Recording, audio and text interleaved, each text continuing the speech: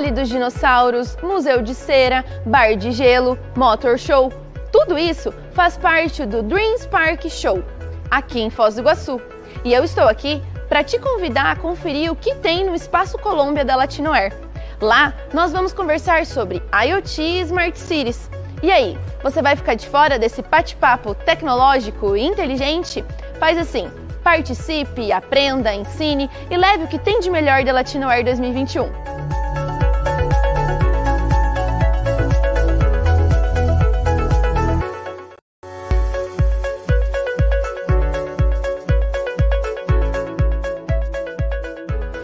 Cataratas do Iguaçu, uma das sete maravilhas do mundo localizada na fronteira entre o Brasil, o Paraguai e a Argentina. E não por acaso, a Latinoair tem um espaço Argentina, um local de debate sobre o desenvolvimento de software e suas linguagens. Participe do maior congresso da América Latina de software livre e tecnologias abertas.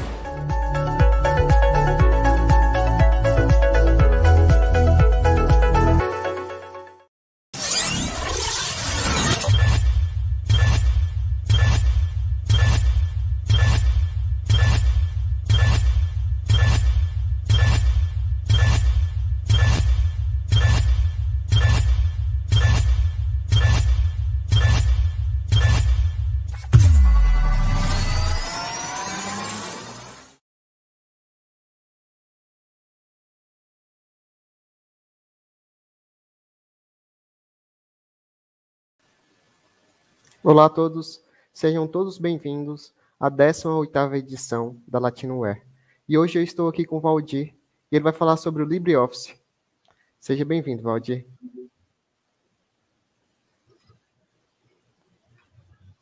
Na escuta, Valdir? Sim, tá me ouvindo? Sim, tudo bem. Deixa eu compartilhar aqui.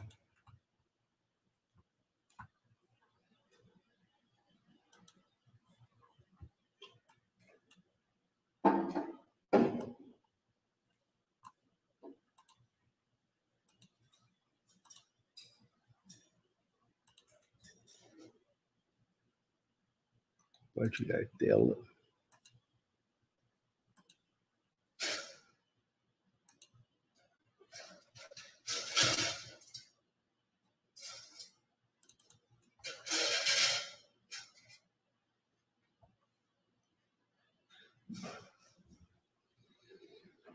Ok.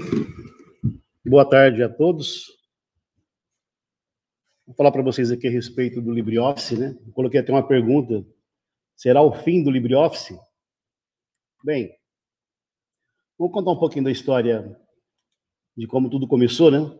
A empresa Star Division era uma empresa lá no final dos anos 80 que tinha um software chamado Star Office. E o Star Office, ele foi o precursor do projeto OpenOffice.org. Uh, em 98, a Star Office passou a ser distribuído gratuitamente, mesmo para as empresas privadas podiam usar sem fins comerciais. Em 1999, a Star Division ela foi é, vendida para a Sun Microsystem. Quando a Sun ela lançou a versão 5.1, colocou também como gratuito, mesmo para uso comercial.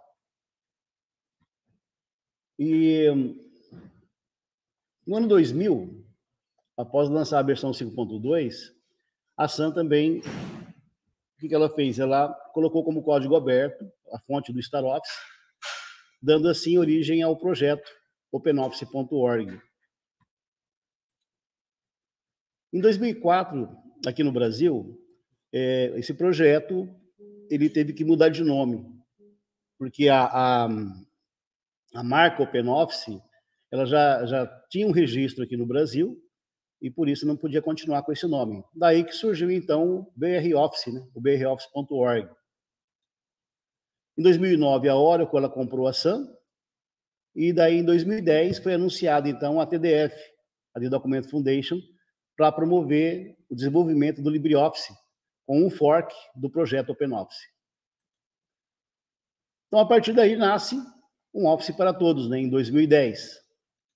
Nasce, então, o LibreOffice. Bom, desde 2010 já foram mais de 300 milhões de downloads do LibreOffice. Isso não contabilizando o, as distribuições Linux, né? mais de 100 milhões é, de distribuições aí de downloads né? e de, de uso do LibreOffice nessas distribuições. Então, realmente, é uma quantidade muito grande. Mais de 75 mil espalhados pelo mundo distribuem mundialmente o download do LibreOffice. Ele está disponível é, para várias plataformas. Né? Nós temos para Windows, para o Mac, para Linux, FreeBSD. Temos o LibreOffice Online e também o LibreOffice no formato portable, que seria o LibreOffice para uh, ser usado em pendrives. É, atualmente, ele está sendo distribuído em cerca de 120 idiomas. Né? São mais de 250 milhões de usuários no mundo todo. Com certeza você já deve ter passado por uma situação em que você tinha um arquivo que foi feito há muito tempo atrás e você perdeu acesso a esse conteúdo. Por quê? Porque o, o, o software que você utilizou na época já não existe mais e por isso você não tem mais acesso então àquelas informações que você tinha naquele arquivo e exatamente um problema de interoperabilidade. Né? Então, os diversos formatos de arquivos que já existiam no passado, na década de 80, por exemplo, 80, 90, e as novas versões de aplicativos que não suportavam as versões mais antigas, o LibreOffice ele veio justamente ajudar a você a recuperar o conteúdo que você imaginou que tivesse perdido. Através de um projeto chamado Document Liberation, é, através desse projeto, o LibreOffice quando você abre ele, você vai lá no, no menu Arquivo, Abrir, você tem ali, nos tipos de arquivos, cerca de 169 formatos de arquivos diferentes que você consegue abrir e ter acesso à informação que você antes não tinha e gravar essa informação num formato aberto, formato ODF, que permite você, então, ter acesso novamente às informações que você havia perdido. Alguns aplicativos que já utilizam o, o, o projeto Open Document. É, nós temos aqui o Inkscape, Scribus, o Caligra e também o LibreOffice. Né? Então, o Documento Liberation já tem esses aplicativos que utilizam também esses formatos. Bom, se você observar lá no site de, do LibreOffice, na parte de downloads, você tem diversos formatos de arquivos que você pode utilizar para fazer a instalação. Né?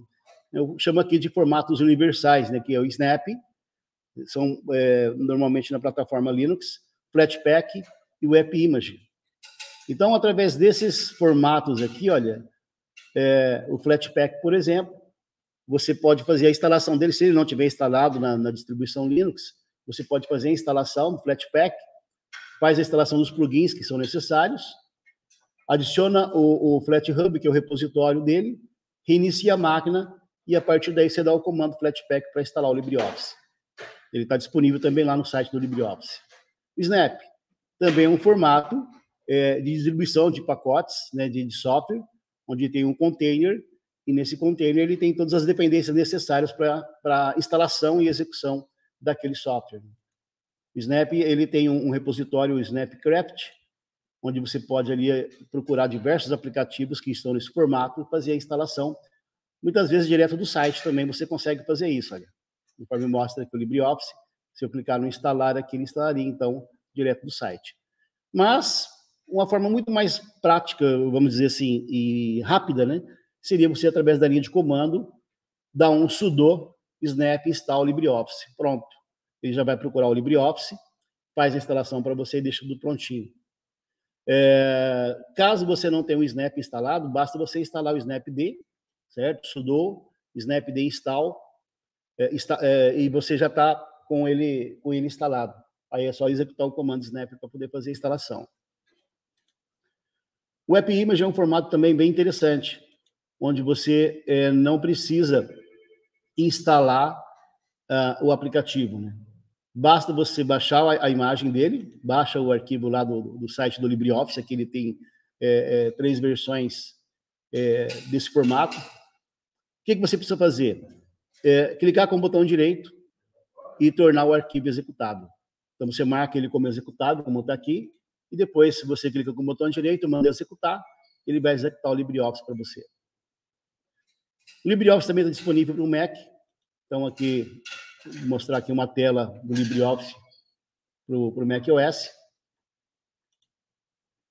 Temos o LibreOffice também online, né, que é distribuído pela Colabora, uma empresa britânica. Aqui você tem o site, o colaboraoffice.com.br onde você pode testar o LibreOffice online. E também ele tem é, disponível é, para você colocar no cloud, no cloud, então o Nextcloud, você ter um servidor com o LibreOffice para que vários usuários, né, você possa gerenciar vários usuários acessando essa plataforma e acessando assim o LibreOffice.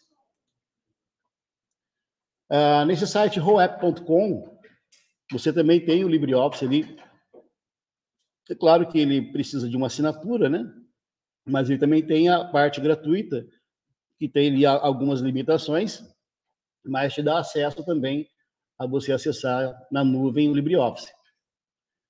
Outro, uma outra forma também de você ter acesso ao LibreOffice é através de uma, de uma extensão existente no Chrome, né, que é o LibreOffice Editor. Então, você vai para esse site aqui, o offdocs.com, e aqui você tem, então, acesso também ao LibreOffice. Claro que ele não vai ter todos os recursos né, de uma versão é, que você tem offline, mas você tem acesso também a, a, a, ao LibreOffice dessa forma.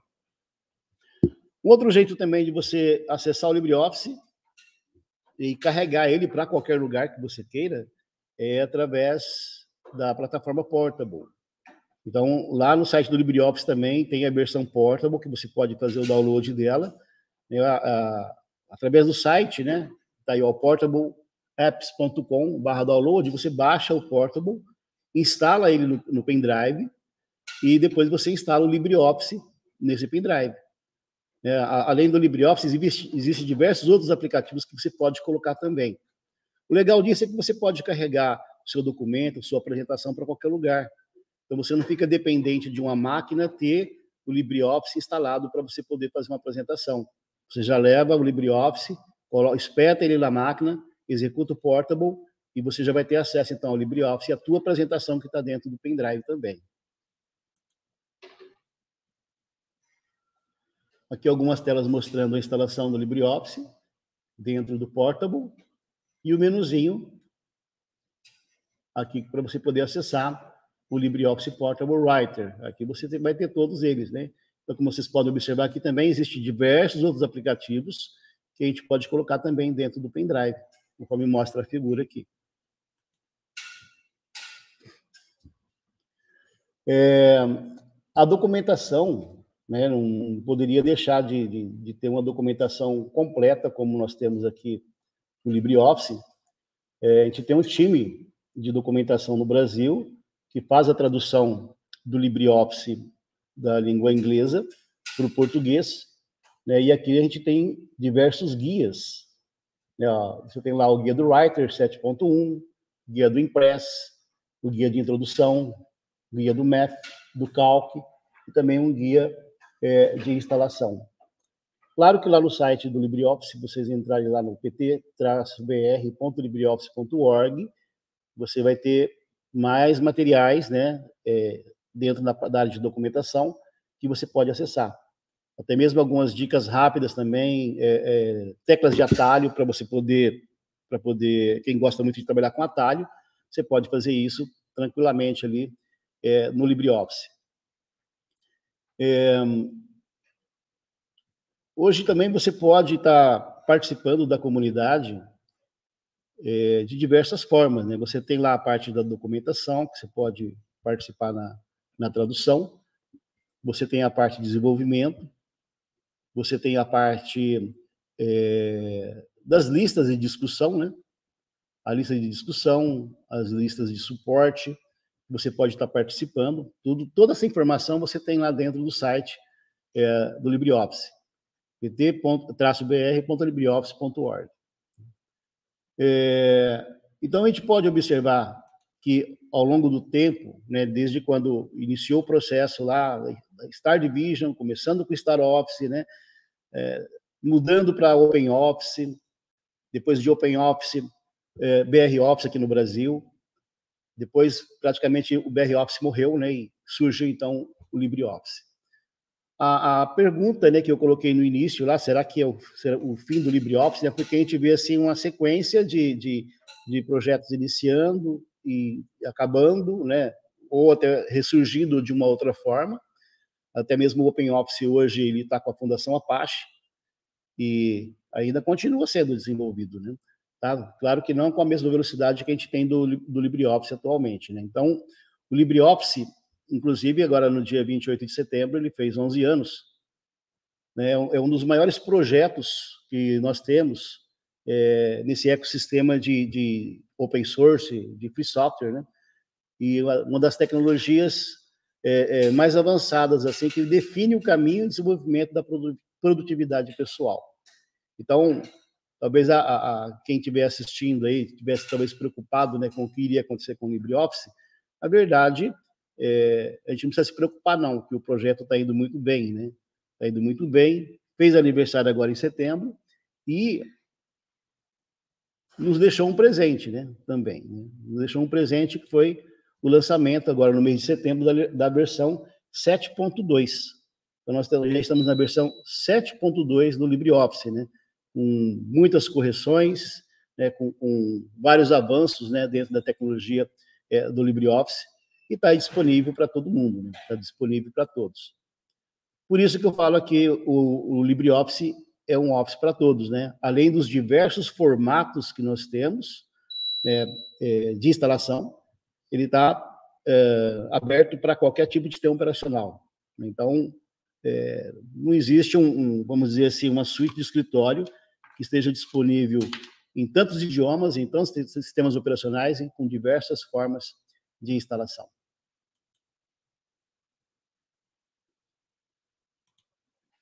É isso que eu queria apresentar para vocês, né? uma breve história aí da, do, do LibreOffice e mostrar para vocês que ele está muito bem, né? E a gente não corre o risco de, de deixar de existir o LibreOffice tão cedo, ok?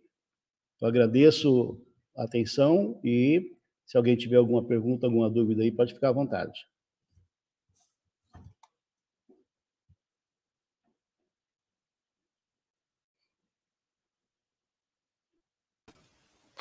Olá, Valdir, tudo bem? É, temos uma dúvida aí. Fui eu Sim. mesmo que fiz, mas é, eu achei interessante o assunto.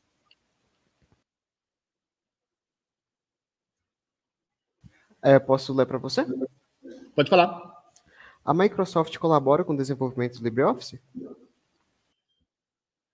A Microsoft não, ela não colabora com o desenvolvimento do LibreOffice, né? Mas ela tem o, o formato, né, o padrão aberto, formato ODF, ela tem incorporado isso na suíte Microsoft, né? No Office. Tanto que uh, já há um bom tempo, né, a Microsoft ela consegue abrir os formatos do LibreOffice. Então, o que acontece é, é, é manter essa compatibilidade, né? Porque muitas vezes a, a, a, versão do ODF que a Microsoft ela utiliza não está de acordo com a mesma versão do ODF que é utilizado no LibreOffice. Daí, às vezes, você vai abrir um arquivo feito no LibreOffice lá no Office, embora ele abra o ODF, ele pode ter algum problema de formatação. Né? Eu não sei se a Microsoft agora ela está uma coisa mais atualizada, né? mas eu lembro algum tempo atrás que eh, tinha eh, divergência na versão do ODF, que era utilizado no, nos produtos Microsoft para poder ter essa interoperabilidade, né? coisa que atrapalhava um pouco nessa questão. Muitos usuários reclamavam porque ah, perde o formato, né? É, bagunçava um pouco a formatação. Mas é isso, né? Mas, assim, a não ser que ela seja alguma coisa nova que ela esteja contribuindo, mas, não, mas eu não tenho conhecimento sobre isso. É, outra pergunta. É, com, com a Microsoft entrando no mundo do software livre, auxiliando aí o Linux, você acha que tem alguma probabilidade dela auxiliar é, no projeto do LibreOffice é, futuramente? É, porque se a gente for pensar na questão de sistema operacional, né, a gente, a gente vê a Microsoft já se abrindo né, para o open source. Né? A gente já vê isso no Windows. Tá? Então, não acho assim que seja tão difícil da Microsoft, de repente, também colaborar no desenvolvimento do LibreOffice, porque, na verdade, a gente não é assim, um, um concorrente da Microsoft. A Microsoft ela ainda domina muito, né? E, na verdade, existem outros, outras suítes Office também aí pelo mundo, né? Mas talvez agora, assim, com essa com essa abertura né, de, de, de, de, do Linux, de open source dentro da Microsoft, quem sabe algum dia também ela possa até colaborar, né? Não, não, não tenho tanta certeza assim, mas pode até acontecer, né? A gente nunca imaginava que ela ia fazer, dar essa integrada, né, de Windows e Linux numa plataforma só. Certo. Só lembrando, pessoal, que as dúvidas estão abertas, ok? Quem desejar fazer qualquer pergunta, pode mandar aí no chat.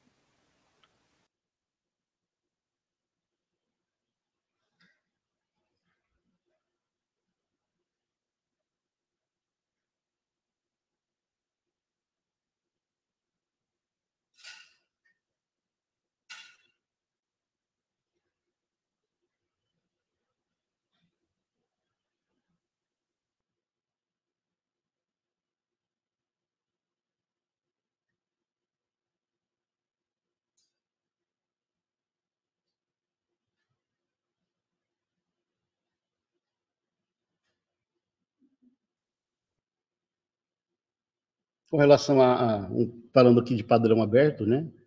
Vocês observam que até o próprio Google, né, o Google Docs, ele também consegue abrir os formatos né, do LibreOffice. Ou você, quando você vai salvar lá, ele consegue salvar também nesse mesmo formato.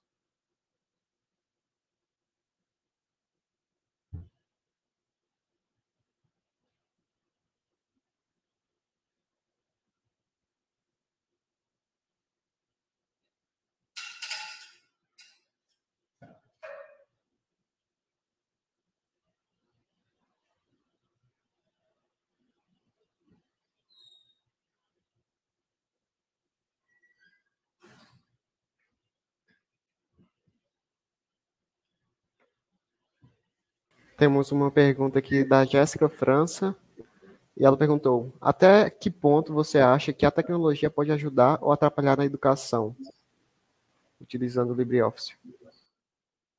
Acho que atrapalhar jamais, né? Não pode mais é contribuir para a melhoria, melhoria realmente né, da, da educação. E principalmente falando né, nessa, na, na área de educação, na, na escolas públicas, né? É, seria justamente o ideal utilizar o software livre. Né? E usar o LibreOffice, em que a pessoa ela pode ter, tanto na escola como em casa, como no trabalho, trabalhando com a mesma ferramenta, né?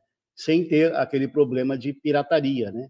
De você tá, você usa na escola, mas em casa você não tem, né? Porque você teria que pagar uma licença do Microsoft, por exemplo. Mas ah, com o LibreOffice você não tem esse problema, né? Você tem acesso a ele em qualquer lugar sem correr esse risco. Então acho que ele contribui muito para a educação. É, Valdir, a gente tem outra pergunta do Guilherme Robert. Ele perguntou: Faz tempo que eu não uso mais o pacote Office. O que acha das ferramentas do Google Line, Docs, Slides e Sheets? Eu até utilizo também essas ferramentas online, né? É, eu pego, às vezes, arquivos meus mesmo, do, que eu fiz alguma apresentação no, no, no Impress, abro lá na apresentação do Google, do Google Docs tranquilamente, né? Ou planilhas também. Às vezes eu preciso fazer alguma coisa desse tipo, mandar para alguém. Então, é tranquilo. Né? Você usar tanto online como no offline aqui, se trabalhar com essas ferramentas do Google também, tranquilamente. E tem muita gente que desconhece essas ferramentas, né? E elas são a mão na roda para você poder fazer suas apresentações onde você quiser, certo? Temos mais uma pergunta do Daniel eh, Rodrigues. Ele perguntou: testou o OXOOL, a versão tailandesa do LOOL, e, mesmo, e é a mesma utilizada na minha universidade? Não, não testei isso, não. Aliás, eu não, não, não conheço o que, que é essa versão tailandesa aí.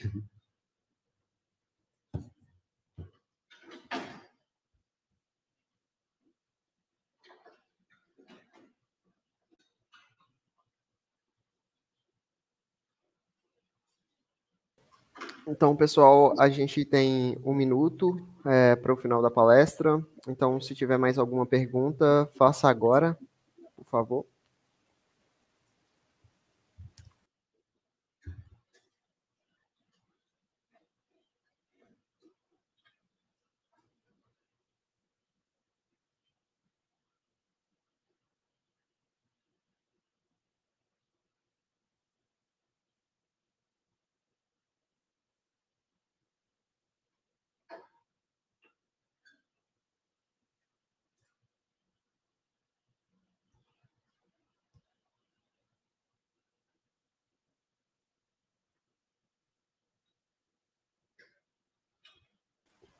Valdir, então acho que é isso. É, não temos mais perguntas. Muito obrigado pela sua palestra, pelo seu tempo, Beleza. pelo seu conhecimento. E esperamos você na próxima Latino Até mais. Legal. Obrigado, até mais. Até mais. Tchau. Tchau.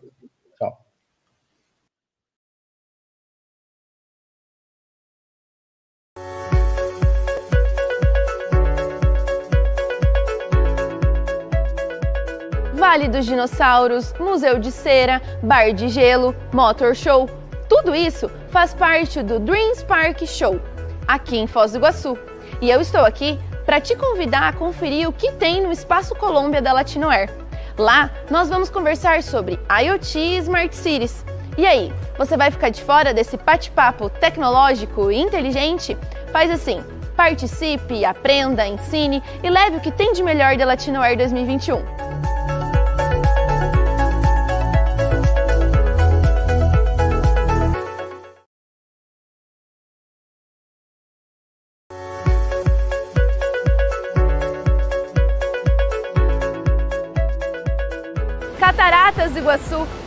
Das sete maravilhas do mundo localizada na fronteira entre o Brasil, o Paraguai e a Argentina.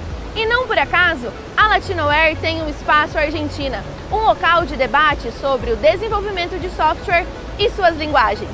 Participe do maior congresso da América Latina de software livre e tecnologias abertas.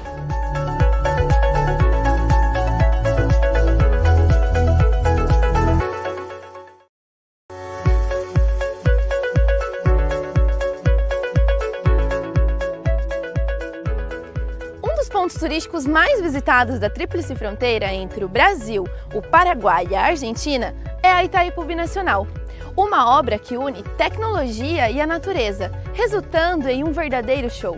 E é daqui que eu venho convidar você para participar do Espaço Bolívia, um local de discussão sobre segurança da informação, direito eletrônico e privacidade. Vão debater várias pessoas, Analistas, professores, doutores, estudantes, hackers, peritos forenses e também outras pessoas ligadas à pesquisa e desenvolvimento no tema da segurança. Continue acompanhando a Latinoair e participe!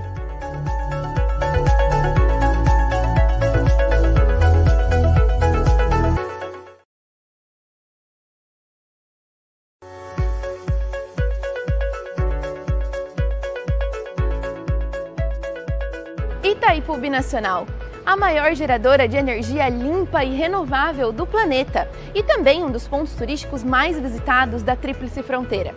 Além disso, a usina é a casa do Parque Tecnológico Itaipu, que é quem realiza a Latinoair, o maior congresso de tecnologias abertas e software livre da América Latina.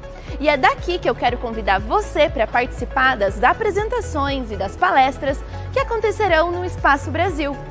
Curta a Latinoair aí de sua casa em 2021 e em 2022 venha presencialmente conhecer Foz do Iguaçu e a Itaipu Nacional.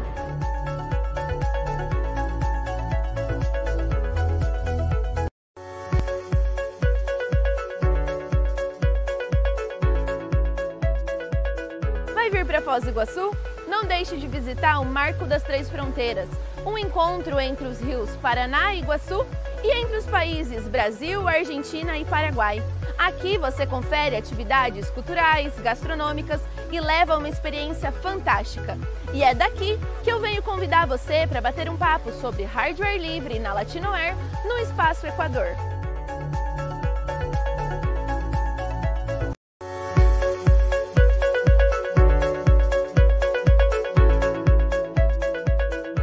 Locais mais visitados e mais procurados de Foz, sem dúvidas, é as Cataratas do Iguaçu.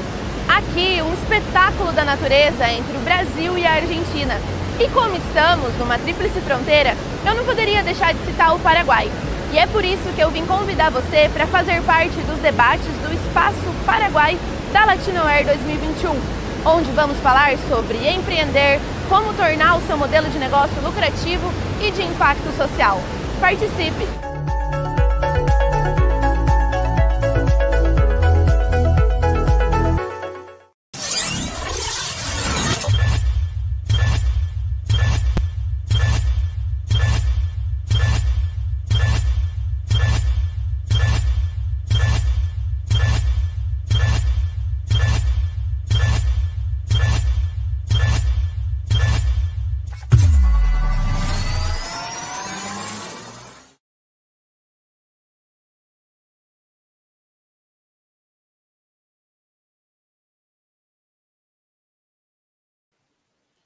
Olá, estou aqui com a Lourdes e ela vai falar sobre colaboração com a plataforma de suporte Mozilla. Seja bem-vinda, Lourdes. Hola Gabriel, muchas gracias, muito obrigada. Eh, yo soy Lourdes Castillo, eh, soy paraguaya, vivo en Chile hace más de nueve años. El tema que voy a hablar hoy día es cómo empezar en la comunidad Support Mozilla alias Sumo. ¿Ya? Antes de empezar esta charla, ¿me avisan si ven, pueden ver bien la presentación? Creo que tenemos un poco de problema. La presentación está un poco trabada. Ya, eh, me, me, di cuenta. Eh, no sé si reiniciamos nuevamente. Voy a volver a compartir, voy a parar y volver a compartir. A ver si es el problema es en iniciar. Y ahí voy a volver a compartir. Disculpe. Eh,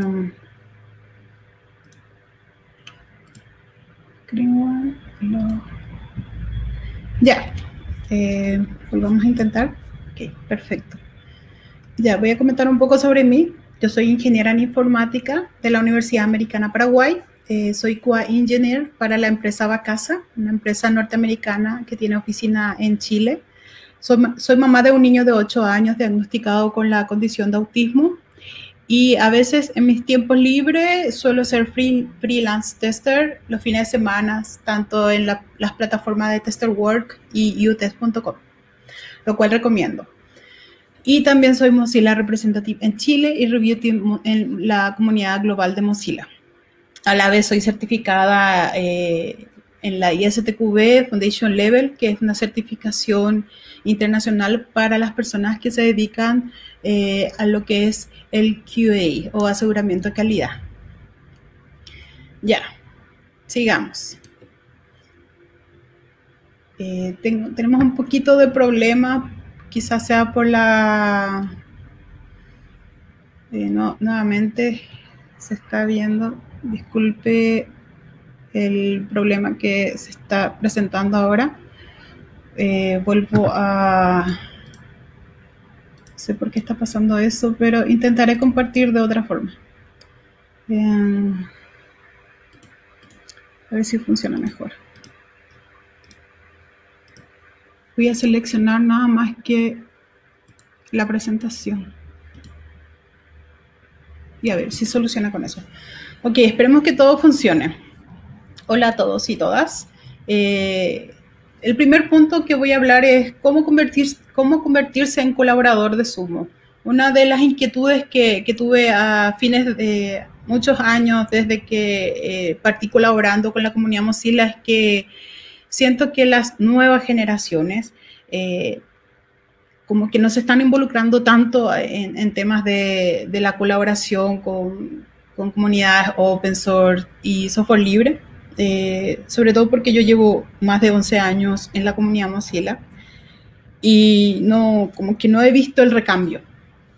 y es por eso que yo decidí presentar este, este tema, esta charla, para poder eh, motivar a más personas que quieran colaborar, que quieran pertenecer a una comunidad open source y de software libre.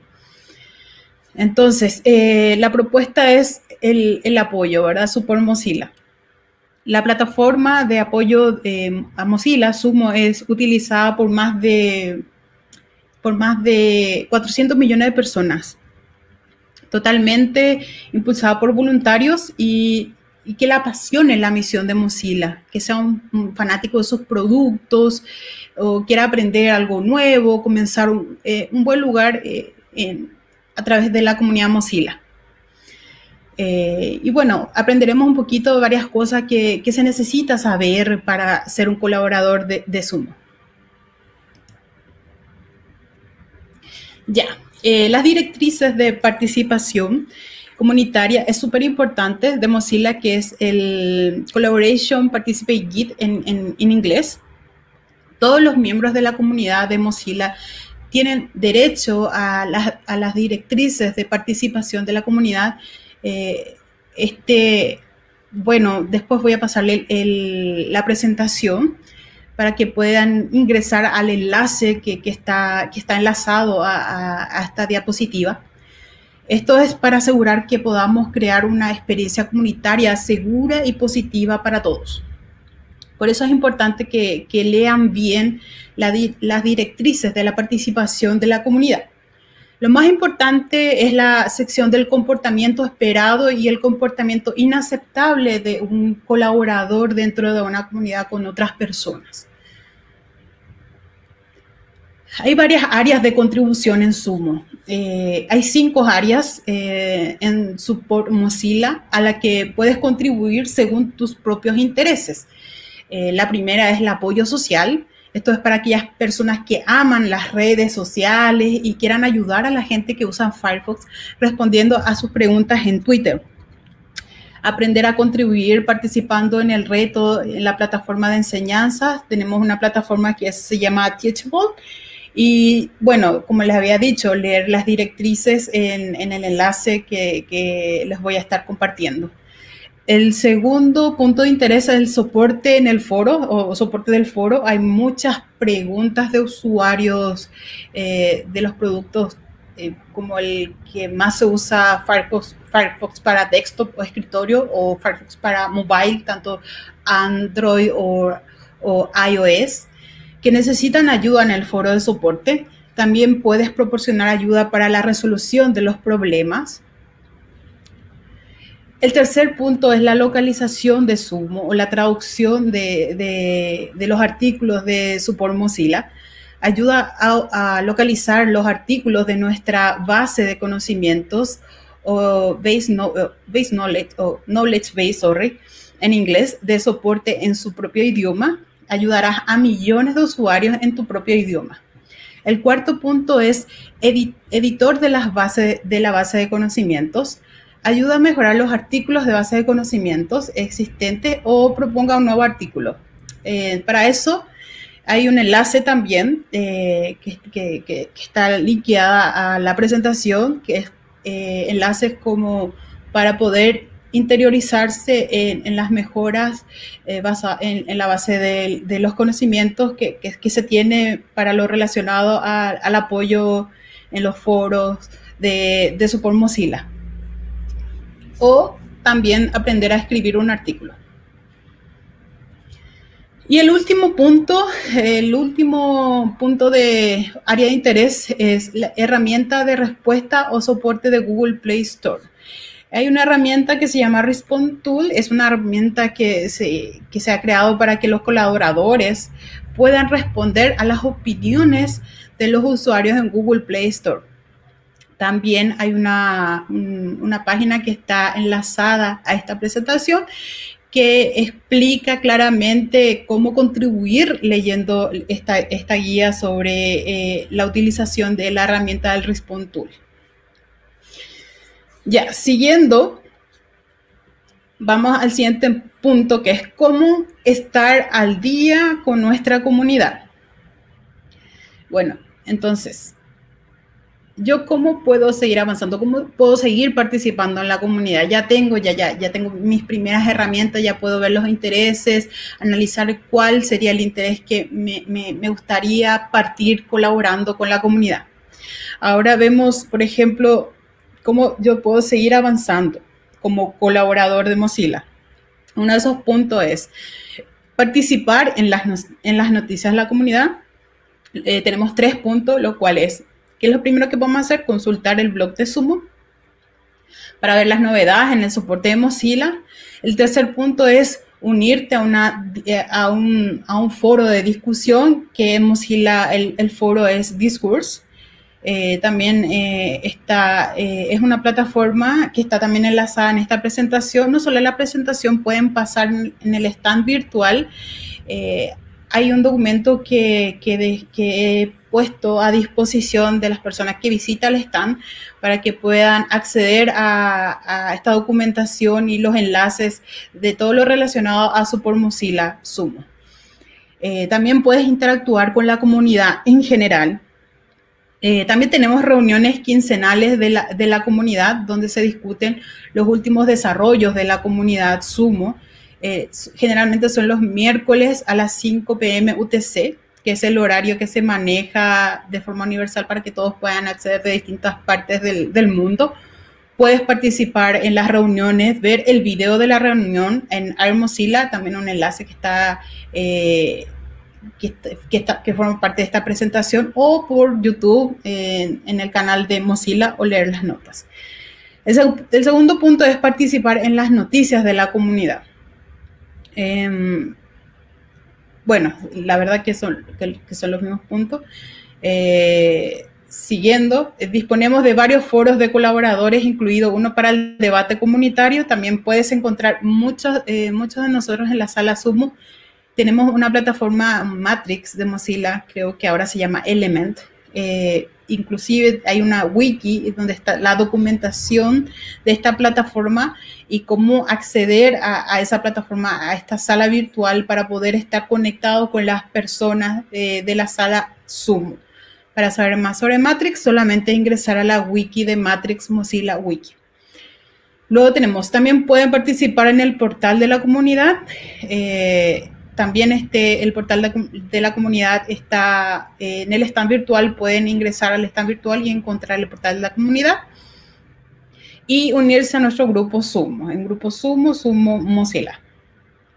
También te animamos a crear un perfil en, en el portal de people.mozilla.org y añadir la etiqueta Sumo a tu perfil.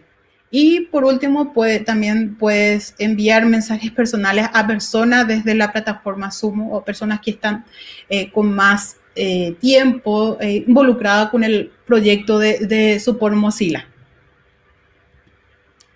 Siguiendo, el siguiente punto es comprométase con el equipo de Sumo. Siempre es importante cuando uno colabora con un proyecto de una ONG, comprometerse, ser responsable también. Eh, para eso puede consultar a la página Conoce al equipo, al equipo de Support Mozilla, comprometerse con los líderes del grupo y los colaboradores. Eh, hay un foro de apoyo donde vas, a conocer a todos los miembros, eh, tanto sean moderadores o ayudantes del foro, eh, esto relacionado al foro de apoyo. También tenemos la localización, eh, tenemos información, el índice de toda la información de, detallado de, localizaciones a nivel eh, global, ya sea en español, portugués, inglés, etc. Administración, administradores de Support Mozilla. También tenemos aseguramiento de calidad, que es el QA, colaboradores de control de calidad, quienes apoyan con el, con el aseguramiento de calidad de de, los defectos que se vayan encontrando. Eh, bases de conocimientos. Tenemos los editores de la base de conocimientos, lo que editan, y los revisores de la base de conocimiento. Tenemos una forma de, de, estar al día con, nuestra comunidad o, aportar con la comunidad. El siguiente punto, cómo reportar errores y solicitar mejoras o nuevas funciones. Como organización de bien público, los resultados de nuestro trabajo se hacen públicos y usted puede observar cómo mejoramos nuestro servicio. Es un lema que yo dejé ahí, así que eso, nada más. Eh, bueno, nosotros contamos con un ambiente sumo, staging. Staging es antes de la puesta a producción. Eh, además de nuestros servidores de producción, en Support Mozilla disponemos de un servidor de prueba que se llama supportallison.org, acá Stage. Se actualiza constantemente eh, desde la rama main, por lo que está ejecutándose, eh, está, está ejecutando el último código. Entonces ahí usted podría reproducir los errores aquí antes de, informar si es reproducible o no un error eh, que quiera asegurarse que, que sí sea un error y que no sea un falso positivo que no sea un error en este caso. Si quieres hacer un cambio y no estás seguro de cómo funciona, puedes probarlo primero en este servidor, que es el servidor de pruebas. Luego, eh, siguiendo, ¿cómo presentar un error en Sumo? En Mozilla utilizamos Baxilla, que es la, la plataforma para levantar eh, los errores o tickets, o crear tickets para levantar defectos, para hacer un seguimiento, para hacer un tracking de seguimiento de los errores y las solicitudes de, mejora, o un, improvement sería en inglés. Puedes presentar un informe de error de Sumo. Hay un enlace también que, puedan, que van a poder ingresar a través de esta presentación, que lo voy a estar dejando después en el stand virtual. También puedes, puedes consultar en la lista de errores de Sumo para ver qué tipos de problemas eh, están siendo rastreados. Y segundo punto, también utilizamos GitHub para el seguimiento de los problemas. Puedes, eh, bueno, pueden presentar un error de sumo en, el, mismo repositorio en GitHub, GitHub, perdón. El siguiente punto es cómo reportar errores y solicitar características para los productos de Mozilla o nuevas funcionalidades. Hay varios productos que actualmente soportamos en Sumo. Eh, por favor, eh, ingresa al siguiente enlace que también van a, van a disponer. En este momento yo prefiero no mostrar por los problemas que se han presentado, pero de todas formas lo voy a dejar en el stand eh, virtual de Mozilla para comprobar, ¿ok? Para comprobar dónde presentar un error o una solicitud de característica para un determinado producto. También pueden aprender cómo presentar un buen informe de error leyendo las directrices que voy a dejarlo disponible en el stand. Entender los términos comunitarios son muy importantes. Nosotros tenemos términos como, por ejemplo, AAQ, que es Ask a Question, es como hacer una pregunta, flujo para que el usuario haga preguntas en el foro de soporte. LTM significa localization, términos que utilizamos para referirnos a la traducción o localización, que es el proceso de adaptar el contenido a una localización específica. El OP, Original Poster, es un término que se utiliza para identificar el título original en un foro, por ejemplo, en discurso, cuando uno quiere seguir un, hilo de, conversación. El KB es Knowledge, base o base del conocimiento.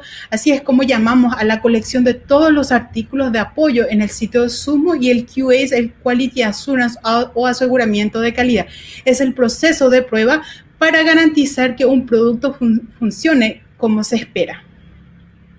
Y, por último, casi último, ya casi terminando, tenemos algunas herramientas súper útiles para nuestra comunidad.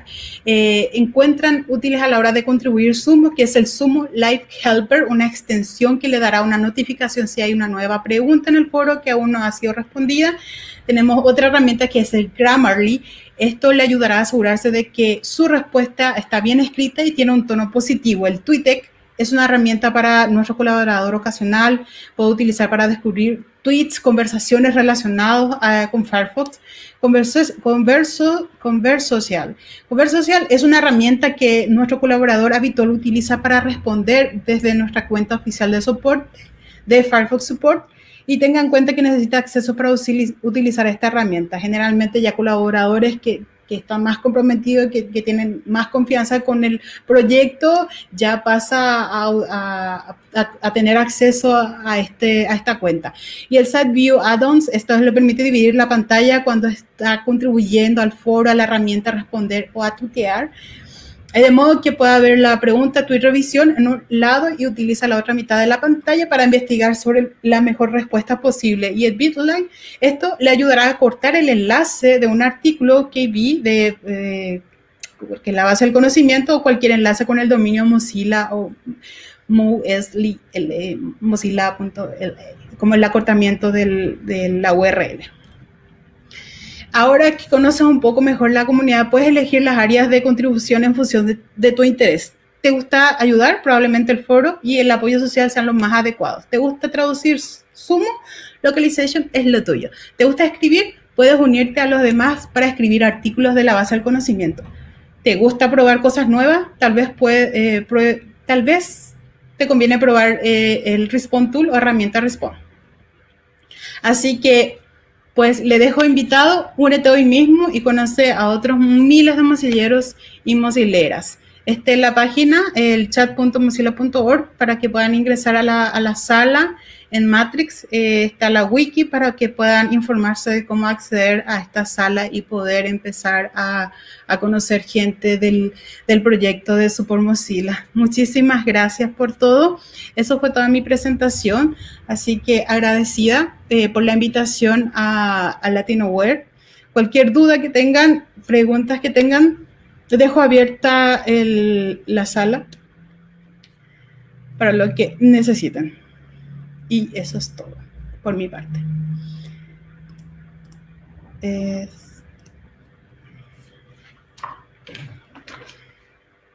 Ya. Si tienen preguntas, eh, bueno, les dejo ahí un tiempito que vayan eh, generando estas preguntas yo voy a, mientras tanto, a, a configurar para que puedan acceder al vínculo de esta diapositiva. Entonces voy a compartir y voy a, dejar al moderador para que me pueda apoyar y para que pueda compartir a, las personas que están aquí. Eso, eso sería. Olá a todos, é, muito obrigado pela apresentação, Lourdes, muito interessante. Ela abriu cinco minutos faltantes dela para pergunta, então é, quem tiver alguma pergunta pode fazer nos comentários que eu coloco aqui na tela para ela ler, ok? Muito obrigado.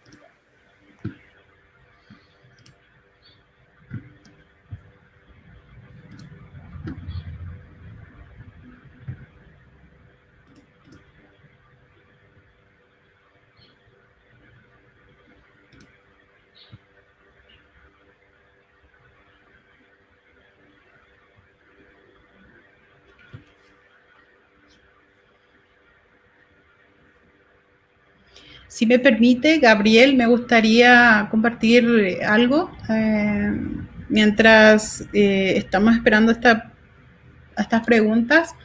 Eh, voy a compartir algo que me gustaría que tengan en cuenta. Pode ficar à vontade, Lourdes. Muito obrigada, Gabriel. Eh, yo estoy participando, aquí si es que puedo compartir, estoy participando de, de un de una premiación que se hace a nivel eh, global. Eh, la organiza la empresa Global Awards para mujeres que se dedican al área de tecnología. Eh, me gustaría si puedan si pueden votar a, a, mi candidatura. La verdad que mi objetivo es darle mayor visibilidad a todas las madres, yo soy mamá, sobre todo madres con niños con necesidades especiales eh, que se dedican a la tecnología, a, al mundo tech. Eh, yo creo que es súper importante un poco destacar esto. Eh, el trabajo de, de, de, de, la mujer en sí, tanto en el, en el mundo profesional y, y, y ser mamá es, es, bastante complejo, adicional a, a poder colaborar con, con, una comunidad que, que es un tiempo realmente muy valioso que uno le dedica a, a, las personas por un proyecto noble que yo considero que, que tiene una misión muy bonita Mozilla. Eh, por eso me gustaría que puedan eh, votar por mí. Eh, voy a dejar el enlace aquí, por favor. Así que hago esta pequeña petición. Muchísimas gracias. Y eso, darle mayor visibilidad a todas las mujeres que, que son madres, sobre todo que son madres de niños con condiciones especiales, discapacidad intelectual, autismo, etcétera. Así que eso, muchísimas gracias, eh, Gabriel. A gente agradece pelo seu tempo pelo seu conhecimento. Muito obrigado. É, parece que não temos mais perguntas. Aí fica a sua escolha se você decide ficar aqui até o final ou se você deseja sair, ¿ok? Mira, yo quiero dejar esta invitación abierta, eh, seguir eh, motivando a, a futuros colaboradores de la comunidad Mozilla, de la comunidad Mozilla Global, sea Mozilla Brasil. Eh, yo presenté un proyecto por Mozilla para los que quieran empezar a, a, colaborar, independiente que sea técnico o no técnico, eh, ambos son muy válidos. Para los que no son tan técnicos, tenemos el área de localización, la traducción y las personas que son más técnicas, tenemos el área de, de editar la base del conocimiento o revisar la base del conocimiento, que es súper importante y, es entregar un poco del tiempo. Se valora muchísimo este, compartir ese conocimiento y, también aporta mucho valor a nivel de la experiencia. Eh, que te entrega valor en la experiencia profesional que uno va adquiriendo, también este, eh, eh, vamos a decirle como, como generar contacto, con, generar y armar una red de contacto grande de profesionales en Mozilla, Mozilla es global a mí me, eh, me, abrió muchas puertas el hecho de, ser parte, de ser una colaboradora de, Mozilla, de, una comunidad open source y de software libre, es un plus muy valioso en el ámbito laboral. Así que por eso que yo creo que no hay que desperdiciar eh, una oportunidad como esa. Eso es todo. Muchísimas gracias. Muito obrigado, Lourdes. Eh, espero você na próxima edição da Latinoware. É, e até mais. Muito obrigado pelo seu conhecimento. Até mais. Muito obrigada. Tchau, tchau, tchau.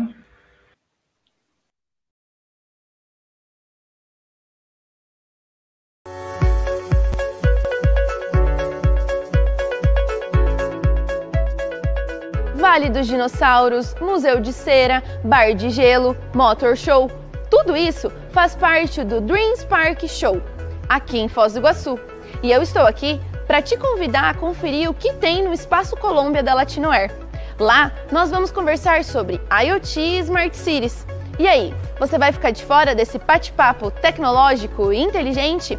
Faz assim, participe, aprenda, ensine e leve o que tem de melhor da Latinoair 2021.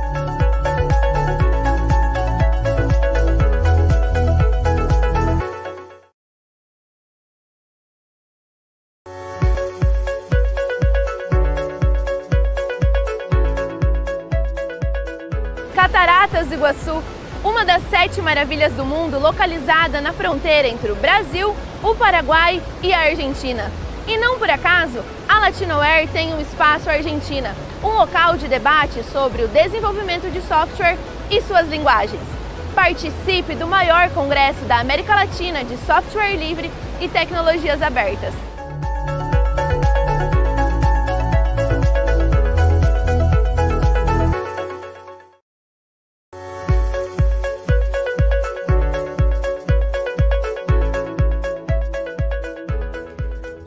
Turísticos mais visitados da Tríplice Fronteira entre o Brasil, o Paraguai e a Argentina é a Itaipu Binacional, uma obra que une tecnologia e a natureza, resultando em um verdadeiro show.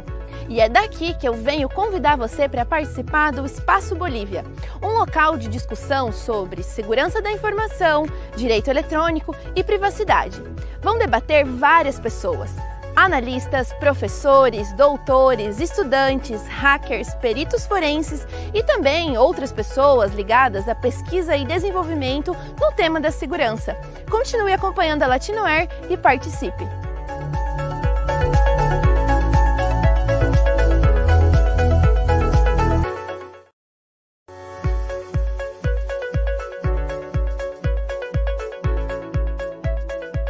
Itaipu Binacional a maior geradora de energia limpa e renovável do planeta e também um dos pontos turísticos mais visitados da Tríplice Fronteira. Além disso, a usina é a casa do Parque Tecnológico Itaipu, que é quem realiza a Latinoair, o maior congresso de tecnologias abertas e software livre da América Latina. E é daqui que eu quero convidar você para participar das apresentações e das palestras que acontecerão no Espaço Brasil. Curta a Latinoair aí de sua casa em 2021 e em 2022 venha presencialmente conhecer Foz do Iguaçu e a Itaipu Nacional.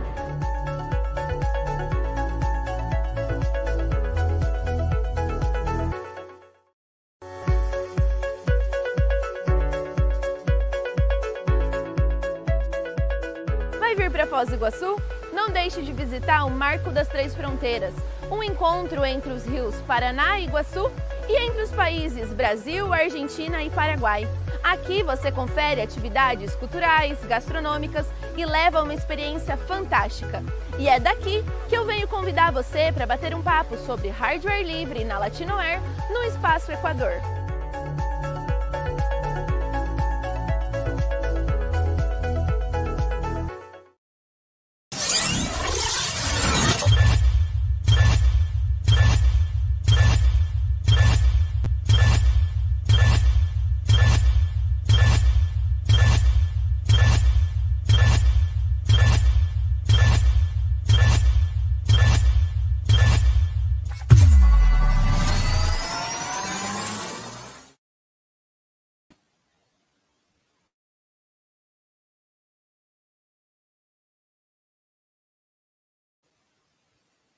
Olá, estou aqui com o Sandro e ele vai falar a respeito do KDE.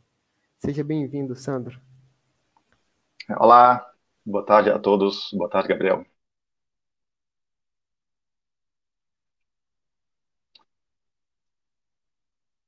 Tudo certo com vocês?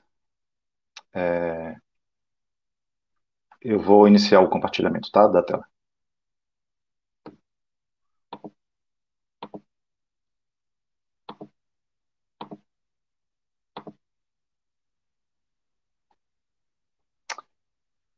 Joia. Bom, é, muito bem. É, vamos lá?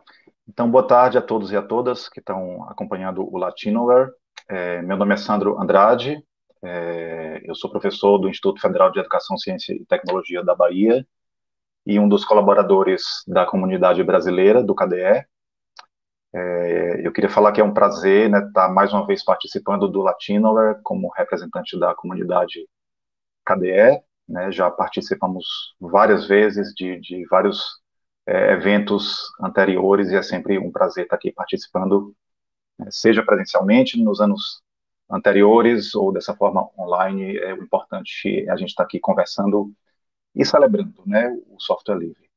É, eu queria mandar um abraço desde já para todo o pessoal da organização do Latinor, para o Siríaco e todo é, o pessoal, é, agradecer o convite, é sempre um prazer estar é, aqui e é sempre muito bacana ver um evento né, com uma programação tão vasta e, e, uma qualidade tão grande, né, sempre voltada para o software livre, que é um, é um tema que a gente precisa estar sempre debatendo.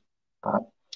É, bom, é, Nessa apresentação de hoje, é, eu vou falar sobre o KDE, é, e, é, em particular, é, essa apresentação é uma, é uma é apresentação que me deixa muito, muito, muito feliz, porque por conta dessas coincidências né, da vida, é, exatamente hoje, dia 14 de outubro de 2021, é, o KDE comemora 25 anos de existência.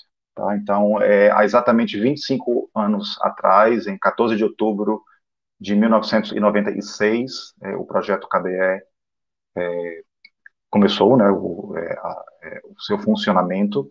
Então, eu fico muito, muito feliz em ter conseguido, né, exatamente neste dia 14 de outubro, é, estar aqui no Latinover é, apresentando essa palestra para vocês, né? Eu falei com o Sirico, poxa, vamos tentar conseguir colocar no dia 14, porque fica uma super coincidência muito, é, muito bacana, tá? Então, nessa palestra eu vou falar um pouco sobre o projeto, né? O, o que é o KDE, para quem não está tão envolvido assim com a comunidade, e tentar, é, tentar fazer um apanhado aqui bem rápido sobre o que a gente já viveu nesses 25 anos, né? A gente tem, tem muita história, eu vou tentar recapitular é, aqui, mostrar o, é, o que a gente tem feito hoje, quais são os valores da comunidade, por que a gente gosta tanto é, do projeto.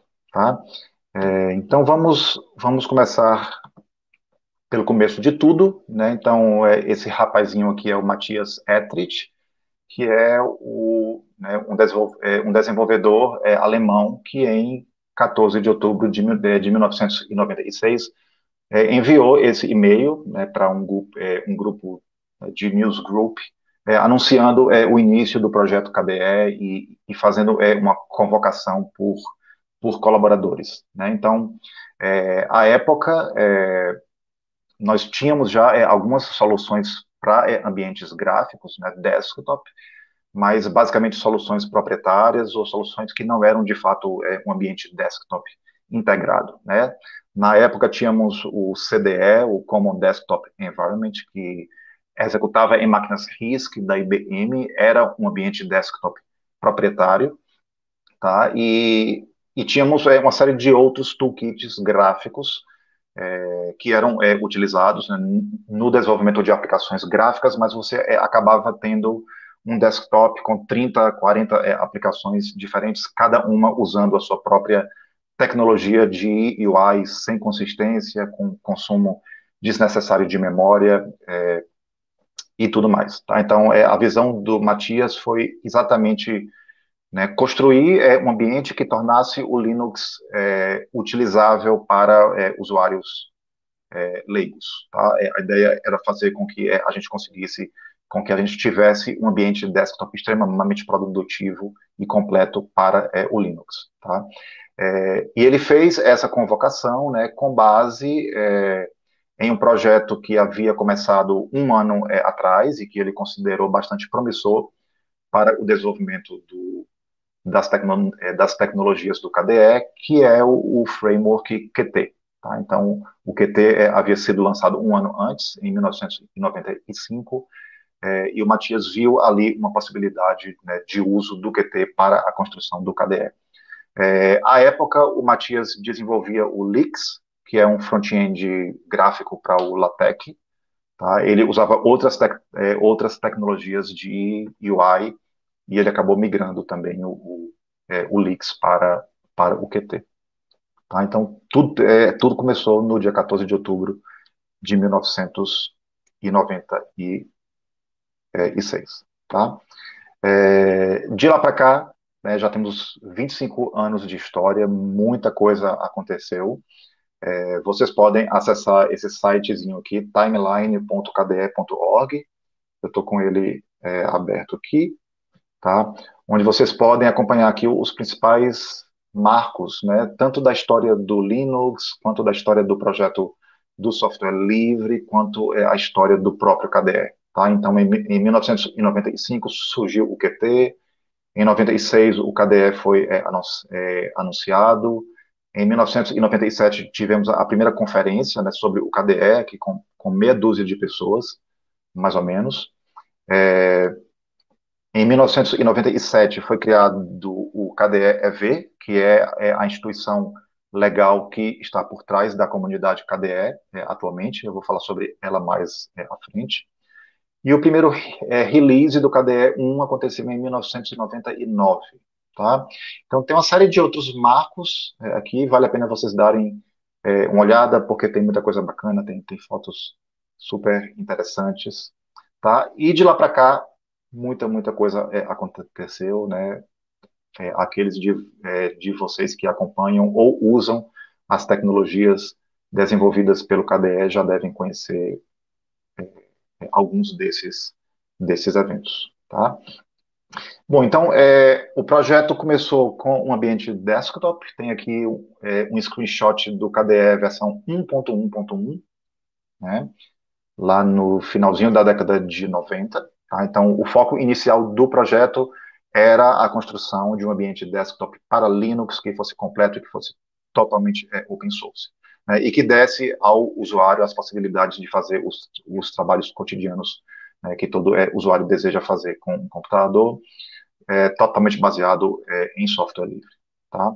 Então, de 1999 para cá, é, o projeto e a comunidade né, mudou bastante. Então, o KDE deixou de ser um, um, é, um grupo de pessoas construindo um ambiente desktop é, e passou a ser uma comunidade com impacto global, né, pela qual já passaram mais de 5 mil colaboradores, é, e hoje a gente entrega um conjunto de tecnologias, não só um ambiente desktop.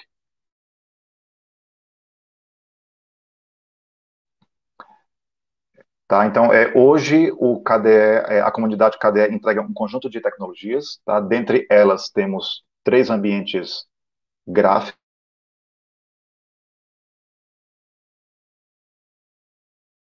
ela um pouco mais para frente. É, nós, além desses ambientes gráficos, desenvolvendo mais de, é, desenvolvemos mais de 220 aplicações em diversos domínios, né, IDEs, editores de texto, editor, é, editores de vídeos, jogos, é, aplicações educacionais, aplicações. Tá? É, dentre é, dentre é, outras soluções que eu vou comentar aqui ao longo da apresentação. Tá? Bom, eu vou começar falando do Plasma. É, o Plasma é nosso produto principal, é o ambiente gráfico é, que é atualmente utilizado em uma série de dispositivos, né, não só para desktop.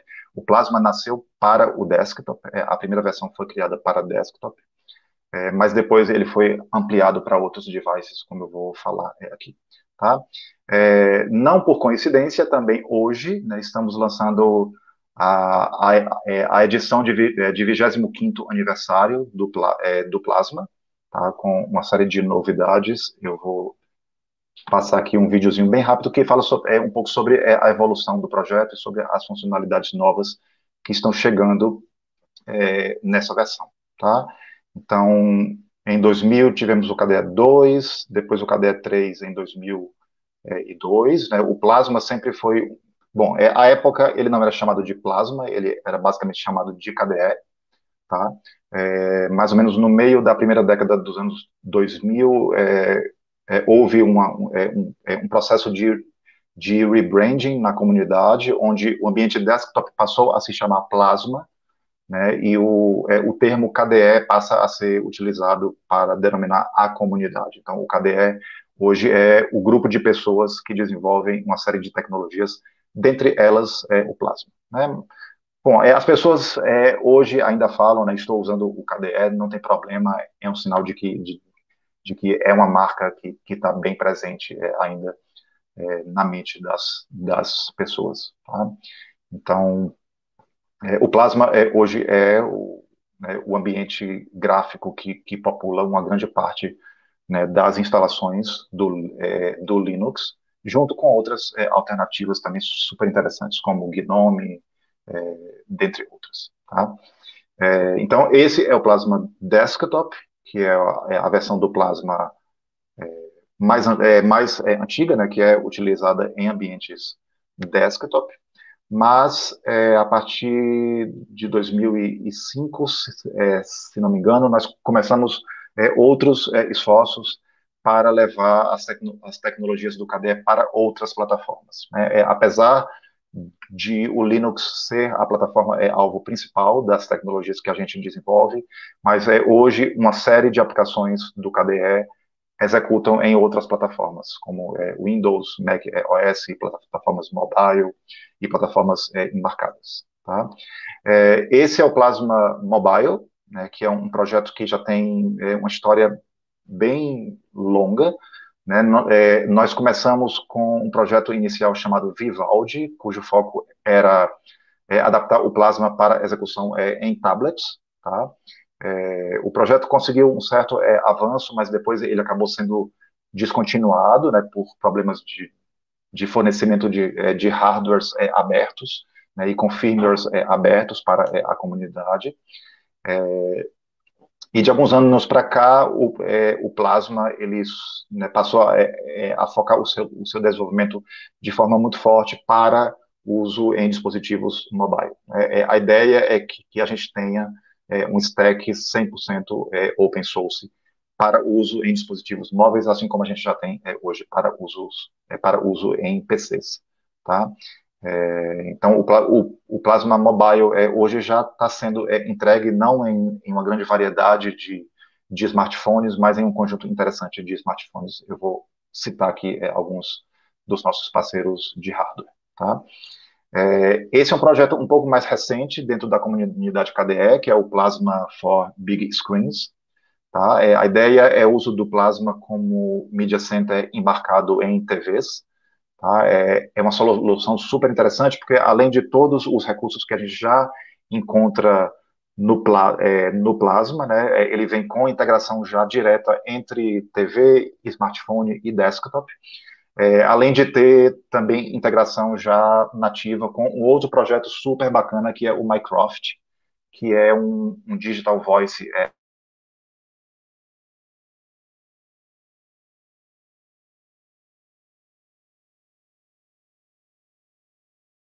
bigscreen.org. Tá?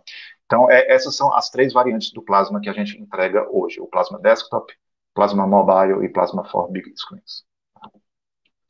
Bom, é, além do ambiente desktop, é, a, comuni é, a, comunidade KDE desenvolve um, é, um grupo é, extenso de mais de 200 aplicações, é, que a gente chama de KDE Applications, que são aplicações em diversas, em diversas áreas, né? eu vou citar só algumas aqui, tá? Mas depois vocês, vocês podem conferir é, depois vocês podem conferir é, no site do, do KDE Applications. Tá? É, bom, é, esse é o KDevelop, que é uma é, IDE né, para desenvolvimento em, é, em, múltiplas linguagens, bastante completa.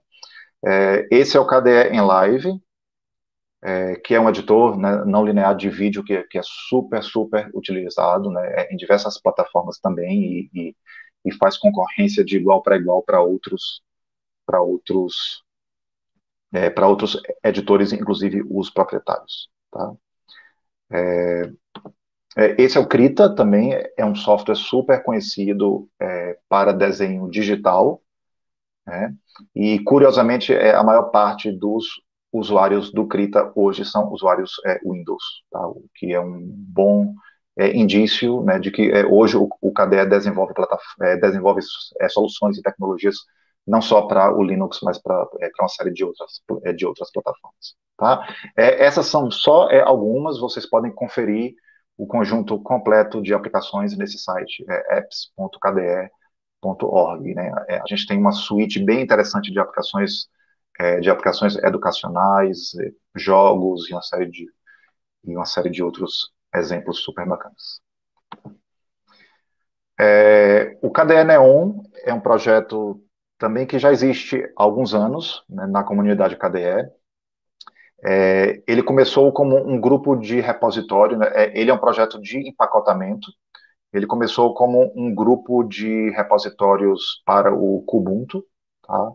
É, mas depois ele, ele evoluiu para, de fato, uma distro. Né? É, tem pessoas né, que dizem que o, que o KDE Neon não é uma distro, mas ele é uma distro. Né? Você instala, tem uma, né, tem, é, uma série de, é, de, né, de pacotes, de, repositório, é, de repositórios, ele é mantido é, como é, uma distro.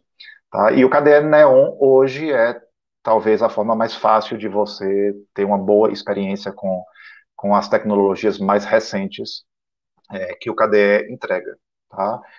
É, ele vem em diferentes é, versões, né, para versões voltadas para o usuário final, versões de developer, versões mais estáveis, versões né, mais com, com as novidades que ainda estão sendo, sendo testadas. Então, é uma forma bem interessante e bem é, estável de você testar ou utilizar é, o que o KDE entrega hoje de tecnologia. Tá? É... Bom,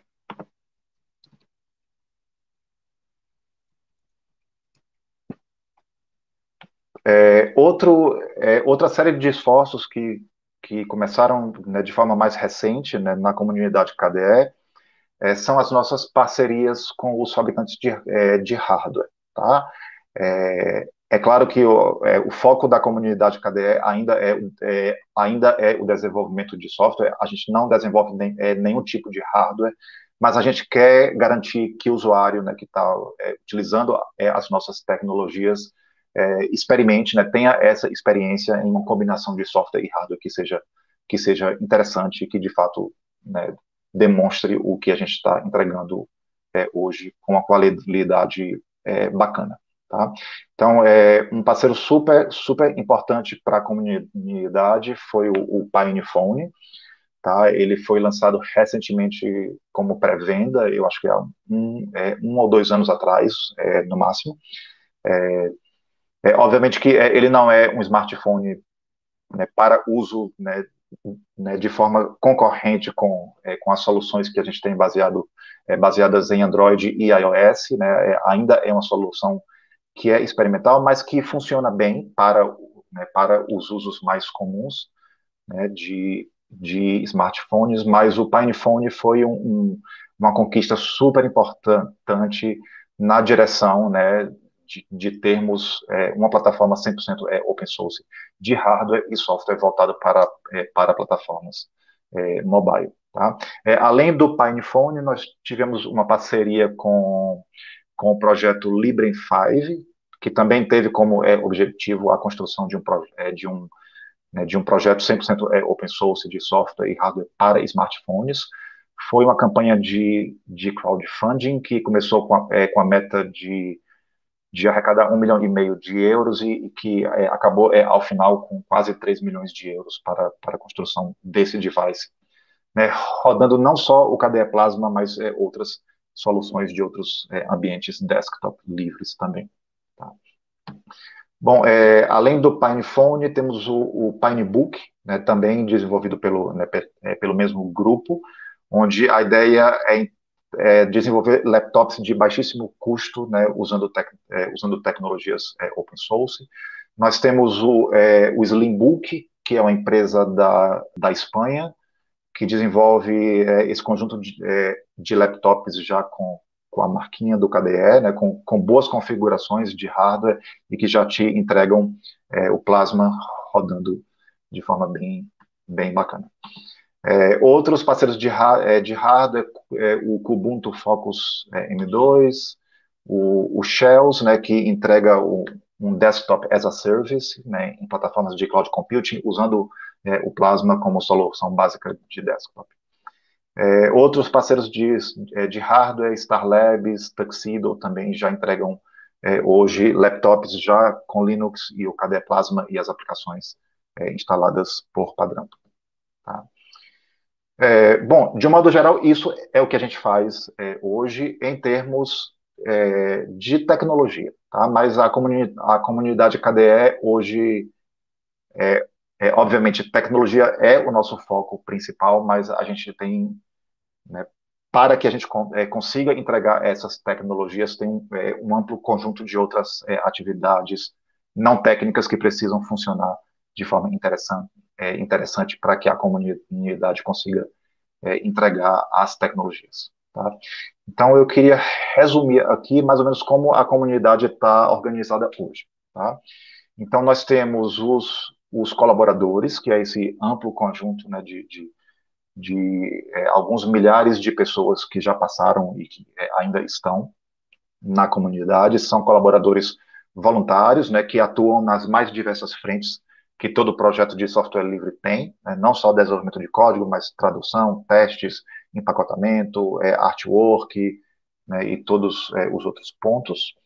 É, e eu comentei é, alguns slides é, atrás sobre o KDE-EV. Tá? Então, o KDE-EV ele foi criado no final da década de, é, de, de 90, é uma organização sem fins lucrativos, com, com sede lá em Berlim, é, e o KDE-EV tem como objetivo representar a comunidade KDE é, sempre que é, for necessário é, é, alguma representatividade em termos legais, jurídicos, financeiros, para parcerias, doações, é, etc. Tá? Então, o KDE já existe, a, a, o KDE-EV já existe há cerca de 20 anos. ele, os membros do KDE-EV são são aquele, aqueles colaboradores da comunidade que já estão presentes, a, é, que já estão fazendo contribuições é, há um certo tempo, né, e os novos membros são é, eleitos pelos membros é, atuais da comunidade. Temos também o, o board de, de diretores, um conjunto de working groups, o KDF Recruit Foundation, é, a equipe de promo e um projeto mais recente chamado KDE Eco. Então, eu vou falar é, rapidinho aqui sobre cada um desses, é, desses pontos. Tá? Então, como eu falei, os novos membros do KDE EV são eleitos pelos membros atuais. Na verdade, é, algum membro é, atual é, indica é, os novos membros é, e ocorre uma, uma é, eleição né, para que esse novo membro integre a organização. Tá? Membros do KDE-EV têm, obviamente, direitos e deveres, né? então nós participamos da Assembleia Anual do KDE-EV, onde temos todas as prestações de contas de, né, das, é, das finanças, temos votações de, é, de tópicos importantes para a comunidade, temos as eleições né, dos membros do board e dos é, working groups, tá? Então é, é uma experiência é uma experiência super importante e que colabora para você vivenciar o software livre sem ser somente do aspecto técnico, tá? É, já o board de diretores é um conjunto de cinco pessoas que são eleitos pelos membros do KDE-EV, que são aquelas cinco pessoas que estão mais é, à frente né, de, de né, desse trabalho de cuidado da comunidade sob fins não técnicos. Né? É, o board de diretores do KDE-EV cuida da sustentabilidade, né, da comunidade, das finanças, das parcerias, do que a gente quer é mais a médio e longo prazo. Tá? É, eles são eleitos para um mandato de três anos, então, é, atualmente, é, esses são os cinco membros do board, o Alex Paul é o presidente, o Ike é o vice-presidente e tesoureiro, e temos a Lídia, o Neófitos e o Adrian de Cruz como membros é, atuais do projeto. Tá? O primeiro presidente do KDE-EV foi o, o Matias Etrich, e tivemos várias pessoas né, que passaram pelo board é, nesses últimos 20 anos. Né? É, eu fui um dos membros do board entre 2015 e 2018, é, e eu queria deixar assim, um, um depoimento que, que é, de fato, uma experiência super importante para você conseguir vivenciar de forma mais completa o que é estar contribuindo e participando de uma comunidade de software livre né, global e de impacto tão grande quanto, quanto o Cadeira. Tá? É, esses são os nossos é, working groups é, atuais. Então, temos é, o Advisory Board é, Working Group, nós temos é, esse. Né, o KDE mantém hoje um Advisory Board formado por várias empresas e outros projetos de software livre. Nós temos o Community Working Group, que tem como objetivo cuidar da, da saúde da comunidade, tá? Então, é, o Community Working Group ele que cuida de quaisquer eventuais conflitos ou problemas, ou, ou enfim, é, qualquer tipo de, de, né, de, problema que esteja impedindo a comunidade de continuar funcionando de forma saudável.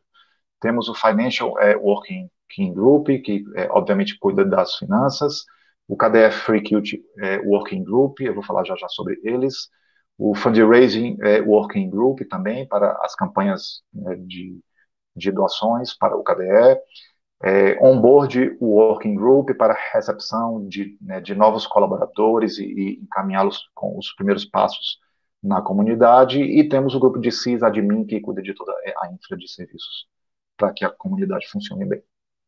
Tá? É, além disso, nós temos alguns afiliados ao KDE-EV, que são é, outros é, atores importantes do mundo do software livre. Tá? Então, somos afiliados da Free Software Foundation Europe, da OSI, da Open Invention Network, da é, é, é Oasis e da organização do CIV-CRM, que a gente também usa para fazer, é, fazer controle das finanças e das doações da comunidade. É, essas são as empresas e projetos que fazem parte atualmente do Advisory Board do KDE. Então, temos empresas como a Blue Systems, Canonical, a, a cidade de Munique, Debian, é, Enioca Culture, que é uma software house da Alemanha, FOS Nigéria, Free Software Foundation, Free Software Foundation Europe, é, Open UK, é, OSI, Pioneer 64, Slimbook, SUSE, The Document Foundation, The Kit Company e Tuxedo Computers são os atuais membros do Advisor, é, do Advisory Board. E nós temos reuniões de tempos em tempos para discutir é, o andamento da comunidade e de qual forma é, o KDE e os membros do Advisory Board podem se, se é, mutuamente é, é, é ajudarem é, a, a, ampliação dos, dos trabalhos do KDE. Tá? Bom, outra entidade importante do KDE-EV é, é a KDE Free Qt Foundation, que tem basicamente como objetivo garantir que o QT seja software livre para sempre. É, em linhas gerais, é, é isso. Né? Visto que tudo que a gente desenvolve no KDE é feito com base no QT, tá? então desde o início do projeto a gente sempre teve a preocupação né, de garantir a sustentabilidade do KDE é, a longo prazo, garantindo a sustentabilidade do QT como software livre é, a longo prazo. Tá? Então, a a Free Qt Foundation ela, ela funciona é, através de um acordo que é feito entre o KDE e a Qt Company, que é atualmente a empresa que coordena o desenvolvimento do, é, do QT. Tá?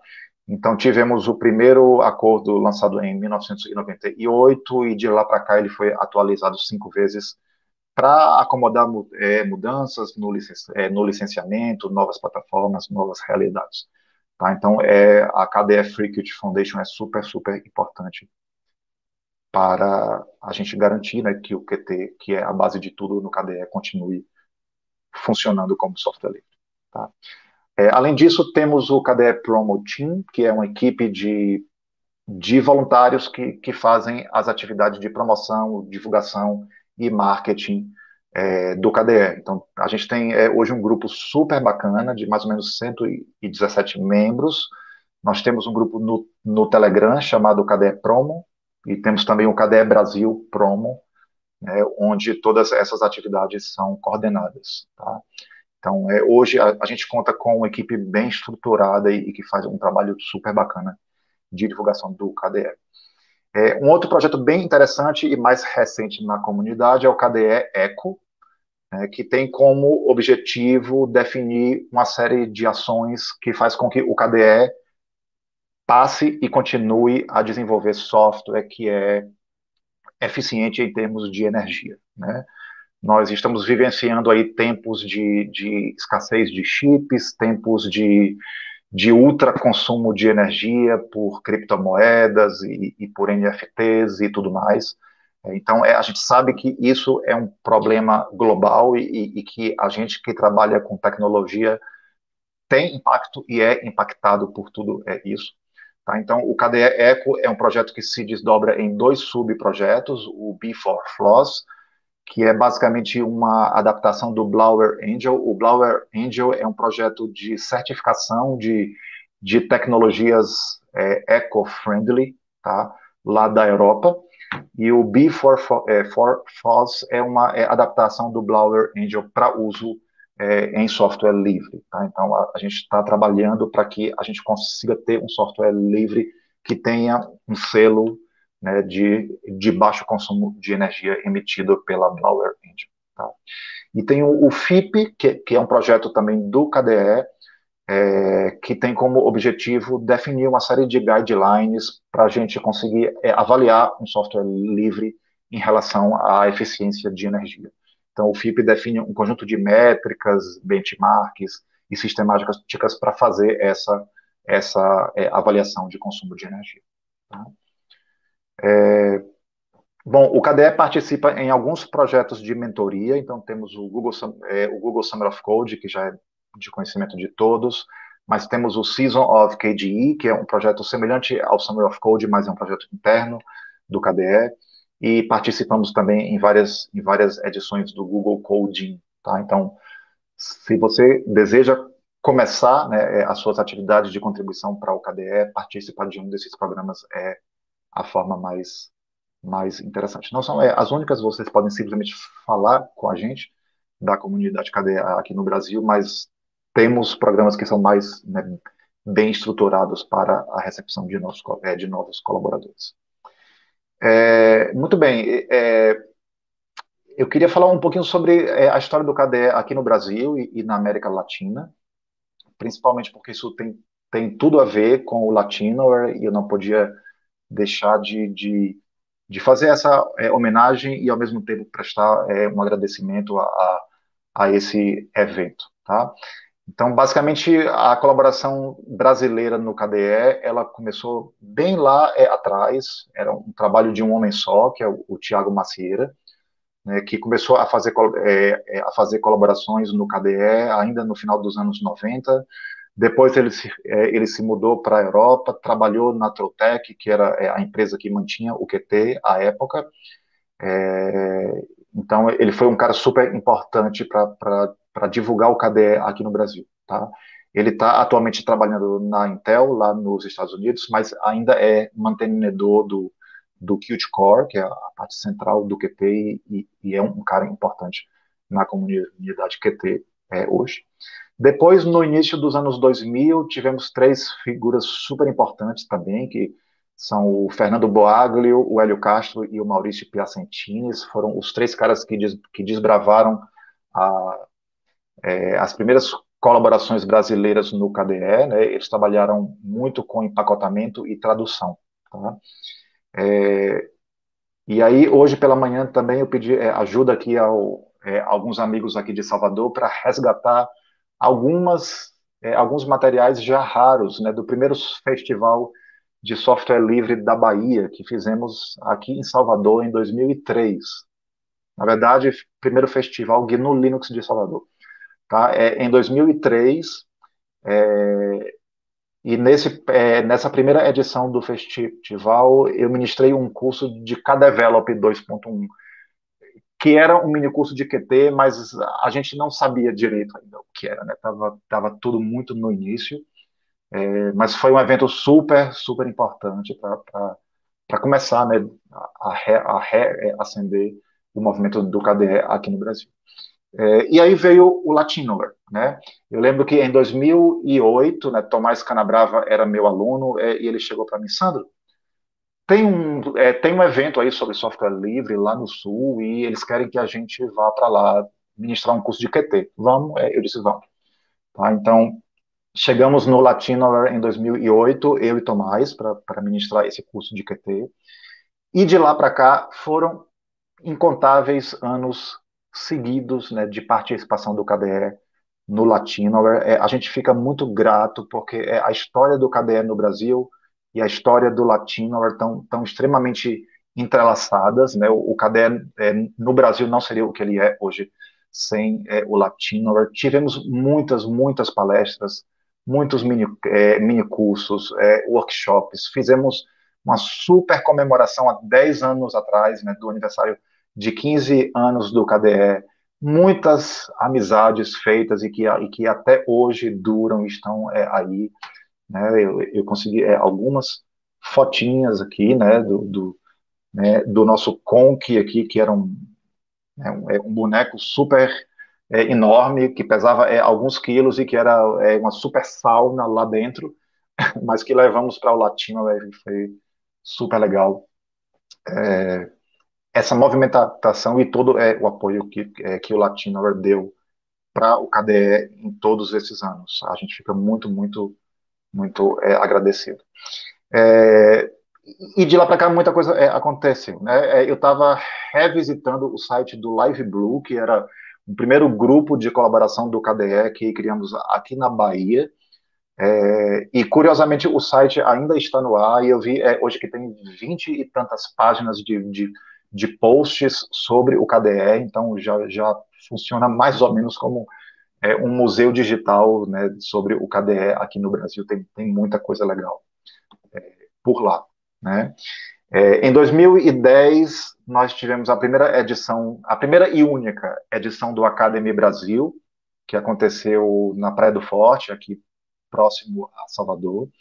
É, e o Academy Brasil foi, na verdade, o, né, o começo do encontro latino-americano de colaboradores do KDE, que é o LACademy né, que aqui acontece é, incessantemente aí desde 2012. Então, em 2012 tivemos a primeira edição em Porto Alegre. Em 2014 a segunda edição do Academy aconteceu em, em São Paulo, é, já né, com a presença de, de colaboradores da é, Argentina, Colômbia, Peru. É, 2015 tivemos o, o terceiro Academy aqui em, aqui em Salvador, 2016 no Rio de Janeiro, 2017 em Belo Horizonte, espero não trocar nada aqui. É, em 2017 também tivemos a primeira edição da QTCom Brasil, que é um evento mais dedicado ao QT, mas que acabou sendo a, a casa né, de muitas palestras, trazer muito conteúdo interessante relacionado é, ao KDE. Então, a gente traz gente do KDE de fora do país, é, é uma conferência muito legal. Em 2018, né, Academy 2018, que foi em Florianópolis, é, 2018 também a segunda edição da QTCom Brasil, né, as duas edições aconteceram em São Paulo. 2019 tivemos o Academy novamente aqui em Salvador. 2020 a QTCom Brasil, bom, aí veio a pandemia, tive, é, tivemos a QTCom Brasil 2020 em formato online, tivemos o, o o Lacademy também é em formato é, online e teremos o Lacademy é, esse ano também em formato é, online. É, o Fred tá, é, deve estar tá finalizando aí os é, ajustes para a gente começar a divulgar o evento. Tá? bom, então já chegando ao, final, ao finalzinho, né, queria deixar, o, como sempre, o convite para todos vocês que, que têm interesse em participar de um projeto de software livre grande e que, pelo fato de ser grande, né, ele proporciona uma série de experiências que são super, super é, é, enriquecedoras. É, então, vocês podem falar conosco no canal KDE Brasil, no, no Telegram, que é um canal mais genérico, de, é, mais voltado para usuários do KDE. Temos o KDE Brasil Desenvolvimento, né, como o nome já diz, é um canal mais voltado para quem quer começar a fazer contribuições de desenvolvimento em qualquer uma dessas diversas aplicações que eu mostrei. E temos o, o KDE Promo Brasil, que é o canal mais é, voltado para a galera que está trabalhando com, com promoção, né, com divulgação, organização de eventos, mídias sociais, é, etc. Tá? Então, é, é isso. Obrigado pela presença de vocês, é, obrigado mais uma vez para o Latino, é, é, obrigado mais uma vez à organização do Latino pela oportunidade de estar aqui falando um pouquinho e, e comemorando né, esse dia que é tão especial para a comunidade KDE ao celebrar os seus 25 anos de existência. Gabriel, você está por aí? Não sei se temos. Estou aqui. É, muito obrigado, Sandro, pela sua palestra muito interessante. Eu sou um usuário do KDE, sou apaixonado pelo KDE, gosto bastante. É, nós ainda temos é, cerca de 15 minutos, é, então é, a gente está abertos aí para as dúvidas.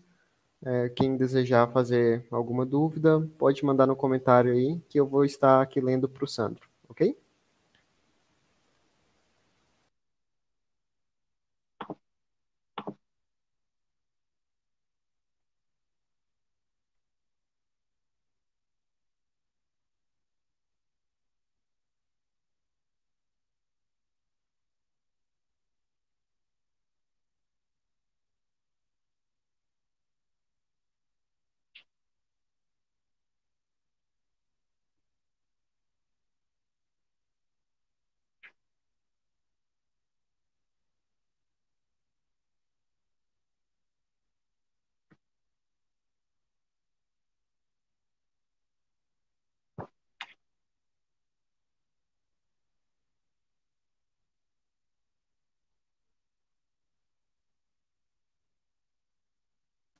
Ok, Sandro. É, enquanto a gente não tem algumas dúvidas, vou estar colocando aqui na tela comentários a respeito da palestra. O Gustavo está agradecendo pela palestra.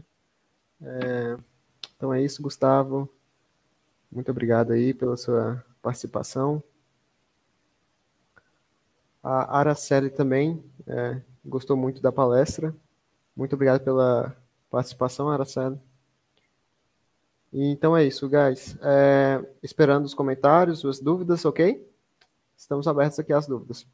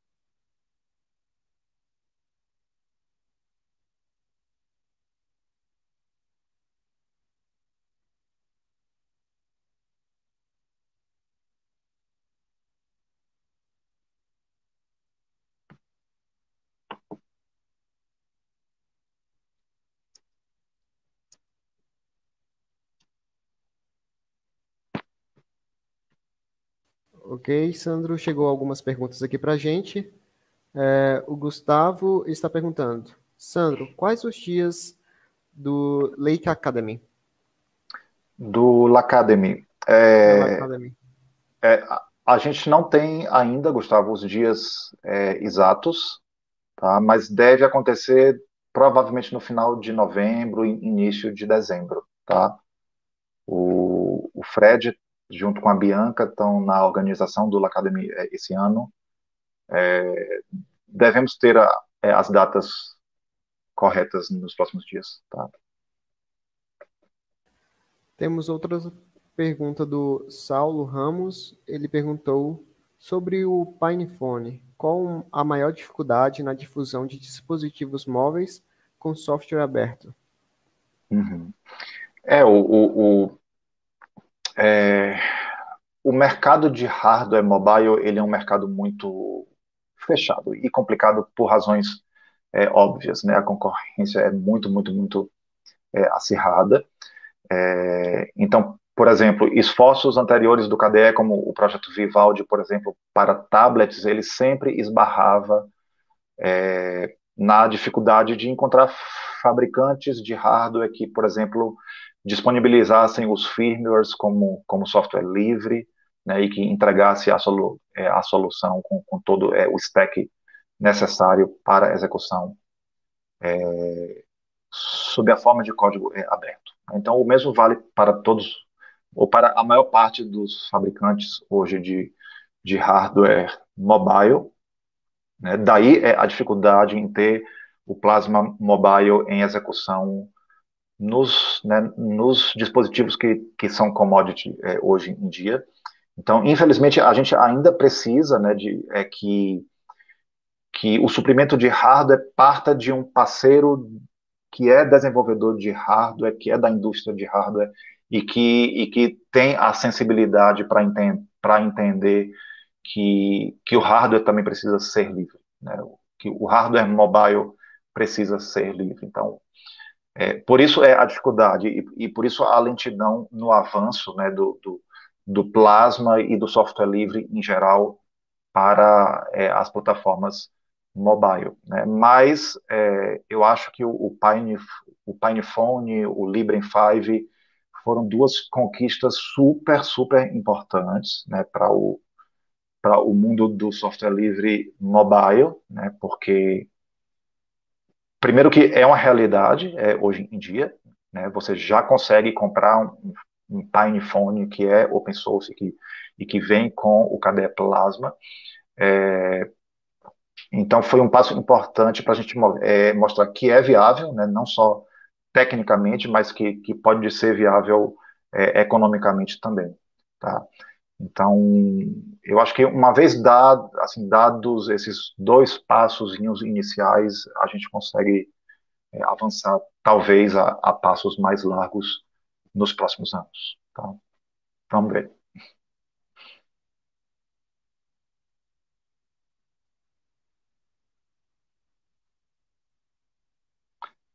Tem uma pergunta, tem uma pergunta comentário do Guilherme. Você isso, quer isso. colocar aí, é, Gabriel? Vou sim. É, posso ler? Ou... Pode ler, pode ler. O KDE é muito bom, porém hoje eu prefiro o XFCE. Simples e leve. Porém, as aplicações como o Krita e o KD Envile são muito boas e a comunidade do KDE ajuda muito a nossa comunidade. Sim, é, eu acho que o, é, o importante é sempre é, a diversidade, né? A, é, a, gente não faz sentido a gente falar, ah, o, é, o plasma é isso, o XFCE é aquilo, o Gnome é aquilo outro. É, eu acho que o importante é que, que a gente tenha soluções para é, os diversos cenários, né? Então, o XFCE, o, o LXQT, eles eles exercem um papel hoje super, super importante para que você tenha um desktop Linux funcional, né, principalmente naquelas máquinas com, com hardware mais, mais modestos. Né.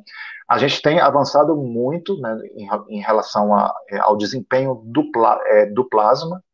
Né. Da última vez que eu, que eu testei, um plasma recém-instalado estava consumindo mais ou menos entre é, entre 300 e 400 MB de RAM.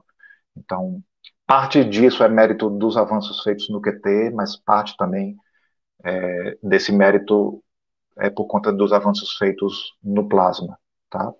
Mas é isso, é, o importante é que, que a gente tenha é, opções, né? Se você tem uma máquina super, super modesta, é claro que você vai partir para um desses desktop, é, desses desktops que são mais mais leves, né? Porque o, o, o propósito do desktop é exatamente é isso. É, e o propósito do Plasma é te dar um bom equilíbrio, né, entre desempenho, funcionalidade e, e, e flexibilidade, né? O Plasma é, hoje é um, é um ambiente desktop que você consegue basicamente fazer tudo o que você quiser com ele. Mas é isso, é importante ter é, alternativas. Né? Ok, temos também a pergunta do Gabriel aqui. Temos como instalar o Plasma Mobile em Android? É, não, você consegue instalar é, aplicações KDE no é, Android. Isso, isso é possível.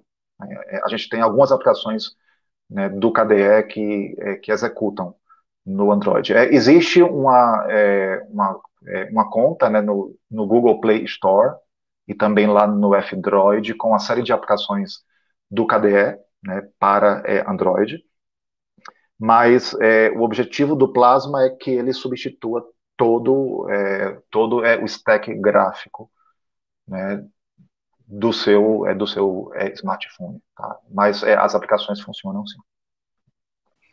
A Ara, Araceli falou que faltou você falar um pouquinho do Minue. É assim que fala? Sim, sim, sim. É, é, o Minue foi. É, o Minue é um projeto que é, é, um software que faz parte do KDE Edu. É, é um projeto que eu comecei a desenvolver, bom, é, alguns anos atrás, não me lembro é, exatamente quando, mas ele é, é bom, é, um software para para educação musical que é entregue hoje como como parte do KDE Edu, que é esse grupo de aplicações educacionais do KDE é, do KDE, é, do KDE, do tá? Então, se você é músico e gosta de, é, de tocar e quer é, ampliar as suas habilidades, basta você testar o Minue, que é parte do KDE Edu. Pronto, tá feita a propaganda. É, o Estúdio Gunga, ele comentou, o KDE é mais do que só o desktop Plasma. Tem um KDE Live, o Krita, o KDE Connect, GC Compris, etc. É, é, exatamente, são, são 220 aplicações, mais ou menos, né? Não dá para citar todas é, aqui, é, mas sim, é, é muito mais do que, do que o Plasma, né? Provavelmente muitos é, usuários é, hoje que trabalham com arte digital conhecem e usam o Krita e, e não conhecem né, o resto das tecnologias que o KDE entrega porque o Krita de fato é um software muito, muito, muito famoso. Né? Assim como o KDE em live, né, tem muita gente é, utilizando é, e sem conhecer o restante da comunidade. Tá? Mas sim, a gente entrega muita coisa bem bacana. O Jason tem... perguntou: tem previsão desses dispositivos no Brasil? Do PinePhone? É... É, Jason, na verdade não sei, mas é, eu acho que, que você tem como, como comprar né, é, direto pelo site do, do Pine 64 ou, ou do Librem 5. É, eu acho que eles entregam aqui, aqui no Brasil. Né, um, um, representante direto aqui no Brasil, provavelmente não. Tá? Eu não tenho certeza, mas provavelmente não. E acredito que por último aqui, devido ao tempo, o Frederico comentou: os pacotes educacionais do KDE são maravilhosos e vários rodam não só no GNU Linux, mas também no Windows e Android. O exemplo maravilhoso é o gCompris. Uhum. É, exatamente. É, exatamente. É como eu falei, né? É, a maior base de usuários do, do Krita atualmente está no é, Windows. Né? É, o, o KDE ele, né, é, a comunidade tem uma visão muito pragmática sobre, sobre software livre. É, é, a gente quer entregar software livre não só para Linux, mas para outras plataformas, incluindo plataformas proprietárias, porque a, a gente entende que, que, mesmo entregando software em plataformas proprietárias, a gente consegue deixar bem claro que aquele software é um software livre. Tá? Então, é, a gente faz com que toda é, a filosofia e a motivação do software livre chegue naquela, é, naquelas pessoas que ainda não, não, não conhecem ou não estão sensibilizados para o que é o software livre. E daí, depois, a gente puxa ele para é, para o mundo dos ambientes livres. Tá? Mas é isso. Então é isso, Sandro. Eu agradeço novamente pela sua palestra. É, é, um tema bastante interessante. Obrigado pelo seu conhecimento, pelo seu tempo. Todos nós aqui agradecemos, ok? É, te espero na próxima Latino. Obrigado, Gabriel. Foi um grande prazer estar aqui com vocês nessa tarde. É, um abraço e bom Latino para todos. Obrigado e até mais. Tchau, tchau. Tchau, tchau.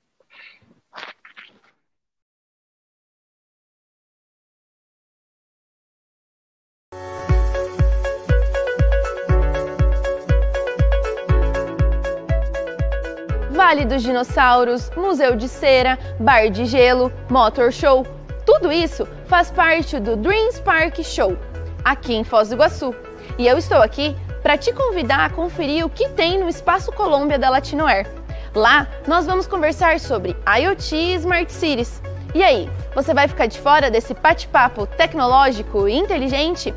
Faz assim, participe, aprenda, ensine e leve o que tem de melhor da Latinoair 2021.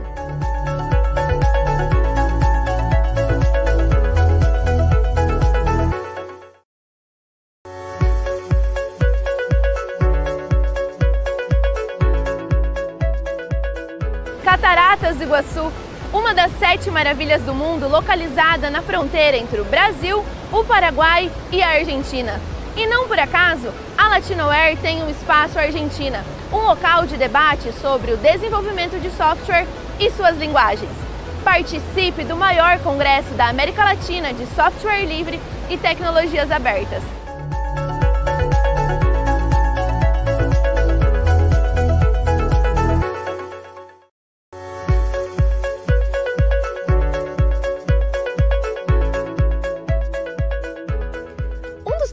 Turísticos mais visitados da Tríplice Fronteira entre o Brasil, o Paraguai e a Argentina é a Itaipu Binacional, uma obra que une tecnologia e a natureza, resultando em um verdadeiro show.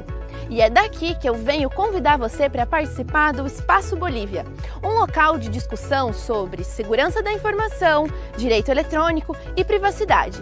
Vão debater várias pessoas, analistas, professores, doutores, estudantes, hackers, peritos forenses e também outras pessoas ligadas à pesquisa e desenvolvimento no tema da segurança. Continue acompanhando a Latinoair e participe!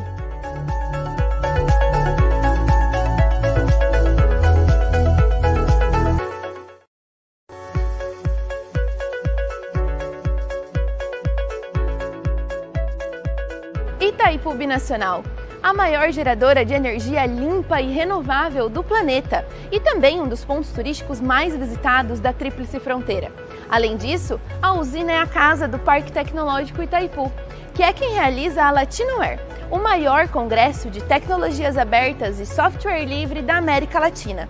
E é daqui que eu quero convidar você para participar das apresentações e das palestras que acontecerão no Espaço Brasil, Curta a Latinoair aí de sua casa em 2021 e em 2022 venha presencialmente conhecer Foz do Iguaçu e a Itaipu Nacional.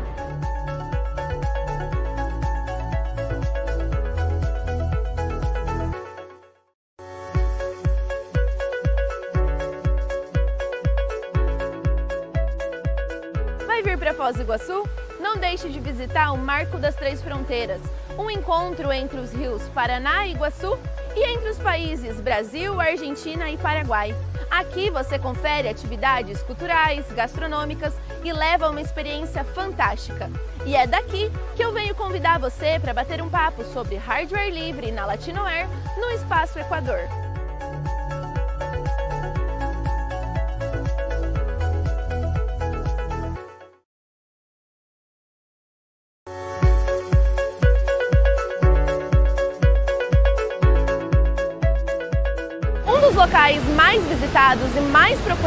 Foz, sem dúvidas, é as Cataratas do Iguaçu. Aqui, um espetáculo da natureza entre o Brasil e a Argentina. E como estamos numa tríplice fronteira, eu não poderia deixar de citar o Paraguai.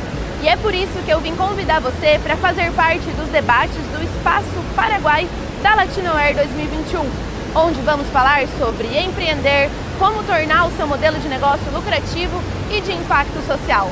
Participe!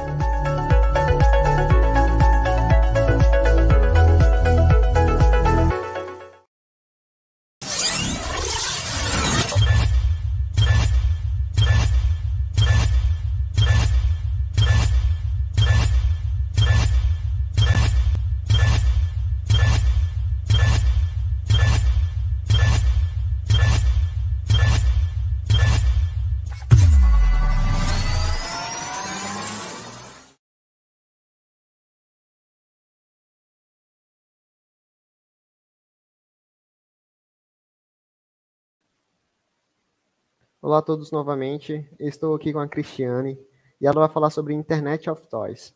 Seja bem-vinda, Cristiane.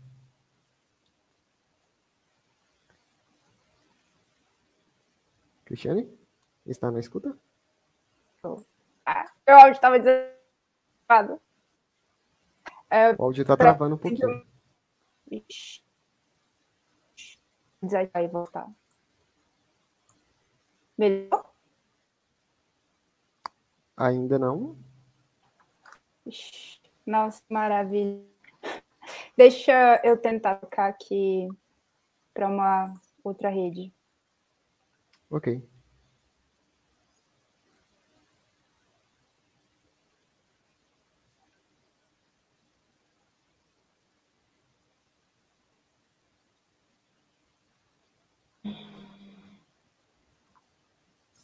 Acho que agora melhorou. Será que agora vai? Ah, isso, melhorou.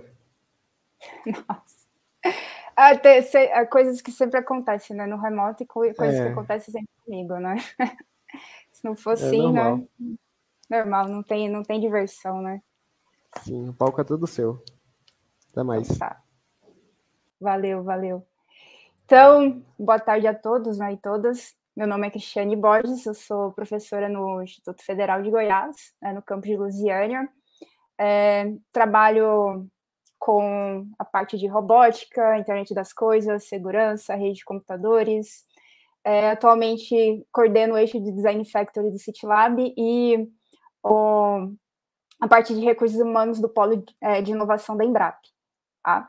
É, além disso, assim, uma coisa que eu aprendi com com uma, com uma amiga, né, com a, com a Clara, vou me apresentar também algumas características, porque se você estiver só ouvindo, não estiver me vendo, para ter uma noção de como eu sou, né? Então, assim, sou uma mulher branca, uso óculos, tenho cabelo castanho é, escuro, com as pontas meio loiras, uh, meus olhos também são castanhos escuros, eu tô com uma camiseta preta é, da DEFCON, é um evento de segurança bastante conhecido, é, um, alguns barulhinhos que vocês vão ouvir, porque eu uso bastante pulseiras, então pode ser que isso interfira na comunicação. É, e aqui, a, atrás de mim, eu tenho uma estante cheia de livros, uma impressora 3D, e eu trouxe alguns convidados também para participar aqui, da, aqui da, da, minha, da minha palestra. Né? Eu trouxe um Tux, um pinguim, e é, assim, um pinguim, né, um gnu e um robô. Tá? Então, falando sobre isso, agora, assim, agora entrando de fato sobre, sobre a palestra, né? Então, é, vou dar uma visão geral para vocês de uma da, dessa parte assim, dessa evolução tecnológica, o que, que é Internet of Toys. Vocês vão ver que é um conceito bastante novo, né? Falar sobre vulnerabilidades e algumas brincadeiras open source. Então, assim, eu vou mostrar o que, que tem de problema que vocês podem utilizar de, de maneira assim como solução, tá? Então, quando a gente fala em termos de, de segurança, é, a gente tem assim que um dos grandes problemas é a questão assim da privacidade, né? Assim, a gente tem a, opa, a gente tem a segurança da, dos dados e tem a questão assim da privacidade. São coisas diferentes. É, não é porque eu tenho um sistema totalmente seguro que é, aquele meu sistema ele vai ser, eu, eu vou garantir, né, que as minhas informações realmente elas estejam é, privadas. Então, a segurança ela vai te dar mecanismos, vai te dar hardware, software para te manter de uma maneira segura, mas a privacidade ela vai além disso, né? É uma questão assim, que tem é, a ver também com o direito dos indivíduos, né? O direito do usuário, como que a, quais são as informações que estão sendo coletadas, como elas estão sendo tratadas e quem está acessando essas informações, né? E aí a, privacidade ela não é uma coisa ruim, uma coisa boa. Né? Não é porque eu quero usar uma criptografia de ponta, eu quero utilizar é, tecnologias assim para manter a minha informação secreta que eu estou tentando esconder alguma coisa. Não, é porque eu quero né, ter a, a opção de compartilhar aquelas informações é, que eu quiser, né? Não, não assim as informações que as empresas querem compartilhar. Então, privacidade ela teria que ela tem que ser assim um direito né, do, do ser humano. Né? Quando falamos internet das coisas, é que agora está tá bem em moda, é você colocar conectividade é, em diversas coisas, em diversos objetos, através de endereçamentos, e, essas, e esses equipamentos eles vão interagir entre, entre si, né? E vão, é, através de sensores, coletar informações, é, processar essas informações e te dar algum tipo de, de informação de volta, né? E quando a gente fala internet das coisas, não quer dizer que esses dispositivos eles estarão sempre conectados, porque eu posso, é porque quando você fala internet das coisas, é porque você está utilizando também é, protocolos da internet. Então, você está utilizando protocolos de conectividade, protocolos para você colocar esses equipamentos em rede. Né? E aí, vou, quando nós passamos para a parte de brinquedos, é a mesma coisa. Então, assim, você tem brinquedos que são brinquedos inteligentes, que são brinquedos que têm uma série de sensores, câmera, é, assim, você tem um, hard, um hardware específico, né? Mas não quer dizer que ele esteja conectado à internet ele está utilizando protocolos é, da, assim, protocolos da internet, né, assim, para fazer essa conectividade, para compartilhar informações, é, coletar informações, processar e a partir daí te dar uma te dar uma resposta, te dar algum, algum tipo de, de informação. É. Então nem sempre o brinquedo ele precisa estar conectado. Então, principalmente brinquedos que são desenvolvidos para crianças é, mais novinhas, né? Então, é, o ideal é que você trabalhe com, essa, com, essa, com esses equipamentos, né, com esses brinquedos de uma maneira mais offline, né? Sem realmente essa conectividade com a internet. E a gente fala assim, ah, mas é só um brinquedo. Quando falamos de Internet of Toys, é um conceito relativamente novo, tam, é, também assim relacionado à internet das coisas, também é um conceito novo, né? Não é algo que é, que assim que já é de muito tempo, né? Então é, é uma questão mais nova. E um, um, dos grandes problemas, a segurança ela não é pensada no design, ela não é assim, você não pensa é, desde o início em criar um brinquedo inteligente conectado à internet é, seguro.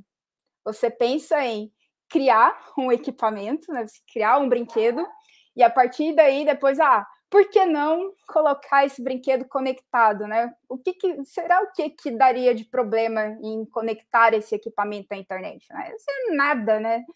Então, é, e aí, como você não pensou nessa parte de segurança, às vezes você não tem política de atualização, você tem alguns defeitos que já vêm é, de, assim, de, com problemas, né? Software e no, no próprio firmware, né? Que aí já é um problema de hardware falta na proteção de dados, né? Porque às vezes não tem uma configuração, você não faz uma configuração, é, não consegue fazer uma configuração um pouco mais avançada, e aí você não tem autenticação, então tem uma série de falhas aí que é, a gente vai ver que, assim, é, para um adulto já é problemático. Imagina assim, você ter um vazamento de informação, você é, ter essa, é, esse problema de privacidade com, com as crianças, né?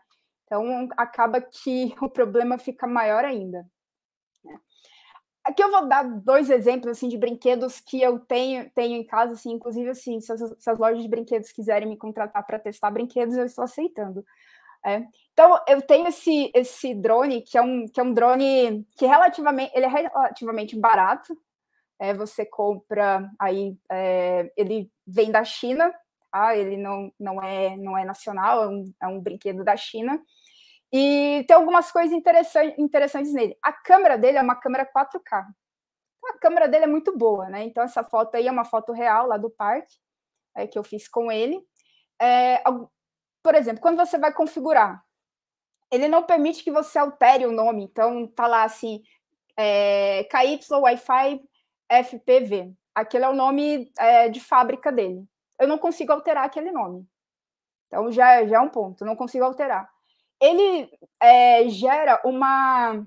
É como se fosse assim, um, access point para você se conectar né, a, a ele e aí você não consegue colocar uma senha. Então, sim, ele é um dispositivo que eh, você conecta ele pela Wi-Fi, você não consegue, você não consegue alterar e colocar uma senha, é, e é um brinquedo, né? E o mais interessante é que na, no, no site da, da, da, Apple, por exemplo, ele, quando você vai baixar o, o aplicativo, o aplicativo dele serve para você é, manipular as fotos, para você tirar as fotos e gravar vídeos. E aí, quando você vai olhar a. Porque normalmente as pessoas elas não leem a, assim, o termo de uso né, do, do aplicativo. Simplesmente vai lá e instala o aplicativo. E aí, assim, eu tive a curiosidade de olhar o termo de uso do aplicativo. Só que ele está em chinês. O que eu entendo de chinês? Nada. Fui atrás do Google, do Google né, para poder traduzir. E aí, de acordo, de acordo com a, a política de privacidade deles, é, no, no, momento em que ele foi criado, se a primeira versão do aplicativo, ele não coleta nenhum tipo de informação sua. Mas, a partir do momento em que você aceitou os termos de uso, é, você aceita que ele pode inserir é, novas funcionalidades e coletar novas, é, é, novas é, informações né, do usuário sem ter que é, sem ter que atualizar essa sua permissão. Então, assim, se você já, já permitiu uma vez na vida, esquece. Você já permitiu, assim, não precisa permitir de novo. Ele vai coletar, ah, agora eu quero coletar é, as fotos, quero coletar o, a, o som. Então, ele vai, assim, é, você já, já permitiu, ele não, não tem mais o que fazer, né? E aí, uma coisa interessante também é que lá nos termos de uso fala que ele é, não, assim, que você vai, é, que ele pede na utilização, por exemplo, do microfone, mas que ele é independente, se você não aceitar é, a utilização, né, a permissão do microfone, que você vai continuar utilizando o equipamento isso não é verdade, porque se você não liga é, o microfone, você não dá permissão para acesso ao microfone, você não consegue filmar. Assim, ele precisa, ele, assim, você precisa dar a permissão do microfone para ele, ele gravar, para ele gravar os vídeos. Assim, ah, mas então, sim, ele vai, ele vai gravar essas informações. E aí eu fiz uma, assim, eu é, fui, fui, eu coloquei ele conectado na rede, e aí eu fui fazer uma varredura, uma varredura assim, com, utilizando uma ferramenta chamada Wireshark. E aí, por exemplo, por, por exemplo, é, utilizando lá o Wireshark, é, eu assim, descobri né, que ele utiliza protocolo TCP, UDP, né, para fazer essa é, comunicação, né? E assim, HTTP, porque ele cria meio que um servidor para armazenar essas, essas fotos e os vídeos que ele tira. E aí ele fala assim que a princípio ele não coleta nenhuma informação, mas é, uma coisa interessante é que ele tenta, é, ele fica mandando mensagens de é, como se fossem mensa mensagens de é, solicitação para um IP que está na China. Assim, é, é, de ficar, é de ficar no mínimo assim espantado, né? Então, é um, é um brinquedo. E, e, assim, uma coisa boa dele é que para você brincar só enquanto drone, você não precisa da, do aplicativo da câmera. Ele tem um rádio que você controla ele pelo rádio. Mas aí você perde toda a funcionalidade da câmera 4K.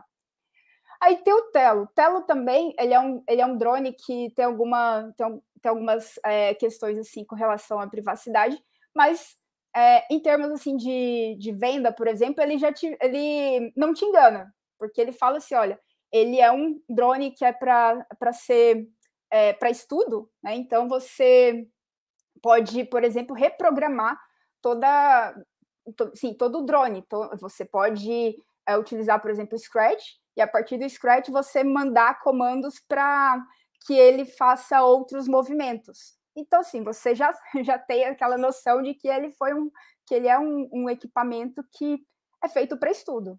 É, então, ele não está te enganando. E aí ele, ele coleta algumas informações, mas a princípio ele fala que não te identifica, né? Então ele pega essas informações. É, você consegue criar, é, alterar o usuário, assim, o ID da rede, né? Você consegue alterar e consegue colocar uma senha, por exemplo, no seu, no seu drone. Né?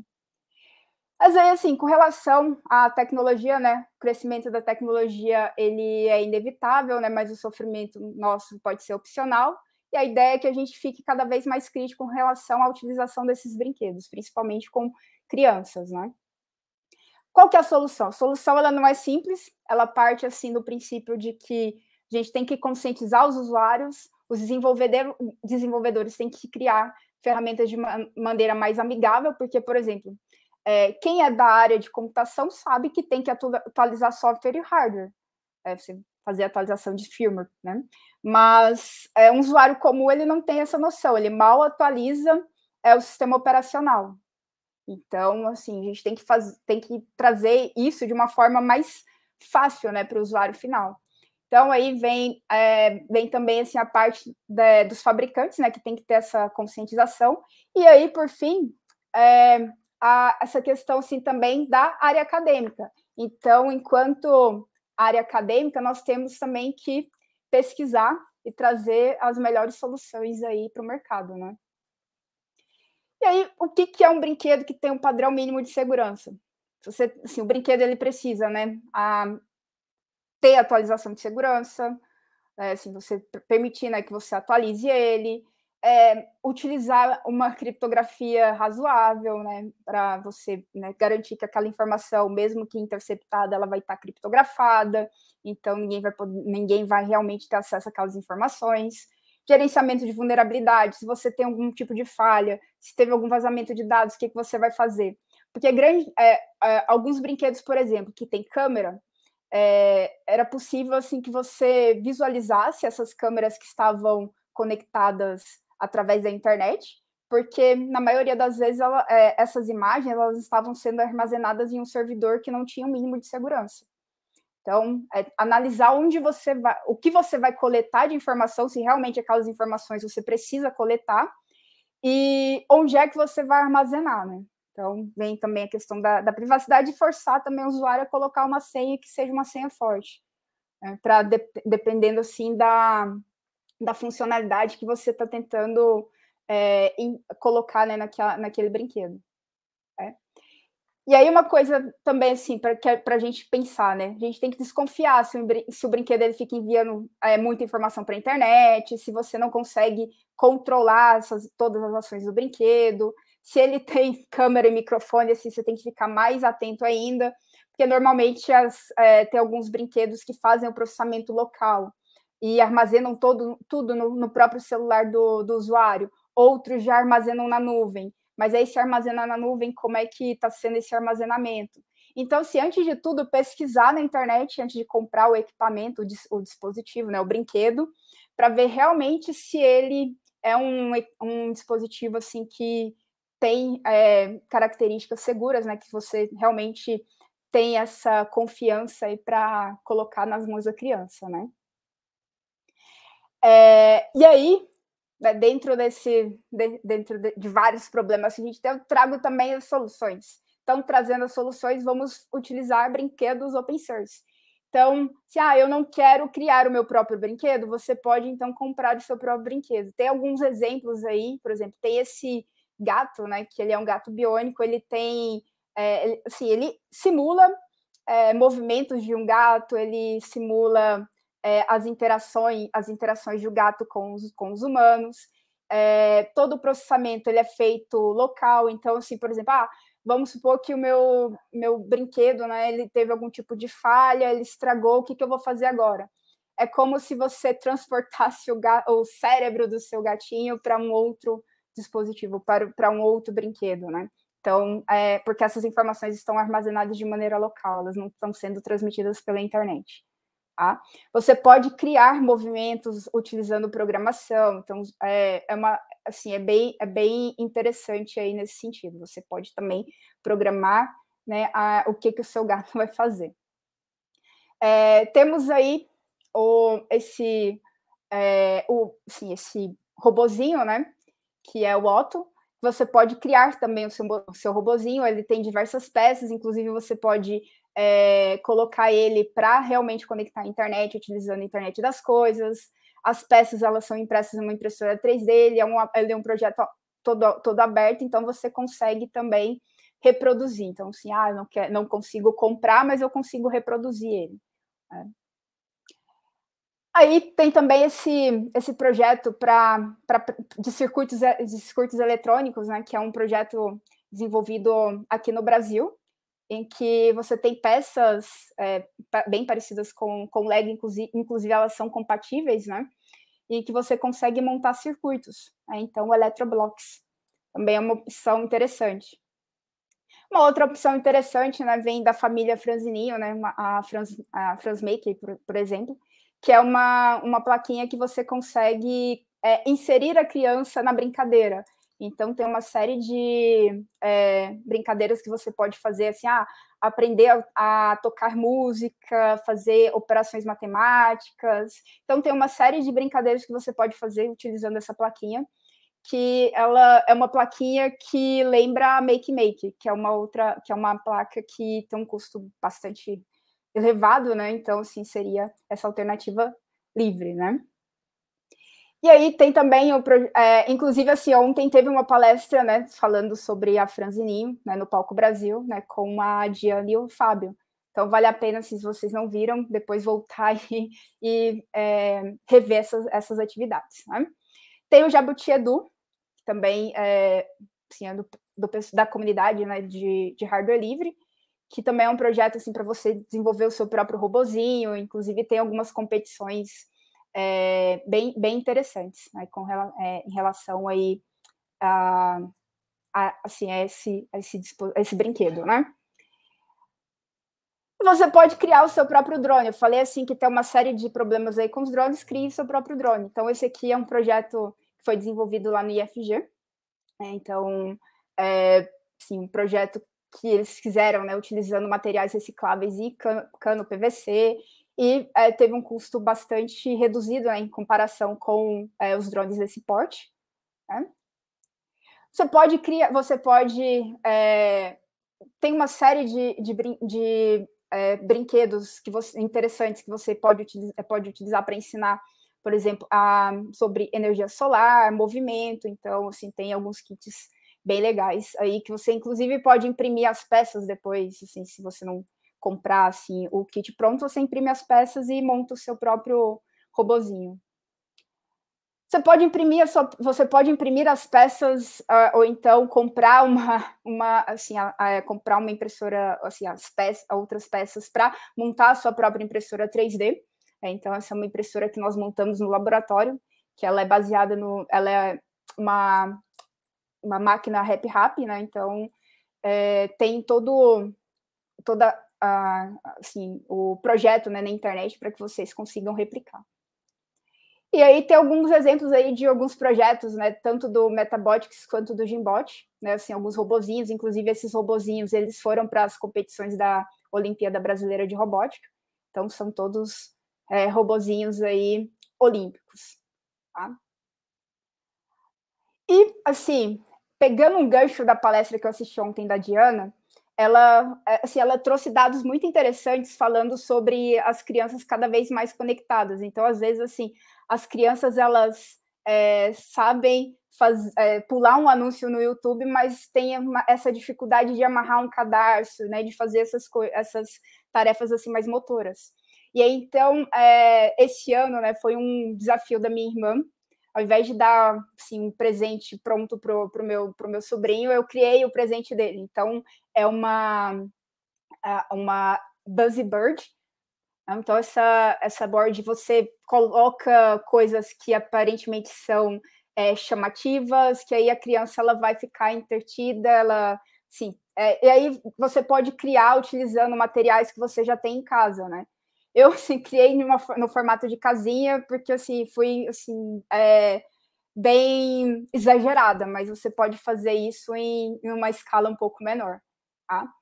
E aí, uma outra dica, tem um projeto bem interessante da, da Mozilla, que é o Privacidade Não Incluída. Se você tiver alguma dúvida com relação a algum tipo de equipamento, algum tipo de brinquedo que você queira realmente saber se aquilo lá é viável comprar ou não, se não é assustador colocar aquilo na mão das crianças, vale a pena dar uma pesquisada. Não só isso, mas assim, pesquisar é, no Google em geral, tá?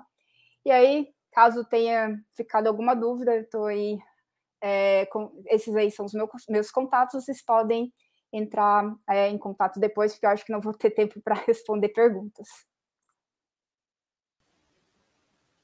É, infelizmente a gente não vai ter mais tempo, Cristiane. A gente tem é, menos de um minuto agora para terminar o horário, mas obrigado pela palestra, muito interessante o assunto.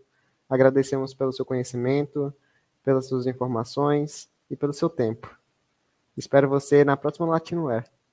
Então é isso, pessoal. Até a próxima. Continuem aí participando da Latinoair e até 2022. Até. Tchau, tchau. Tchau, tchau.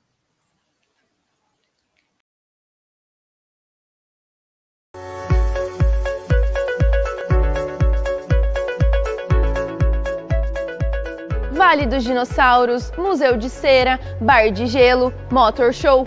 Tudo isso faz parte do Dreams Park Show, aqui em Foz do Iguaçu. E eu estou aqui para te convidar a conferir o que tem no Espaço Colômbia da Latinoair. Lá nós vamos conversar sobre IoT e Smart Cities. E aí, você vai ficar de fora desse bate-papo tecnológico e inteligente? Faz assim, participe, aprenda, ensine e leve o que tem de melhor da Latinoair 2021.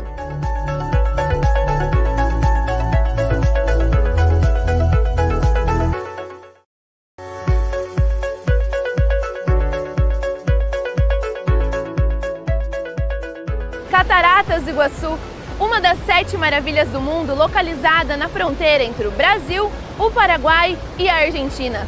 E não por acaso, a Latinoair tem um Espaço Argentina, um local de debate sobre o desenvolvimento de software e suas linguagens. Participe do maior congresso da América Latina de software livre e tecnologias abertas.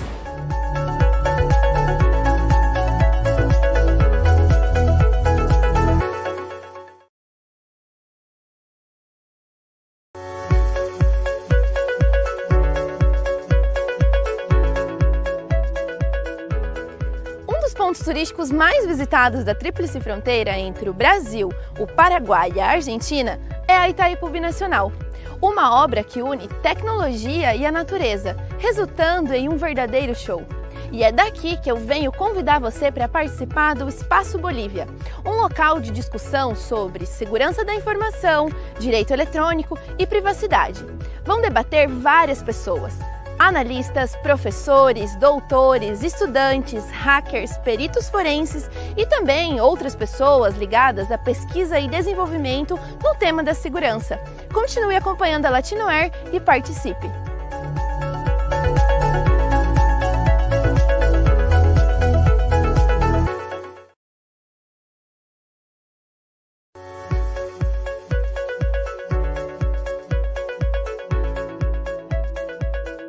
Itaipu Binacional, a maior geradora de energia limpa e renovável do planeta e também um dos pontos turísticos mais visitados da Tríplice Fronteira.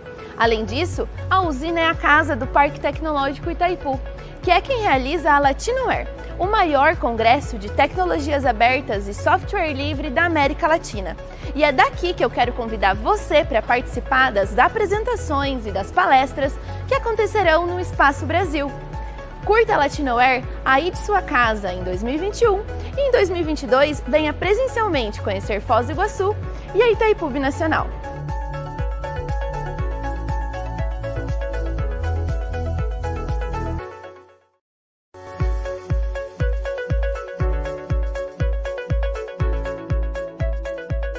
Vai vir para Foz do Iguaçu? Não deixe de visitar o Marco das Três Fronteiras, um encontro entre os rios Paraná e Iguaçu e entre os países Brasil, Argentina e Paraguai. Aqui você confere atividades culturais, gastronômicas e leva uma experiência fantástica. E é daqui que eu venho convidar você para bater um papo sobre hardware livre na Latinoair no Espaço Equador.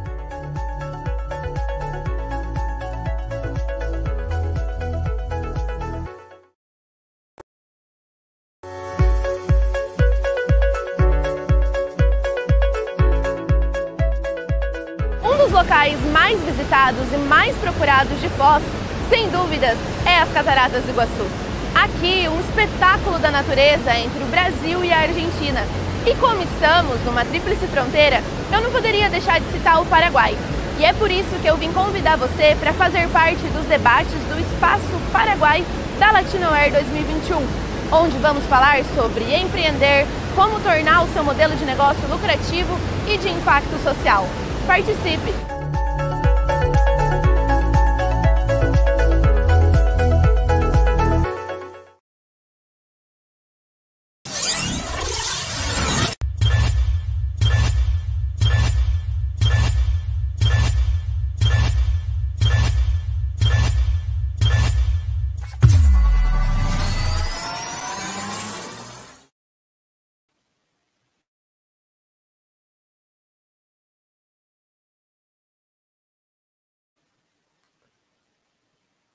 Olá a todos, estou aqui com o Silvio e ele vai falar sobre automação residencial. Seja bem-vindo, Silvio. Oi, pessoal, tudo bem? Quem não me conhece, eu sou Silvio Palmieri, para quem me conhece também, sou Silvio Palmieri. Gabriel, obrigado, vamos trabalhar junto aí. É, Latinoera, né? Mais uma Latinoera acontecendo. É, Gabriel, tá boa a imagem, tá bom o áudio? Só para... Tranquilo, tá excelente. Então vamos lá. É, eu vou fazer mais um bate-papo com vocês. É, tá aí meu e-mail para qualquer dúvida que quem estiver assistindo ou assistir depois, que tiver, quiser tirar opinião, tem meu site depois, para vocês saberem o que eu faço, né? É, além de, de, de, automação, né? A gente mexe com um nicho de eletrônica muito, assim, diverso, desde a fabricação, importação, comércio, tudo. Mas, então, Latino era, é minha casa, são essa é a 18ª edição que eu estou, eu estou desde a primeira. É realizada em Latinoair, que agora me, uh, em Foz do Iguaçu. Antigamente eu ia para Foz do Iguaçu para participar da Latinoair, hoje a Latinoair é o quintal da minha casa. É legal isso. E, a, a, infelizmente, primeira Latinoair que eu não estou em Foz, né? Eu estou fora de Foz. Eu tive que sair em viagem, então eu não vou ter muita coisa para mostrar para vocês, porque eu não estou em, no laboratório meu, não estou nada, estou em casa, na casa da minha mãe e não deu para preparar nada aqui, que eu cheguei de viagem agora há pouco. Mas vamos lá, quero fazer um bate-papo com vocês, é, tirar dúvidas sobre marcas, é, o que fazer, o que não fazer, porque muita gente faz a automação residencial baseada no OK Google, Alexia e só isso, e não se preocupa com outras coisas. É, a parte de cabeamento, outro dia eu vi um, uma, uma coisa assim que me chocou, uma pessoa querendo fazer a ligação do. Para quem não conhece, todos os interruptores né, que a gente usa de IoT, eles têm alguns botões de disparos, que tanto para fazer aparelhamento com, com a internet, ou até quando você está sem a, a, a, internet, sem a comunicação com, com os aplicativos que você possa estar tá trabalhando é, é, é, é, em cima disso, né? É, você poder acender a luz, ou apagar a luz, ou ativar ou não ativar aquele serviço. E fizeram uma pergunta, quero mandar um abraço para a Cris, o Rafael Aroca, isso, boa tarde, pessoal, boa tarde, Silvio, muito obrigado, Rafael está aí com a gente, o Generis TV, valeu, está aí com a gente também. É, então, é algumas coisas assim que o, o cara queria usar fio de par trançado para ligar, aí um juiz falou, não, a tensão é muito pouca, coisa e tal. Uma coisa que eu percebo muito. Querem trabalhar com automação? Trabalhem. Querem trabalhar com, com Arduino, com qualquer tipo de tecnologia eletrônica ou eletricidade? No mínimo, saibam um pouco sobre. Tentam saber um, sobre um pouco sobre eletricidade, um pouco sobre eletrônica. Não é, é, é, é tá tão, tão banalizado as coisas que as pessoas estão achando que é muito plug-in player, né? Eu chego, vou colocando e vou fazendo. Né? E não é só isso. Você não pode só chegar e colocando, tem que saber como está a estrutura onde você está colocando, né? Eu vou falar, por exemplo, uma marca que todo mundo fala muito, a Som Off. A Som Off é uma ótima marca, não tenho o que falar, mas para mim ela tem um defeito. É, me, me mostra uma casa hoje que você pega, se eu ver aqui, por causa da minha mãe, abrir qualquer tomada que tem só a, a, o disparo para acender ou apagar a luz, a necessidade de um terra, não existe um terra ali. E a Som Off necessita que você desça esse terra. Aí o que acontece? Você depende de um eletricista, né? Ou você depende de ter conhecimento sobre eletricidade. Tá, vem aqui, pronto, um pouquinho, tá? Tem um carinha aqui que tá aqui, tá veio de longe, tá aqui, só fala um oi pro pessoal e fala tchau. Ô, Bidão. Tá, vai tchau, vai mamãe então. Agora, vai lá, tchau, vai lá com a vovó. Tá bom, mãe. Tá, esse é meu filho, mesmo eu falando para ele que eu ia ficar quietinho aqui, ele veio atrás.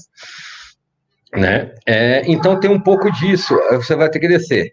Eu estou trazendo uma marca para a América Latina que não há necessidade de ter o fio neutro nos, nos dispositivos, tá? Mas eu não vou. Depois, quem pessoalmente quiser saber mais sobre essa marca, eu posso explicar tudo. Eu não vou usar minha palestra como uma plataforma para promocionar algum produto com o qual eu trabalho. É, alguma coisa que vai ter a minha assinatura no mercado. Então, tá. É, eu não sei quantas pessoas estão nos assistindo, pelo que eu vi, com nove pessoas. Quem quiser fazer alguma pergunta, algum comentário sobre isso a parte de automação, pode perguntar à vontade que eu vou responder.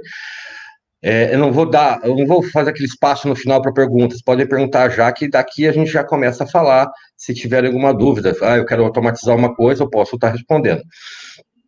É uma coisa que, que eu percebo também é as pessoas não têm o cuidado com a segurança, tá? cuidado com a segurança, ela é muito, muito, muito complicada.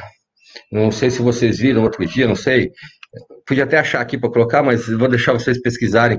É, não sei quem, o cara estava no seu condomínio, tirou a cabeça para fora na sacada e gritou: Alexia, toque raça negra. E todas as Alexias que estavam no condomínio ouviram e começaram a tocar raça negra. Então, Alexia é uma ótima automação, eu gosto da Alexa. Mas a Alexa tem uma falha de segurança que é isso. É, eu, eu falo que a Alexa é uma, é uma, ela é muito dada, né? Porque se eu perguntar agora, a minha Alexa, que eu esqueci de trazer para cá, tá lá no fundo. Mas se eu falar, Alexa, quem sou eu? Ela vai falar, ah, você é o Silvio, blá, blá, vai falar quem eu sou. O meu filho, que veio agora há pouco, já treinei a Alexa para reconhecer a voz dele, também vai falar quem ele é.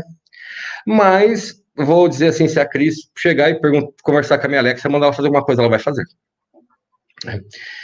Uma coisa eh, legal que eu faço, já fazia, e eu vi isso, a Jeep está fazendo isso agora, a Jeep está interligada, os carros Jeep se interligaram ao Alexa não sei se vocês viram isso, é que você chega, Alexia, ligue meu Jeep, né? Aí ela pede a senha para poder ligar o Jeep. Então você tem que dizer. Né? Então essa parte pode parecer cansativo, pode. Você falar, Alexia, a, acenda acenda a luz do meu quarto, ela fala, qual é a senha? Né? Você vai poder achar, não, que babaquice isso, né? Eu estou perdendo tempo. Eu falo para vocês, vocês não estão perdendo tempo, tá? Para vocês terem uma ideia, eu estou montando um projeto de automação em um prédio com 14 andares e dois apartamentos por andar, e todo mundo querem isso, né? É, que nem o Gabriel, infelizmente, esses dispositivos não são muito seguros para usuários comuns. É lógico, é, Gabriel, eu poderia estar fazendo essa automação, esse projeto de automação desse prédio, com uma automação mais profissional que teria segurança. Mas o pessoal quer a Alexa, o pessoal quer o Google, porque eles querem ser plug eles querem chegar e continuar. Tem como automatizar um portão eletrônico, sim, e muito mais fácil, muito mais fácil do que os equipamentos que estão vendendo no mercado, tá? É, eu só vou encerrar o que eu estava falando do prédio e eu já te respondo. É, é, Will Players, é isso, né? É, tem como, né? Você automatizar, mas as pessoas querem uma coisa para o green player, é que ele quer ter estrutura em casa e ele quer amanhã ou depois comprar alguma coisa e ele mesmo colocar a Alexa para funcionar, né? Então, se você pensar um prédio, esse prédio de apartamentos, é, eu, eu vou, a gente fez o estudo ali, eu vou ter que colocar umas três Alexa dentro do, do apartamento para que ele atenda todas as vozes ali dentro, né? O legal é que a Alexa, ela pega e todas elas te escutam. Você pode ter 20 Alexa numa sala e falar, Alexa, todas elas vão estar de prontidão para te responder, mas só uma que vai executar o comando.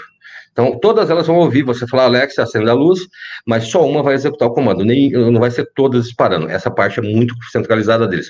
A Google também. Tá? Então, é por isso que eu estou fazendo com, com, com a Alexa, mas você imagina que eu te falei, né? Você está no prédio, um apartamento por andar. Ah, eu falo, Alexa, acenda a luz do quarto. Imagine se é, a Alexa do vizinho do lado ouvir, ou do de baixo ouvir, ele vai acender a mesma luz, né? Então, é lógico, você usa palavras diferentes para cenários iguais, você pode usar palavras diferentes, né? Em vez de acenda a luz do quarto, acenda a luz do meu quarto, assim por diante, né? Mas como a gente vai entregar um projeto pronto, é, vai ser acenda a luz do quarto e ele vai pedir uma senha para acender a luz do quarto tá? É só para entender. Automatizar o portão eletrônico, eu vi é, no mercado várias é, ferramentas, para vários é, hardwares para você ir lá colocar no portão. E uh, é muito interessante. Você coloca no portão para você colocar o sensor que o portão em cima está aberto, ou embaixo está aberto, ele mandar essa informação para você, você ligar ele, ele é, praticamente ele é um relé que tem toda essa parte de informação que faz a comunicação com o sistema e, e, e, e sobre a, a, a, a, a parte ali de você colocar ele para ele disparar, você saber se o portão está aberto ou está fechado, para você ter essa informação. Mas é, nós estamos falando de RF, correto? É, eu trabalho muito mais com Wi-Fi e RF em todos os dispositivos, todos, porque se acabar a internet, acabou a minha mobilidade. Eu vou ter que ir de aparelho em aparelho ligando. Mas como eu trabalho com equipamentos que têm RF, eu tenho controles remotos que eu posso deixar na casa e por esses controles eu sair ativando o que eu quiser. Tá? Então eu não fico na dependência da internet, é, somente da internet, tá? Só para a gente conceituar isso. É, o Jean falou sobre automação residencial, é legal vocês darem uma olhada, né? Ah, o que acontece? Eu automatizo os portões com RF, não com esse outro equipamento. É, na minha casa eu tenho dois portões, os dois estão automatizados com RF, mas eu tenho um módulo de controle remoto infravermelho e RF. Tá? É, esse módulo que eu uso, eu tenho 15 metros de infra e 100 metros de RF. Tá? Então eu consigo com ele fazer todos os disparos que eu preciso fazer é, é, de RF no, no, dentro da minha, da minha área. Ele copia, ele copia os códigos RF, né? Que você vai ali e copia. Tem gente que anda com esses módulos de carro esperando o disparo dos portões eletrônicos para copiar, né? O Fábio Berbert do Viva Linux mostrou um, um, vídeo desse outro dia, que ele ficou na frente de um condomínio, esperaram dar o disparo, ele copiou e abriu o portão. E mostrou, ó, dá para abrir o portão né? Então, é, tem, tem essa falha da segurança. Então, é, mas a falha da RF existe com ou sem Alexa, com ou sem a Google, com ou sem automação, ele existe. A vantagem é que no, você ali no Alexa, eu peço o código para abrir o portão. Né? Porque senão seria muito fácil você parar. As pessoas são muito fáceis de, de, de previsíveis, né? O pessoal de segurança pode falar melhor que isso, mas as pessoas são muito previsíveis nas coisas que eles falam. É, ligar ar-condicionado. Todo mundo vai colocar isso. Então, quem sabe que tem uma Alexa naquela, automação, naquela casa, ele vai falar, ô, oh, liga o ar-condicionado. Alexa, liga o ar-condicionado. Ela vai ligar. Né? Então vai parecer, ó, a casa está possuída, né? Assim, entre aspas. É lógico que não, mas para quem está de fora, a gente pode brincar com isso. Então é muito interessante você usar esse quesitinho de senha ali dentro da Alexa ou dentro do Google. O Google é um pouco mais metódico em reconhecimento de voz, ele está mais treinado para voz. A, a, a, a, Google se dedicou muito a, a, essa parte de reconhecimento de voz, até por outros quesitos, mas por isso também. É, Will é, eu consegui responder a tua pergunta de automatizar o portão eletrônico? Se sim ou não, você fala. Você viu o meu e-mail, tá ali meu site, tem meu e-mail. Você pode perguntar que eu te mando os dois modelos do equipamento para você usar, que, que você tem que usar, mas é possível sim um mais rápido, sem passar fio, sem nada, o outro um pouco mais complicado, mas com você tendo a informação se o portão está aberto ou não está, assim, independente, né, eh, de estar tá lá ou não, você consegue ter essa informação. Um equipamento dá informação de onde você está, o portão está aberto ou está fechado, você consegue ver isso pelo seu celular, é, sem ter acesso à imagem, mas ele dá informação, porque ele tem os dois sensores ali, e esse outro não tem, mas é como eu trabalho com câmeras também ali, as câmeras estão todas ligadas, é, eu programei para que a hora que o portão abra, a câmera ative no meu celular para me saber o que está acontecendo. Então, eu faço alguns quesitos diferentes, né, de, de segurança. Tá, assim, legal, então, o, o, o, o, é, o, o Plays, né, Will, Will Plays, não sei, se eu estiver falando errado, depois você me corrige. É, o meu e-mail está ali, manda para mim que eu te mando as informações de, dos modelos que você possa fazer isso e você decide o que você quer usar. Como você vai querer automatizar? Eu quero automatizar mais, mais, mais, mais hardware, mais soft, e eu vou te, te, te orientar para isso, tá? É, é, eu, eu, eu, falo o modelo e ainda coloco várias marcas que tem o modelo para você não, tipo, não eu não tá puxando sardinha para nenhuma marca, tá? Eu gosto disso. Eu, eu, eu, estou passando conhecimento, não estou passando um produto. Eu gosto de fazer essa parte, tá? É caro para fazer uma automação residencial? É ou não? Vai depender como você quer automatizar, né? As tomadas, é, é, é que assim, eu vivo num outro mercado. É, alguma, tá, se existe algum padrão aberto para automação residencial? Não existe, existe. Tá? Mas ali, é, é caro ou não? Eu já respondo você, Rafael. Car, é, é, o padrão, é caro ou não?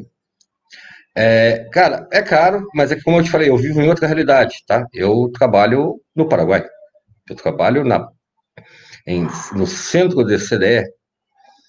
É, eu trabalho onde corre as importações, onde corre tudo.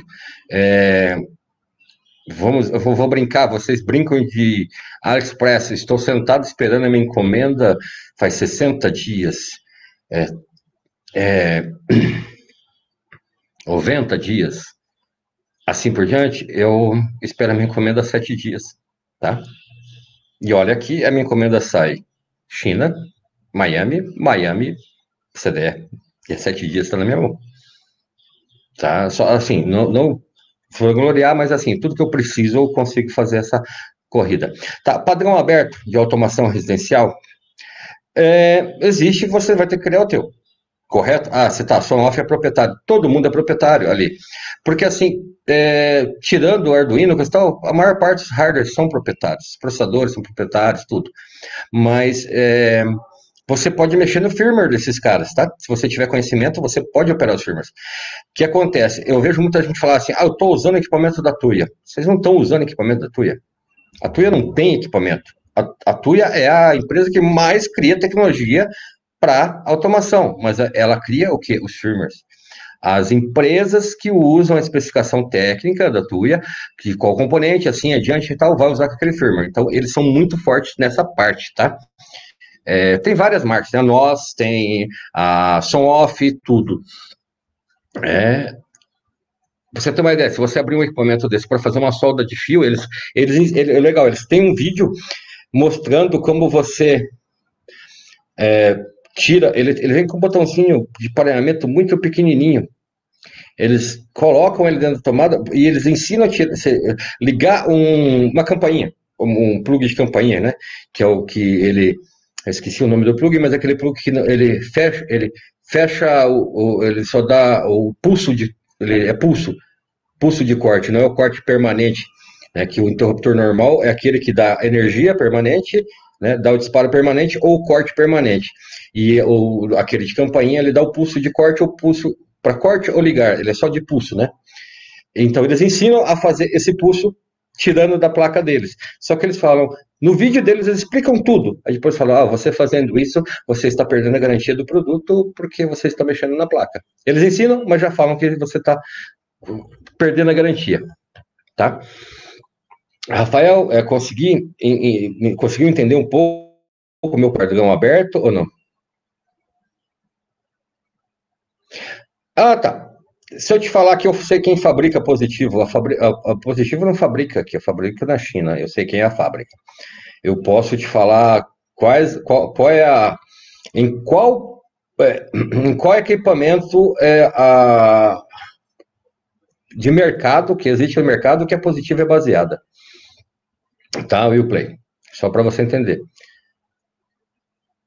Ah, cara, aquilo é para básico?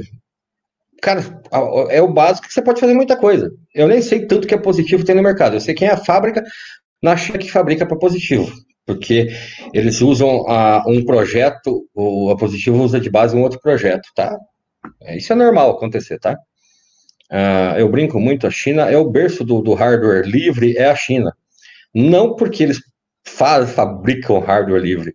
Nenhum projeto na China é proprietário, tá?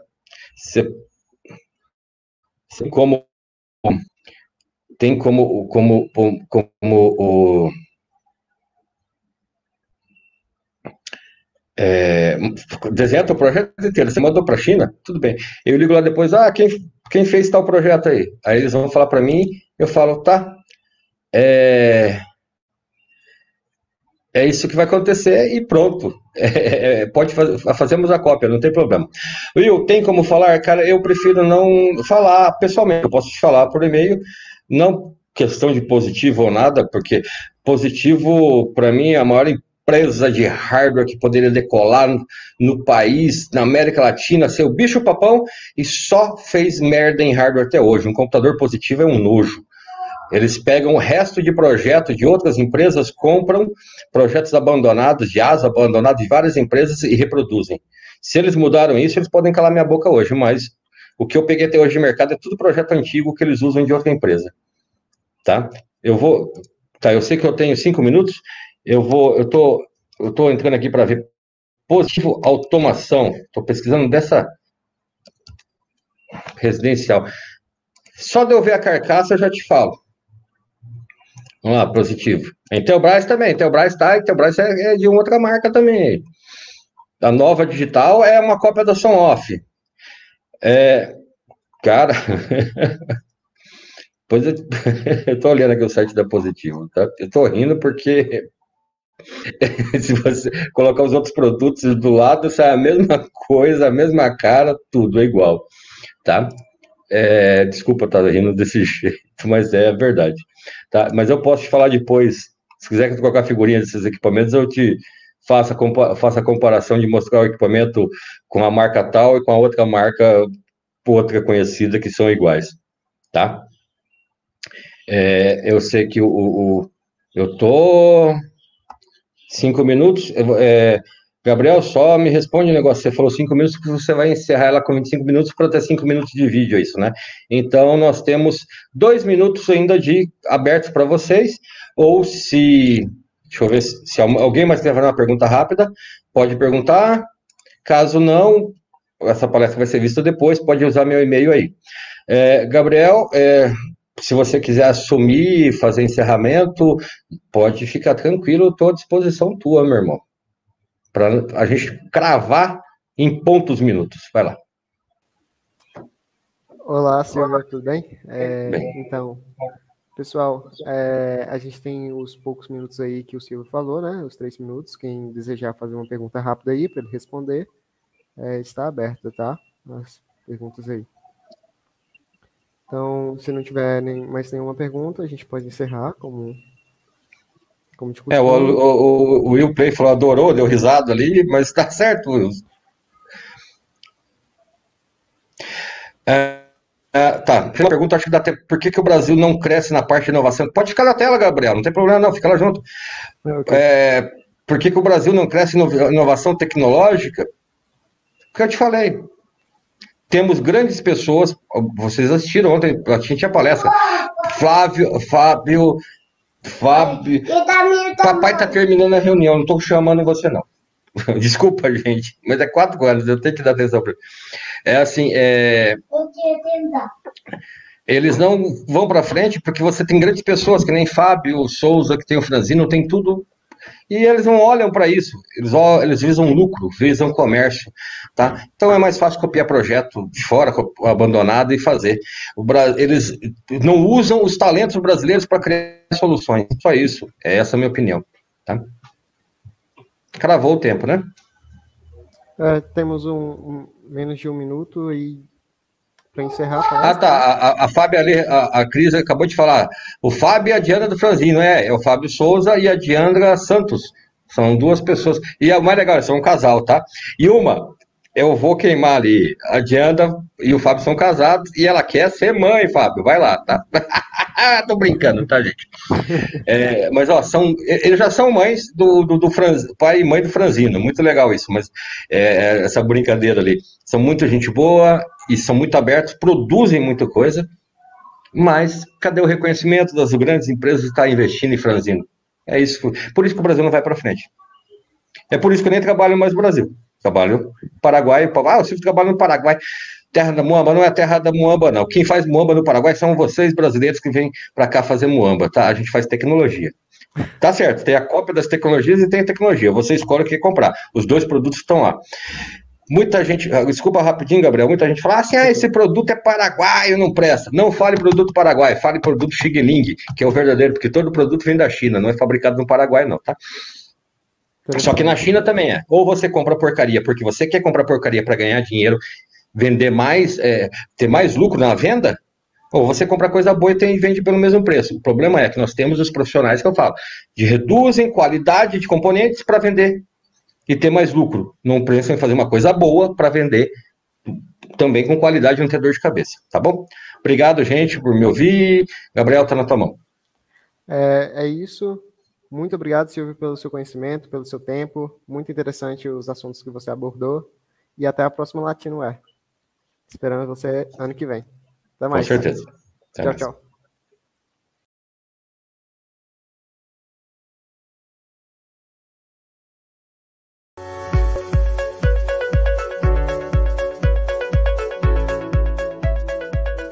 Vale dos Dinossauros, Museu de Cera, Bar de Gelo, Motor Show. Tudo isso faz parte do Dreams Park Show, aqui em Foz do Iguaçu. E eu estou aqui para te convidar a conferir o que tem no Espaço Colômbia da Latinoair. Lá, nós vamos conversar sobre IoT e Smart Cities. E aí, você vai ficar de fora desse bate-papo tecnológico e inteligente? Faz assim, participe, aprenda, ensine e leve o que tem de melhor da Latinoair 2021.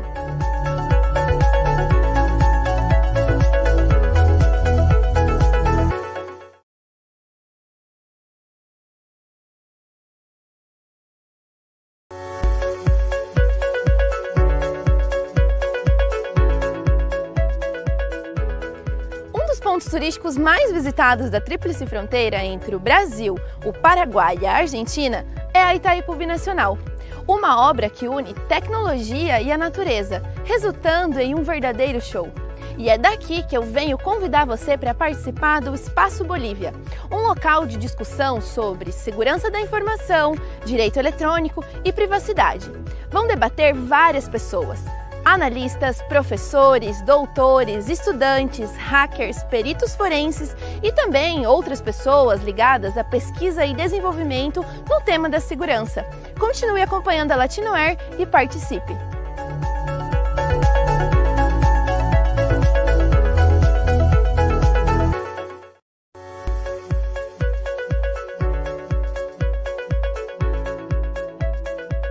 Itaipu Binacional a maior geradora de energia limpa e renovável do planeta e também um dos pontos turísticos mais visitados da Tríplice Fronteira. Além disso, a usina é a casa do Parque Tecnológico Itaipu, que é quem realiza a Latinoair, o maior congresso de tecnologias abertas e software livre da América Latina. E é daqui que eu quero convidar você para participar das apresentações e das palestras que acontecerão no Espaço Brasil. Curta a Latinoware aí de sua casa em 2021 e em 2022 venha presencialmente conhecer Foz do Iguaçu e a Itaipu Nacional.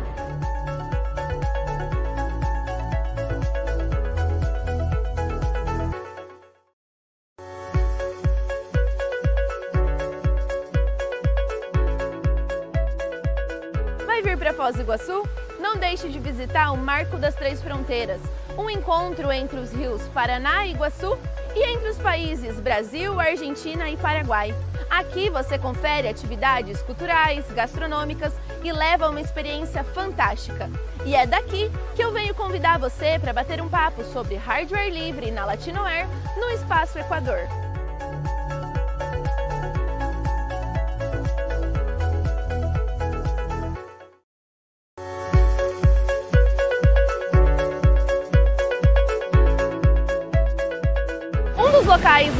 Visitados e mais procurados de Foz, sem dúvidas, é as Cataratas do Iguaçu. Aqui, um espetáculo da natureza entre o Brasil e a Argentina. E como estamos numa tríplice fronteira, eu não poderia deixar de citar o Paraguai. E é por isso que eu vim convidar você para fazer parte dos debates do Espaço Paraguai da Latinoair 2021, onde vamos falar sobre empreender, como tornar o seu modelo de negócio lucrativo e de impacto social. Participe!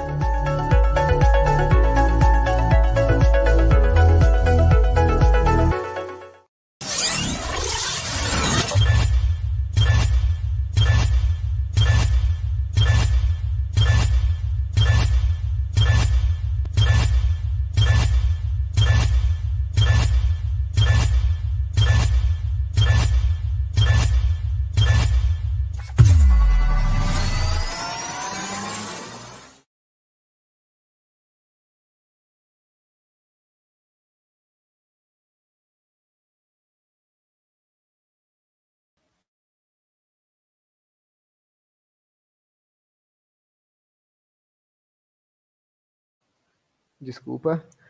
Olá a todos. É, meu microfone estava mutado, mas estou aqui com o Rafael e ele vai falar sobre internet das coisas e embarcados com o BIPS, uma tecnologia muito legal. Seja bem-vindo, Rafael.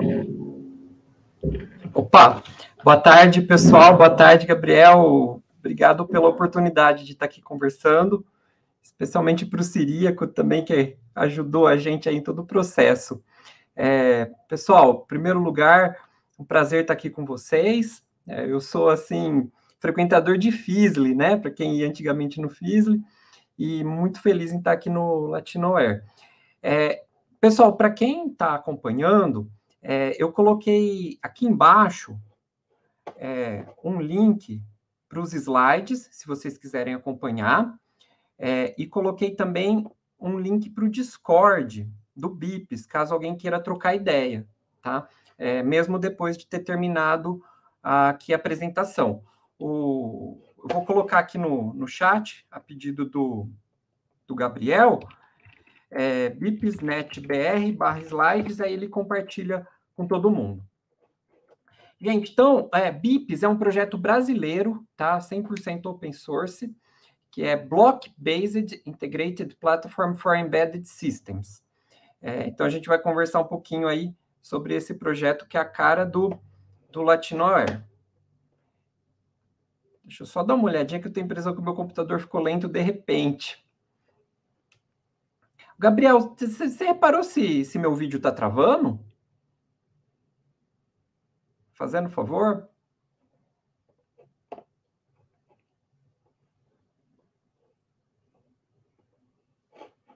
Estou tentando.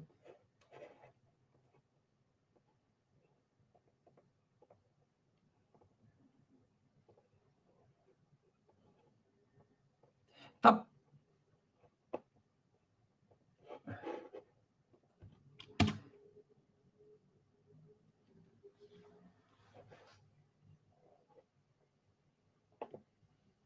Tá.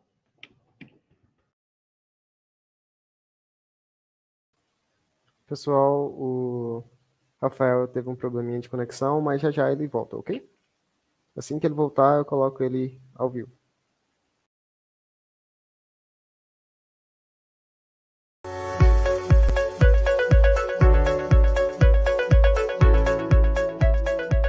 Vale dos Dinossauros, Museu de Cera, Bar de Gelo, Motor Show. Tudo isso faz parte do Dreams Park Show. Rafael? Gabriel, voltei em outro navegador. Ah, maravilha.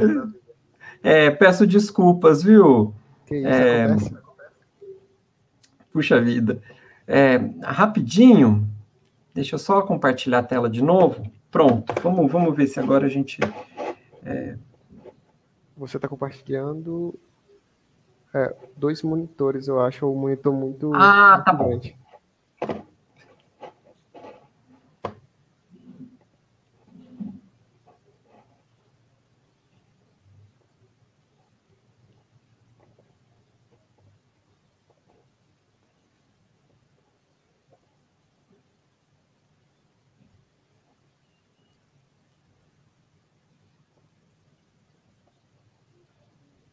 Ah, eu acho que aqui no.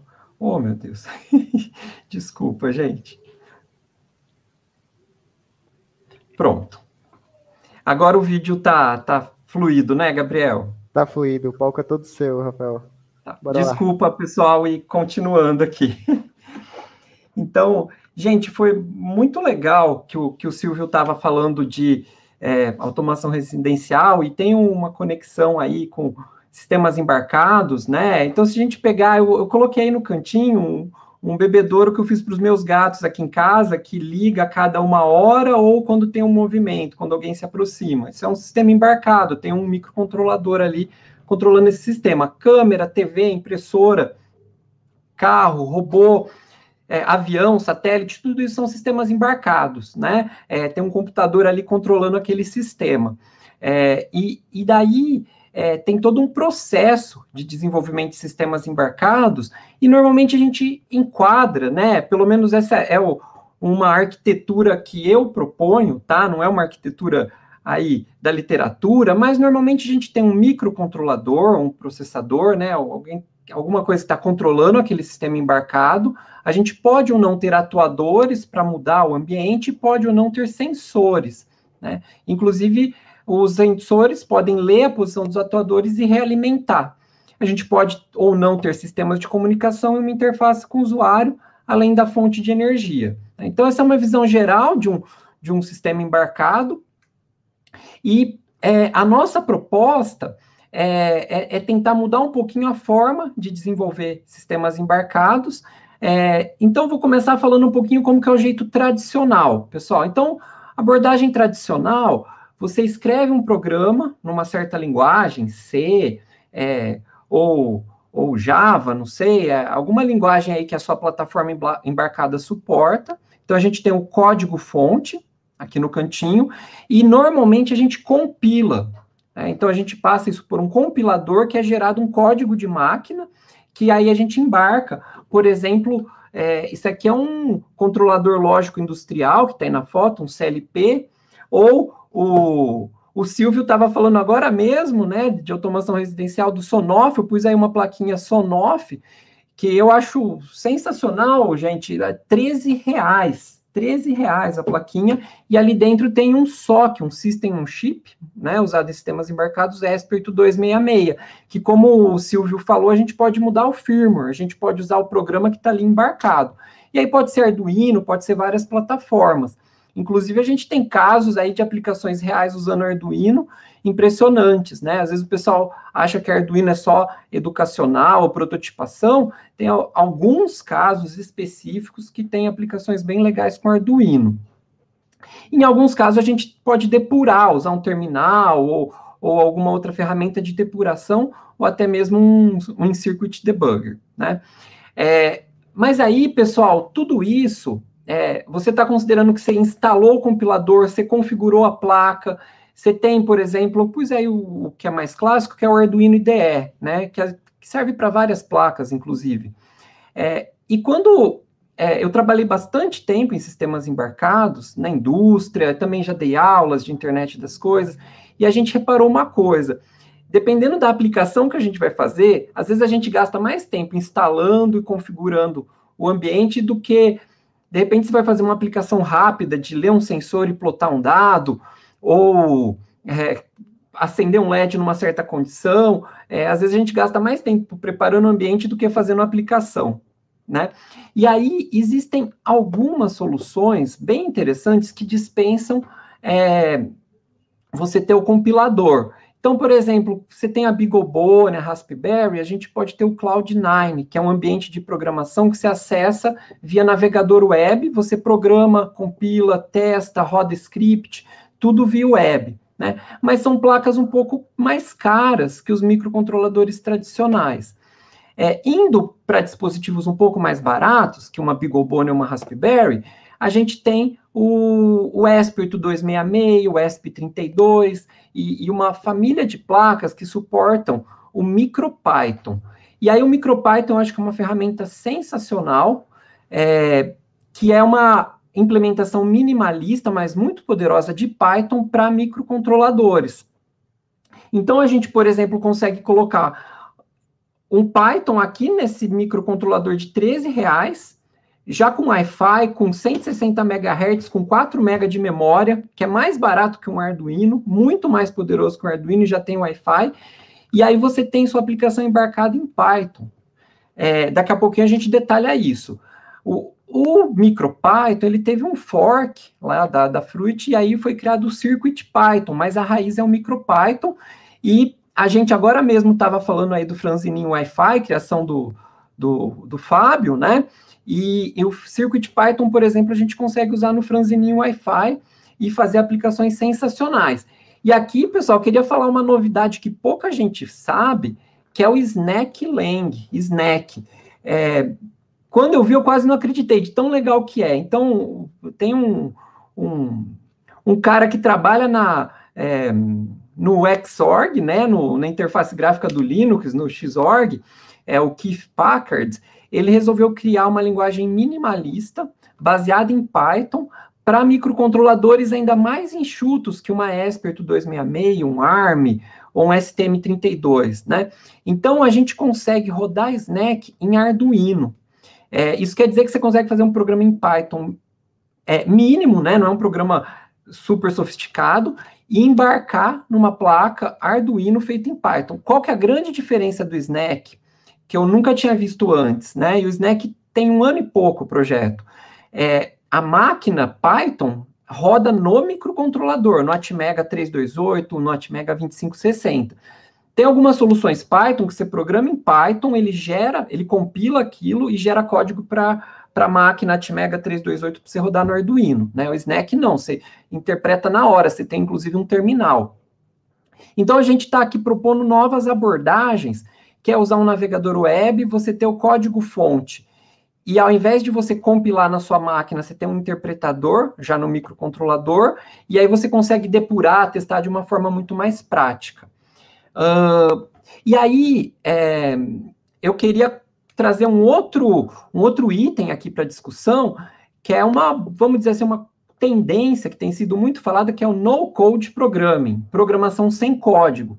Aqui eu pus um exemplo do App Inventor, né, do MIT App Inventor, que é um programa completo, tá, pessoal? Feito em blocos, que quando o seu celular recebe uma mensagem por SMS, ele vai é, receber essa mensagem e vai montar uma resposta falando assim: não estou disponível, não posso atender, estou em, e colocar seu endereço e mandar essa mensagem de volta, tá? Esse programa completo está aqui é mais intuitivo a gente é, entender esse programa, modificar, compartilhar com outras pessoas e melhorar.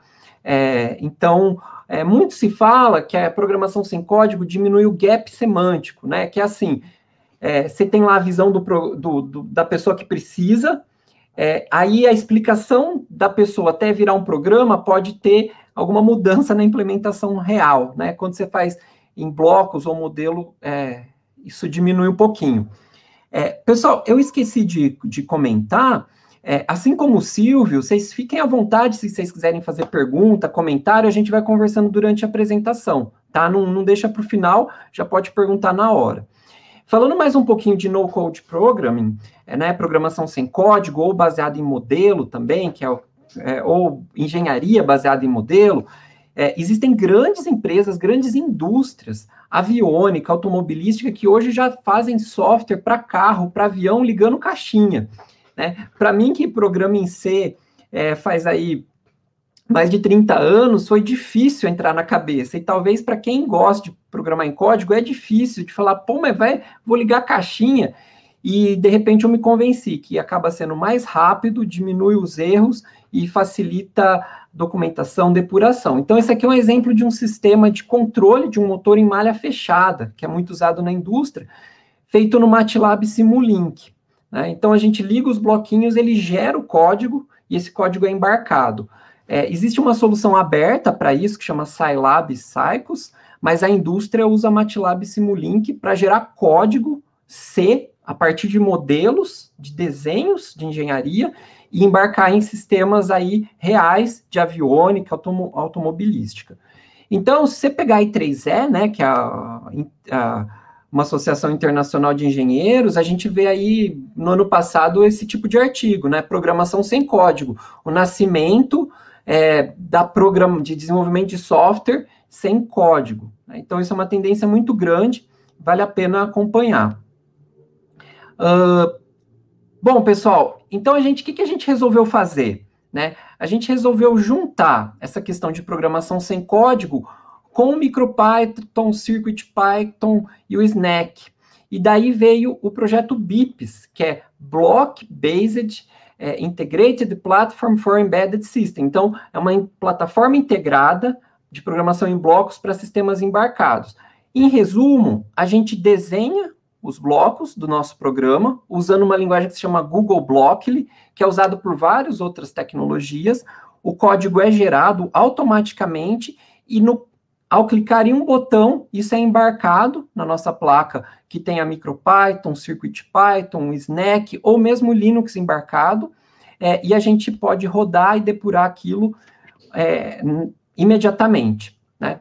Então, algumas características do projeto BIPs, pessoal, é, primeiro, é totalmente open source, GPL, então está aberto aí o, o convite para vocês conhecerem o código lá no GitHub, quem quiser colaborar.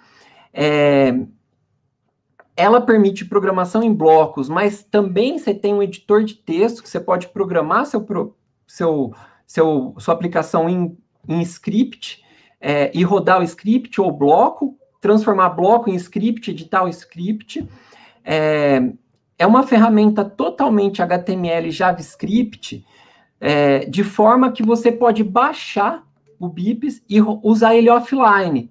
A gente pensou isso em caso de escolas, por exemplo, robótica educacional ou aulas de internet das coisas que tem problema de conexão com a internet, você pode baixar um zip e você clica no index.html e você consegue utilizar toda a plataforma BIPs offline.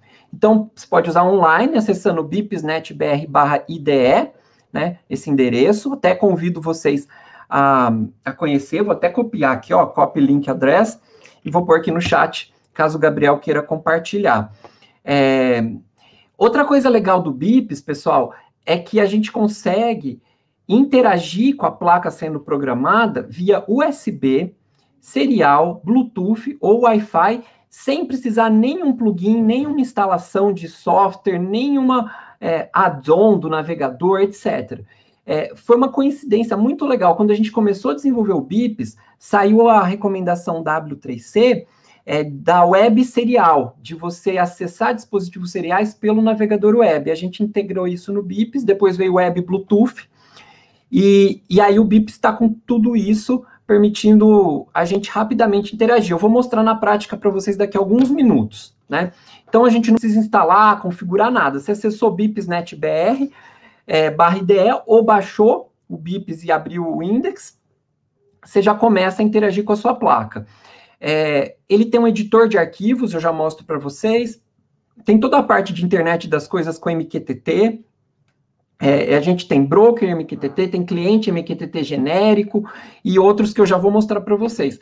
Tem um dashboard muito fácil de configurar e montar, arrastando e soltando, é, painéis de visualização. É, a gente compartilha o código do BIPs num clique, então você montou seu programa, você clicar em compartilhar, ele gera um link, você manda esse link para qualquer pessoa, ela tem acesso. e várias placas e blocos. É, então, a gente tem blocos para vários tipos de sensores, atuadores, e conseguimos usar desde o Arduino até uma Raspberry Pi, um BeagleBone, ou até mesmo um PC com Linux embarcado, com blocos de visão de máquina. É, então, aqui eu coloquei um exemplo, pessoal, vou clicar rapidamente nesse exemplo aqui. Opa, cadê meu mouse? É, vou clicar rapi rapidamente nesse exemplo. Então, tá aqui a ideia do BIPs, tá? É, pessoal, eu... Deixa eu aumentar um pouquinho aqui a tela só para facilitar. Pessoal, esse aqui é um exemplo para Linux embarcado, feito em BIPs, é, que a gente tem os blocos aqui de captura de vídeo de uma câmera USB. Então, temos todos os blocos aqui de OpenCV para visão de máquina. E aí, o que, que a gente faz? A gente faz uma subtração de duas imagens, passamos um detector aqui de bordas, né, um detector de features, é, não precisa se preocupar, isso é específico de visão de máquina, é, comparamos o quanto mudou de uma imagem para outra da câmera. Então, a cada captura a gente compara quantos pixels mudaram naquela imagem e se teve uma mudança maior que é, 400, que eu coloquei aqui, é, a placa vai falar através dela, vai chamar um script Linux que chama aspeak. Então, ela vai chamar um comando na linha de comando, run Linux command, vai falar movement detected, alert. Né? Então, esse aqui é um programa completo que detecta o movimento e fala.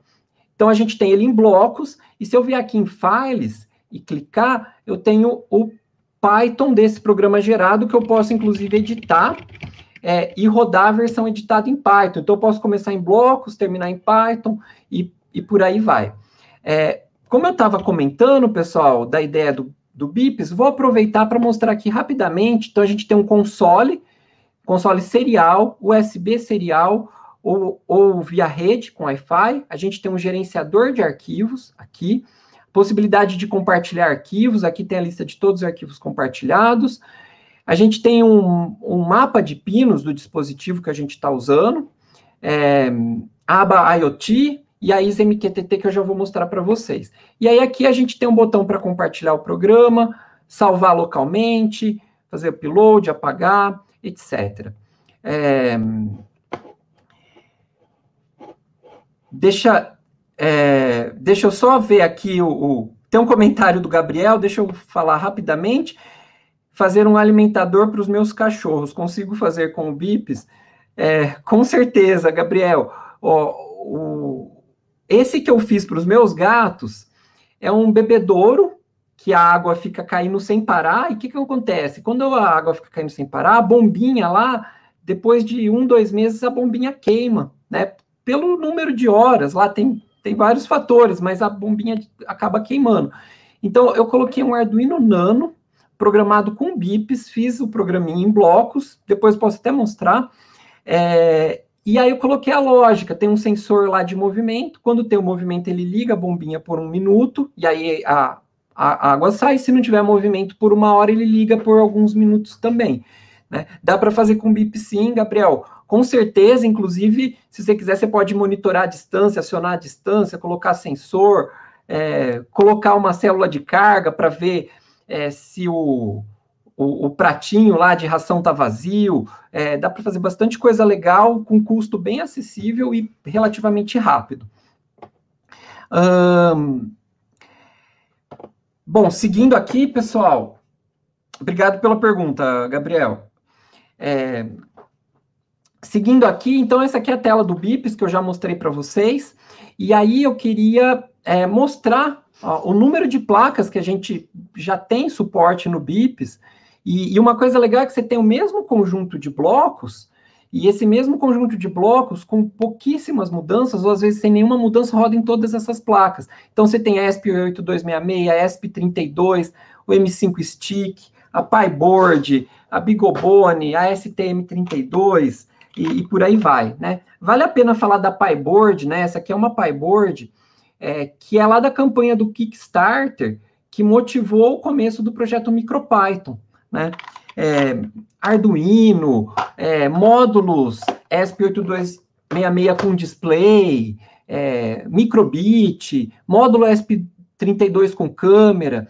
Então, como essas plataformas rodam Linux, ou Snack, ou MicroPython ou CircuitPython, a gente consegue incluir é, no BIPs. Um, o, o, César está comentando aqui, né? Então, IoT é um campo que cresce tanto que a comunidade e as empresas pediram que a LPI desenvolvesse uma certificação IoT Essentials. Nossa, que legal! Que legal! Sou fã do Linux Professional Institute. É, devemos lançá-la no ano que vem, depois da Web Essentials esse ano. Nossa, muito legal, César. Eu não sabia que estava nesse nível. É, e, e, aí o César comentando do BIPs, é, não, legal que você gostou, fico muito feliz, César. Projeto totalmente brasileiro, open source, desenvolvedores brasileiros, e eu ia comentar daqui a pouco, já adianto, a gente está com mais de 5 mil usuários em mais de 80 países, já com colaboradores até da, da Alemanha, Austrália. Então, é, a gente viu que é, ele preencheu uma lacuna aí de desenvolvimento mais rápido, acessível e prático, né? E com segurança, com robustez. É, seguindo aqui, pessoal, pronto, já é aqui pegando um gancho na, no comentário do, da resposta que eu estava dando para o César. É, aqui está alguns dos principais colaboradores e contribuidores do BIPs. É, então, isso aqui é do GitHub, tá? E aqui eu quero deixar, assim, a, a, o meu, a minha honra e agradecimento em trabalhar com o Jorge Marques, que é um cara sensacional, que está trabalhando com a gente no BIPs.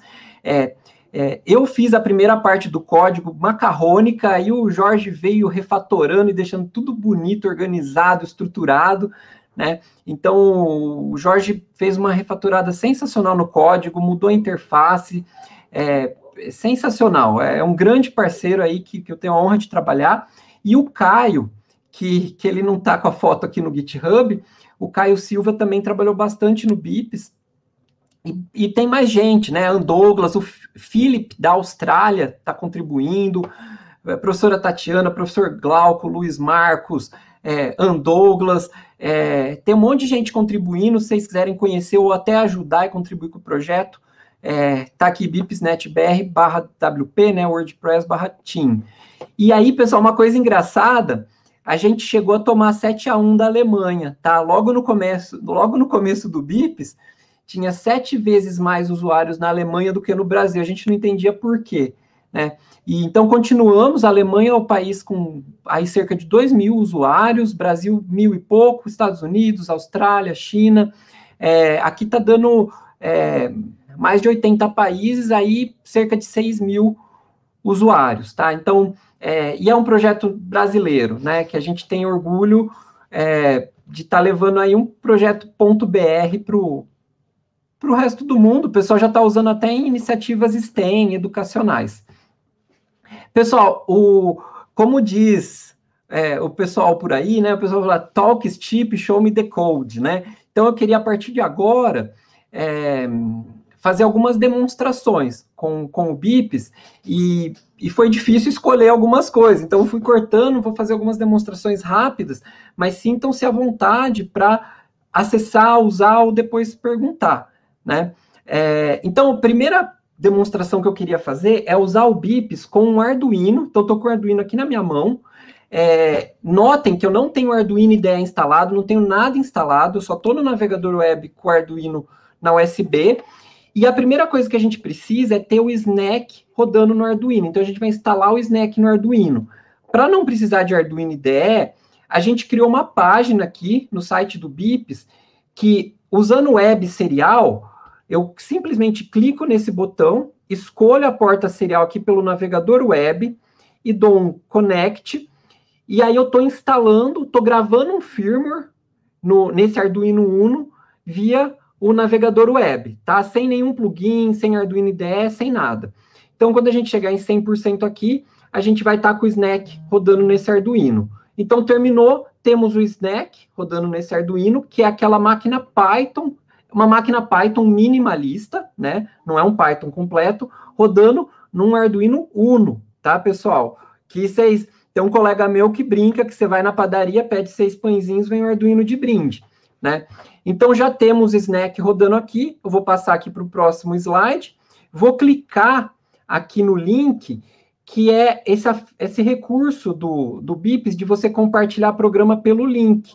Então, eu simplesmente clicando nesse link, abri o programa, até se o, se o Gabriel quiser puder compartilhar esse link, vocês podem clicar, vocês vão abrir esse programa, e aí o, o programa ele repete 10, vezes, liga o LED, desliga o LED. Né? Eu poderia até, ó, vou apagar o programa, vou fazer do zero. Então, eu vou aqui em Logic, é, desculpa, Loop. Então, vou falar que eu quero repetir, sei lá, 50 vezes. É, eu vou pegar aqui, ó, pinos de entrada e saída, vou setar o pino, é, que é o LED, que é o pino D13 do Arduino para True, aí eu vou duplicar esse bloco aqui, ó, vou setar ele para false, e como isso vai acontecer muito rápido, vou colocar aqui um delayzinho, por exemplo, de um segundo, né? Então tá aqui, o programa tá pronto. Se eu vier aqui em Files e clicar, tá aqui o script Python gerado, e aí eu vou conectar nesse, nesse né, no console serial desse Arduino. É, então é, tá aqui o meu Arduino, vou dar um connect. E aí, pessoal, o que eu estou fazendo aqui, eu vou pôr o Arduino de lado para facilitar eu tô na porta serial do Arduino, tá? Você pode pegar qualquer dispositivo serial, você vai interagir por aqui. Tipo, posso fazer i igual a 1, print i, é, print i vezes 2, é, tá bom? Eu estou interagindo com o, o interpretador Python que está rodando, o interpretador Snack, que é um Python minimalista, né? Que está rodando nesse Arduino aqui. É, bom, pessoal, agora eu posso pegar e clicar em Run tá? Ele cola o programa em bloco gerado e eu tô com o programa rodando aqui no Arduino. Posso também dar um stop, né? Tá aqui, o stop ele manda um Ctrl C aqui no console. Vou mudar esse, esse zero aqui, esse 1 um segundo para 0.1 segundo e 0.5 segundos aqui, né? Um exemplo. Dou um play de novo aqui. É, agora vocês podem ver que o LED pisca por 100 milissegundos e desliga por 500 milissegundos. É, um exemplo simples e rápido. Isso aqui a gente está fazendo numa forma de depuração, né, numa forma de teste, mas não está no boot, digamos. A gente pode dar um comando que é EPROM write, e esse programa ele vai ficar armazenado na EPROM, né, na flash do, do Arduino. Ele usa um comando que chama EPROM, e quando ele ligar, ele roda esse scriptzinho Python no boot. É, pessoal, vamos ver outro exemplo aqui com ainda com Arduino. Uh, que agora a gente vai pôr um dashboard, né? A gente vai plotar um gráfico a partir de uma leitura do conversor analógico digital do Arduino, usando um programa feito em Snack. Então, pessoal, só para adiantar, eu vou clicar aqui, pegar o programa semi-pronto, digamos assim, né? Mas seria relativamente tranquilo fazer, né? Seria só vir aqui em loop, pegar o repeat, é, vir aqui no in out pinos e pins e pegar o read analog input. É, eu estou colocando em uma variável, tá? Então eu tenho aqui a opção de criar variáveis, e aí eu criei uma variável x que recebe a leitura da entrada analógica a zero, do pino a zero, ele espera meio segundo, e aí ele vai show datum na IoT Tab. Na verdade, para quem é programador, pessoal, isso aqui é só um print, tá? É um print que a gente imprime bips data e o valor, e quando a gente faz isso, ele aparece lá na aba IoT. Então, eu vou clicar aqui, vou conectar, né, que eu acabei de abrir, vou conectar aqui no, no, no Arduino, tô, tô aqui com o console, né, é, vou dar um, clicar aqui em Run, ó, o programa está rodando, tá, pessoal? É... E aí, se eu vier aqui em... Opa, deixa eu só ver, tem alguma coisa errada aqui. Parece que perdeu alguns caracteres, dificilmente isso acontece, mas... É... Deixa, deixa eu dar um reload. Ah, eu tô com o terminal serial aberto duas vezes, pessoal. Aqui pode ter dado algum conflito aí por, por estar tá com o console aberto na mesma serial duas vezes, né? Então, vou abrir aqui de novo, Connect, é, vou rodar o programa. Então, lá, o programa está rodando, ele está imprimindo o bips data, que é a leitura do meu pino A0. É, e aí, aqui na aba IoT, a gente consegue, usando um software livre que a gente integrou no BIPS, que se chama Freeboard, a gente consegue, é, tem um data source que criamos, que chama BIP Serial USB ou Bluetooth, a gente consegue receber esse dado e plotar. Então, a gente tem aqui várias, eu posso clicar em Add Pane aqui, e a gente tem vários widgets que a gente fala, é, com a tela compartilhada não aparece, né? Mas aqui eu tenho, é, como é um drop-down, ele não aparece, mas eu tenho foto, eu tenho Google Map, HTML, atuador, switch, slider, etc. Então eu escolho um componente é, e monto esse dashboard, eu posso arrastar, é, e é um dashboard configurável em JavaScript. Por exemplo, eu coloquei um toFixed aqui para ficar com duas casas decimais e multipliquei por 5. Então, você pode pôr uma expressão matemática, você pode pôr uma expressão JavaScript para definir seu dashboard.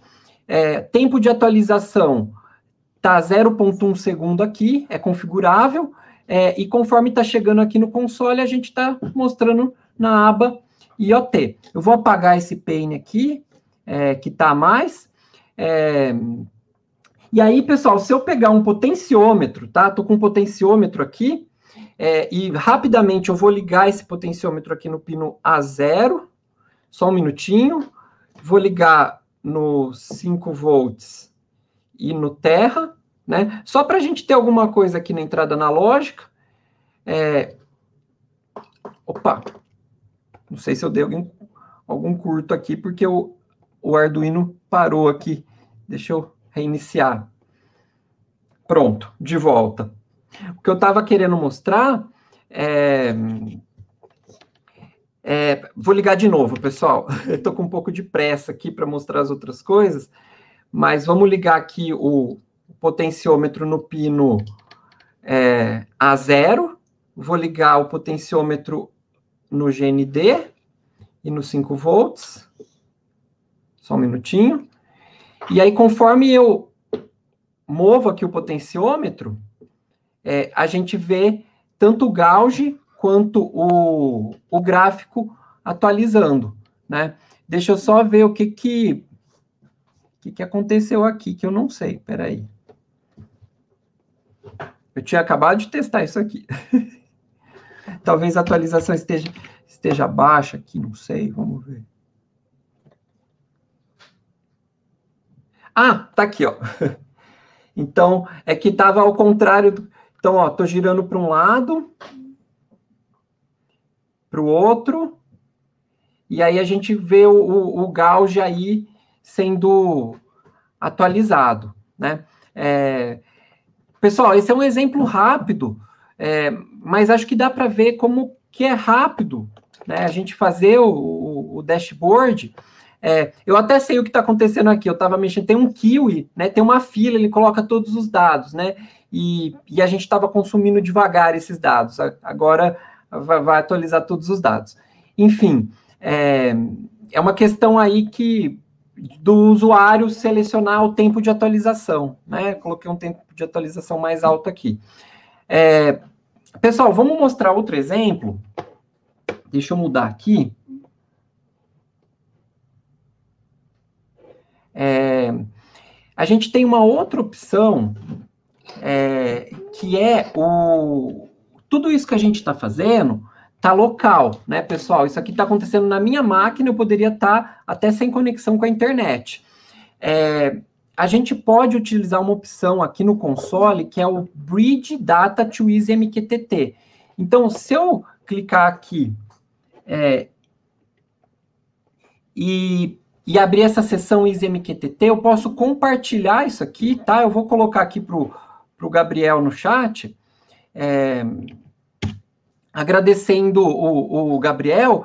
Se vocês clicarem nesse link que eu coloquei no chat, é, vocês vão ter acesso ao ao bridge do EasyMQTT que eu liguei, e aí ele está mandando isso para um servidor MQTT, através do navegador web. Então você tem um Arduino coletando dados, o navegador web recebe na USB, manda para um servidor MQTT na nuvem, é, e, e aí a gente consegue visualizar de qualquer lugar, né? Deixa eu clicar aqui de novo, tá aqui, ó. É, a sessão é, do Easy MQTT. E aí a gente consegue, inclusive, mandar isso também para o dashboard IoT, tá? É, então, falei, falei muito de Arduino, pessoal. É, a ideia era ser mais rápido, mas eu também me atrapalhei um pouquinho aqui com os tempos, desculpa. É, pessoal, outra, outra coisa legal que a gente tem no, no, no BIPs, que é uma, uma coisa que chamou muita atenção aí do, da comunidade de, de, de embarcados, né, Maker, é a Raspberry Pi Pico, foi lançada no começo é, agora do ano, né, e ela vem, né, com a opção de MicroPython. O, e aí a gente pegou e implementou a, todos os blocos aí de leitura DC, pino de entrada e saída da Raspberry Pi Pico no BIPs. Então, se eu pegar uma Raspberry Pi Pico, que está aqui é, na minha mão, que, pessoal, é relativamente barata, ela é muito boa, né? O microcontrolador é muito bom, é, custa R$ reais com nota fiscal, né? Então é relativamente acessível. E aqui eu vou abrir um programa que eu já deixei pronto também, que faz a leitura do conversor analógico digital de um sensor de temperatura que já está embutido aqui na Raspberry. Então eu vou vir aqui em console, vou conectar, é, tá aqui, então ele acha a, a, Raspberry Pi como um dispositivo serial. Eu posso dar um Ctrl D aqui para resetar ela. Olha lá, MicroPython é, 1.14. Eu então eu consigo interagir aqui no console com o MicroPython. É, e aqui no caso o que eu vou fazer é rodar esse programa aqui. Então eu vou clicar aqui no play, eu estava usando o console, mas a gente tem um botão de play e stop aqui em cima também, ó, é bem prático. Então, posso dar play e stop aqui em cima. É, e aí ele está de novo usando aquele bloquinho bips data, olha lá, bips data, para enviar temperatura e um contador. Pessoal, aqui a gente tem um com variável i de 1 a 100. Então, a gente manda isso no nosso Kiwi, né? E aí a gente visualiza aqui no dashboard, né? Inclusive, isso aqui é responsivo. Se você abrir no celular, ele fica bem, bem formatado na tela de celular. Então, a gente tem aqui a temperatura e o contador. Se eu der um stop e, e iniciar de novo o, o programa, lá, ele, o contador reinicia é, e, e, e por aí vai, né? Eu poderia diminuir o tempo de atualização aqui, ó, 0.01, é, e aumentar o, e diminuir o delay aqui, ó, o delay tá um segundo, vou por 0.5. Vamos para a aba IoT de novo. Ah, quando eu clico em device, sempre aparece a pinagem da placa que, eu, que a gente está trabalhando, tá? Aba IoT de novo, play. Olha lá, já está bem mais rápido. Então, a gente consegue taxas de atualização até que relativamente boas aqui, tá bom? Stop, o programa parou. É, uma coisa legal do BIPs, pessoal, e do MicroPython, né, do, desse conjunto BIPs mais, mais MicroPython, é o seguinte, é, aqui você tem o um programa gerado na aba Files, mas uma coisa única do BIPs, né, muito legal, é que você tem um gerenciador de arquivos é, que está na placa. Então, se você pensar em Arduino, Arduino só roda aquele programa que você pôs naquela hora. Aqui a gente pode ter vários programas armazenados na placa e eu posso escolher um programa, fazer download, apagar ou dar play no programa, né? Então tenho um bips 2.py, um bips 1.py aqui, um monte de teste que eu estava fazendo, né? Tem um TMP aqui, um T2, é, e aí se eu clicar em play eu executo esse programa na placa. É, tudo isso que a gente está fazendo é via USB, tá, pessoal? Agora vamos mudar um pouquinho de assunto e é, isso aqui a gente já viu, sensor de temperatura na Raspberry é, Pi Pico. É, agora vamos para o ESP 266.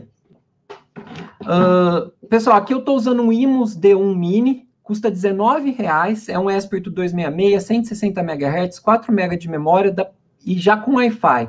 Uma placa sensacional, né? Para quem trabalha aí com embarcados, dá para fazer muita coisa. E aí eu conectei um sensor de temperatura e umidade DHT11 e um display, um, uma matriz de LEDs, né? Nessa, nessa mesma placa para a gente brincar um pouquinho e para vocês poderem acessar e brincar. Então, é, como que a gente vai fazer? Deixa eu fechar aqui o, o BIPs. É, esse aqui é um primeiro exemplo que eu fiz, pessoal, pelo console, que se vocês clicarem aqui, é, vocês vão conseguir abrir esse programa é, e usar esse programa, modificar e trabalhar nesse programa na minha placa ESP8266 que está aqui em casa. Como falta pouco tempo para terminar, eu vou parar, pular essa parte para ir para a próxima que junta com essa, tá? É, então, isso aqui eu já falei, mas repetindo, MicroPython e CircuitPython, usado lá no franzininho Wi-Fi do Fábio Souza, você tem um sistema de arquivos na placa, você pode ter vários programas, você pode ter um data logger armazenando na flash da sua, da sua placa, e você tem um arquivo que chama boot.py, que é o que roda na inicialização. Pessoal, agora é, é, eu queria fazer uma proposta, caso vocês é, é queiram se arriscar, tá bom? É, aqui a gente tem várias placas online, tá? Que se vocês acessarem o terminal do BIPs, é, vocês conseguem conectar e programar essa placa à distância e visualizar o resultado delas na câmera. Eu vou fazer um exemplo aqui, e aí quem tiver com os slides, se quiser, fique à vontade para brincar. Né? Pode ser até depois da apresentação, tá? Eu vou deixar aberto aqui, funcionando. A hora que vocês quiserem, vocês conectam, vocês podem conectar e testar. Então, é, esse, esse, aqui tem as instruções para quem quiser, você vai copiar o, o endereço e colar lá no endereço é, do, do console, eu já mostro. E você pode ter a placa em modo Access Point ou cliente. A minha aqui está como cliente, mas você poderia conectar direto na placa sem precisar de um Access Point. É, então, gente, eu vou fazer esse exemplo aqui, tá? É, que a gente vai ligar a matriz de LEDs e vai fazer ela contar de 0 a 9, tá? É, então, opa, pulei, gente. Então, vamos lá, bem, bem rapidamente aqui, ó. Deixa eu pegar o exemplo... Eu vou pegar o exemplo pronto para ser mais rápido, tá, pessoal, que eu, que eu deixei aqui. E aí, deixa eu explicar para vocês o que está feito aqui. É, a gente tem um componente aqui no BIPs, na aba Network, no Toolbox Network, que é o EasyMQTT Start. O EasyMQTT é um protocolo aberto, padrão de internet das coisas, e a gente criou o EasyMQTT, que é quando você não tem o servidor MQTT, usuário e senha. Você cria um EasyMQTT, ele cria tudo para você, servidor, usuário, senha. E aí você tem o MQTT na nuvem funcionando nesse único bloco, tá? É, a gente se inscreve num tópico, toda vez que esse tópico for modificado, a placa é avisada, e aí ele vai imprimir chegou e vai atualizar a matriz de LEDs com número. É, e aí a gente vai ficar contando aqui de 0 a 9.999, esperando chegar dados, tá? E aí a gente fez aqui, ó, um, uma... Eu coloquei uma câmera que vocês podem acessar daí, tá aqui, no próprio BIPs, e um slider que publica no servidor MQTT. Então, eu vou conectar, tá, nessa, nessa placa aqui, ó, é, Deixa eu só lembrar aqui, ó, qual que é a placa aqui? Qual que é a placa? Deixa, pronto. Vamos pegar essa placa aqui, por exemplo, o CBIPS NetBR 6065.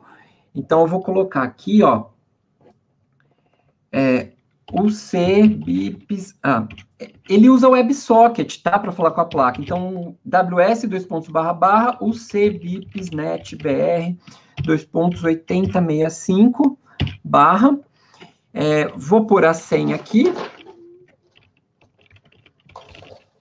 e vou clicar em Network, se a senha estiver certa, ele vai conectar. Eu posso ter digitado a senha errada aqui na pressa, é, o CBIPSNR 80, é 8065. Tá, eu errei. então, vamos lá. É, clicar aqui de novo. O CBIPSNetBR Deixa eu pôr a senha.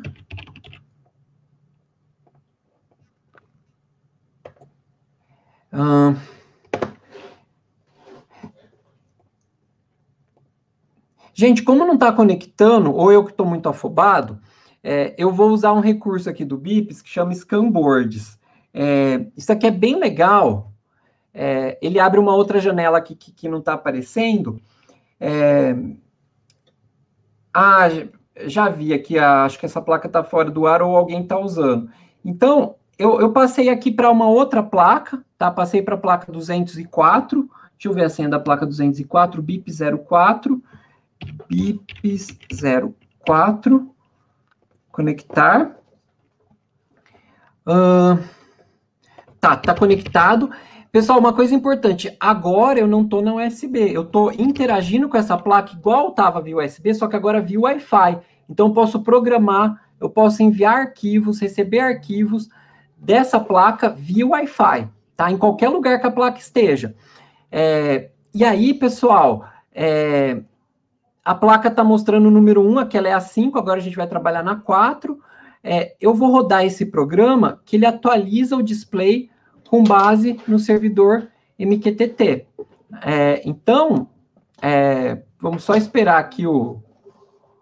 É, então, conforme eu mexo aqui nesse slider, é, o dashboard está publicando para o servidor MQTT.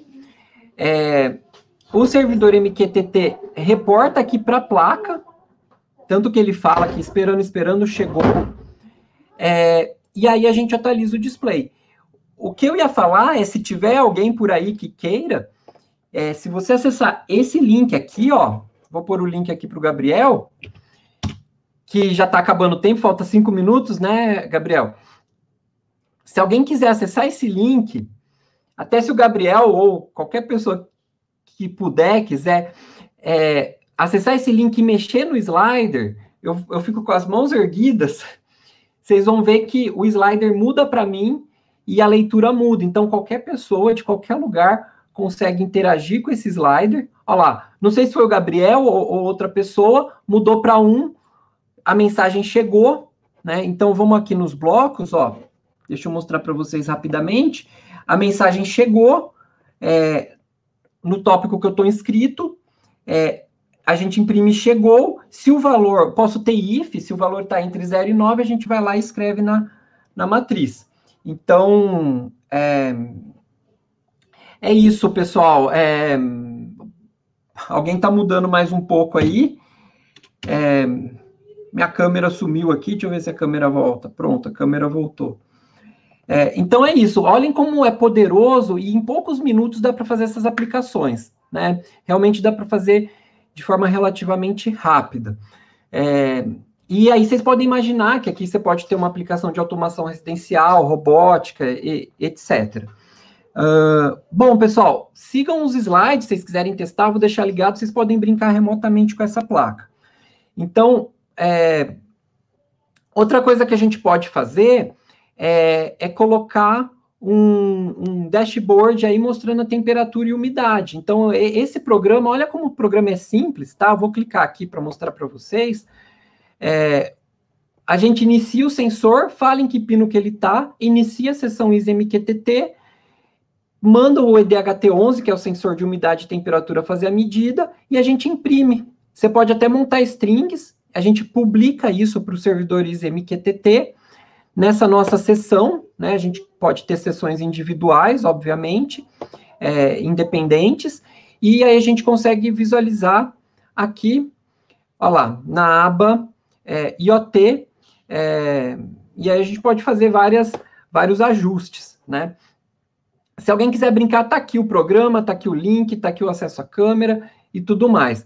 Pessoal, para quem quiser, né, é, tá aqui, depois vocês olhem o vídeo, eu com a minha filha aqui tocando música no Bips, tem umas músicas super legais, usando o Bips para tocar música, com uma ESP é, 32, é, e a gente já com, deixa eu passar aqui. Você pode usar ele para robótica. A gente está usando com o kit do Maurício, esse kit aqui do Maurício, controlar o robô usando bips. É, já dá para usar em satélite, tem aplicação séria em satélite da ESA, da Agência Espacial Europeia, usando MicroPython e, por consequência, você pode usar o BIPs. Você pode fazer HTTP, etc. É, deixa eu aproveitar, pessoal, que é servidor web, cliente web, então tem NTP, tem, tem e-mail, você consegue enviar e-mail pelo BIPS na ESP8266, ESP32, você dá uma, um comando lá, você manda um e-mail via Gmail. Então imagina se o, o Gabriel falou lá do, do alimentador de cachorro, se o cachorro se mexer, por exemplo, ou se ficar cinco horas sem se mexer, manda um e-mail. Né? Seria aí 10 bloquinhos no BIP, você faz isso. Deixa eu aproveitar para ver se tem algum comentário. É, então, o, o, o, Gabriel falou aqui, legal, obrigado, que bom que você gostou. O César é, monitorando aqui. O César, obrigado por acompanhar. É, o, acho que acho que o Gabriel compartilhou aqui um, um outro link para quem quiser. E é isso, pessoal. É, tentei cumprir o tempo aqui. Só para encerrar, é, tá aqui o nosso agradecimento. Deixei meu e-mail, tem aqui um blog que eu costumo escrever de vez em quando, o GitHub do Bips. E então estão aqui os links, está aqui meu contato e espero que seja útil para vocês, né? E fica o convite para conhecer, usar. É realmente uma ferramenta que facilita agiliza e é bem robusta para criar aplicações IoT. Né? E eu agradeço muito a oportunidade aí do Latino Air, um prazer estar aqui. Obrigado, Gabriel, Siríaco, por pelo espaço. Nós que agradecemos, Rafael. Muito interessante a sua palestra. Obrigado pelo seu conhecimento, pelo seu tempo. E até a próxima Latino Air. Valeu, até. Valeu, até pessoal. tchau. tchau, tchau.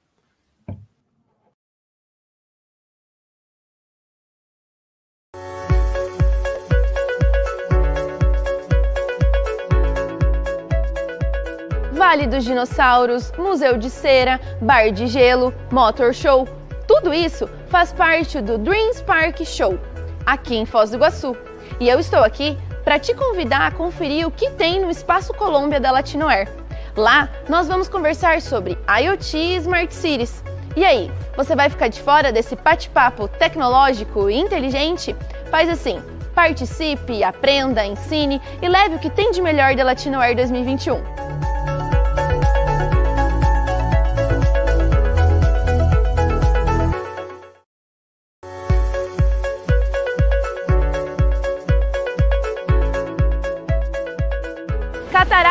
Iguaçu, uma das sete maravilhas do mundo localizada na fronteira entre o Brasil, o Paraguai e a Argentina. E não por acaso, a Latinoair tem um Espaço Argentina, um local de debate sobre o desenvolvimento de software e suas linguagens. Participe do maior congresso da América Latina de software livre e tecnologias abertas.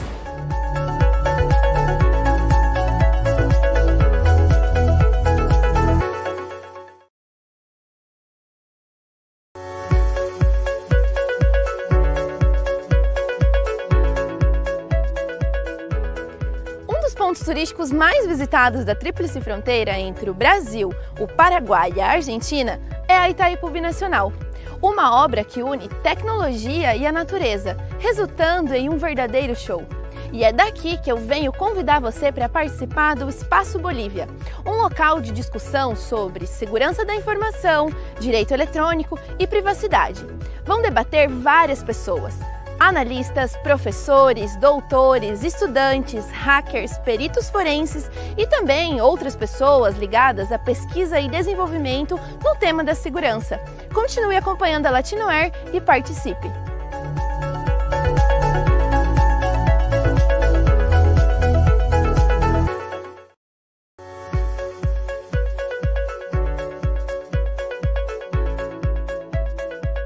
Itaipu Binacional a maior geradora de energia limpa e renovável do planeta e também um dos pontos turísticos mais visitados da Tríplice Fronteira. Além disso, a usina é a casa do Parque Tecnológico Itaipu, que é quem realiza a Latinoair, o maior congresso de tecnologias abertas e software livre da América Latina. E é daqui que eu quero convidar você para participar das apresentações e das palestras que acontecerão no Espaço Brasil. Curta a Latinoair aí de sua casa em 2021 e em 2022 venha presencialmente conhecer Foz do Iguaçu e a Itaipu Nacional.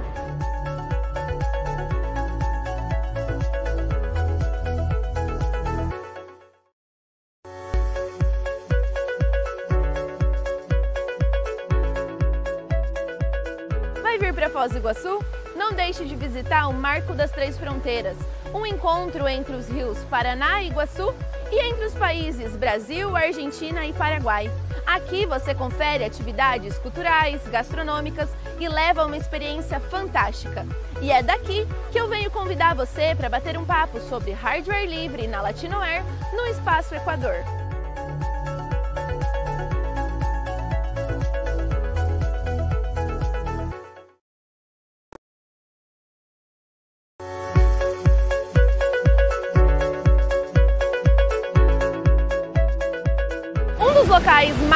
Visitados e mais procurados de Foz, sem dúvidas, é as Cataratas do Iguaçu. Aqui, um espetáculo da natureza entre o Brasil e a Argentina. E como estamos numa tríplice fronteira, eu não poderia deixar de citar o Paraguai. E é por isso que eu vim convidar você para fazer parte dos debates do Espaço Paraguai da Latinoair 2021, onde vamos falar sobre empreender, como tornar o seu modelo de negócio lucrativo e de impacto social. Participe!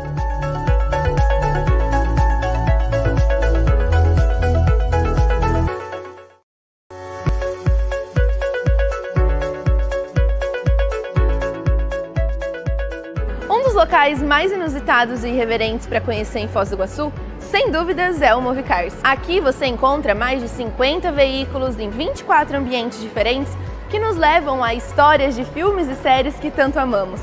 E é daqui que eu quero te perguntar. Você é uma daquelas pessoas que gostam de passar horas no computador e no celular, em redes sociais, em games? Se sim, o Espaço Peru é para você. Aqui vamos debater sobre o desenvolvimento, metodologias, pesquisa de mercado e todas as tendências dessas duas temáticas. Participe, fique por dentro de tudo o que está acontecendo na Latinoair 2021, o maior congresso de tecnologias abertas e software livre do Brasil.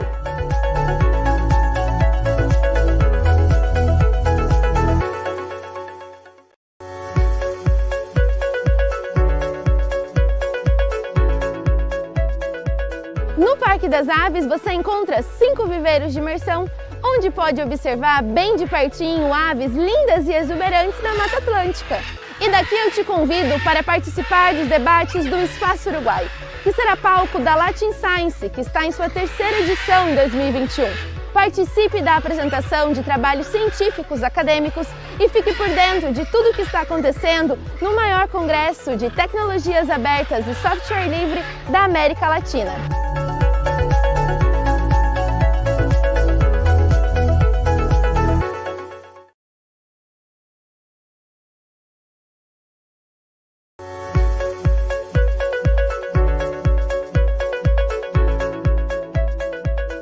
Vale dos Dinossauros, Museu de Cera, Bar de Gelo, Motor Show. Tudo isso faz parte do Dreams Park Show, aqui em Foz do Iguaçu. E eu estou aqui para te convidar a conferir o que tem no Espaço Colômbia da Latinoair. Lá nós vamos conversar sobre IoT e Smart Cities. E aí, você vai ficar de fora desse bate-papo tecnológico e inteligente? Faz assim, participe, aprenda, ensine e leve o que tem de melhor da Latinoair 2021.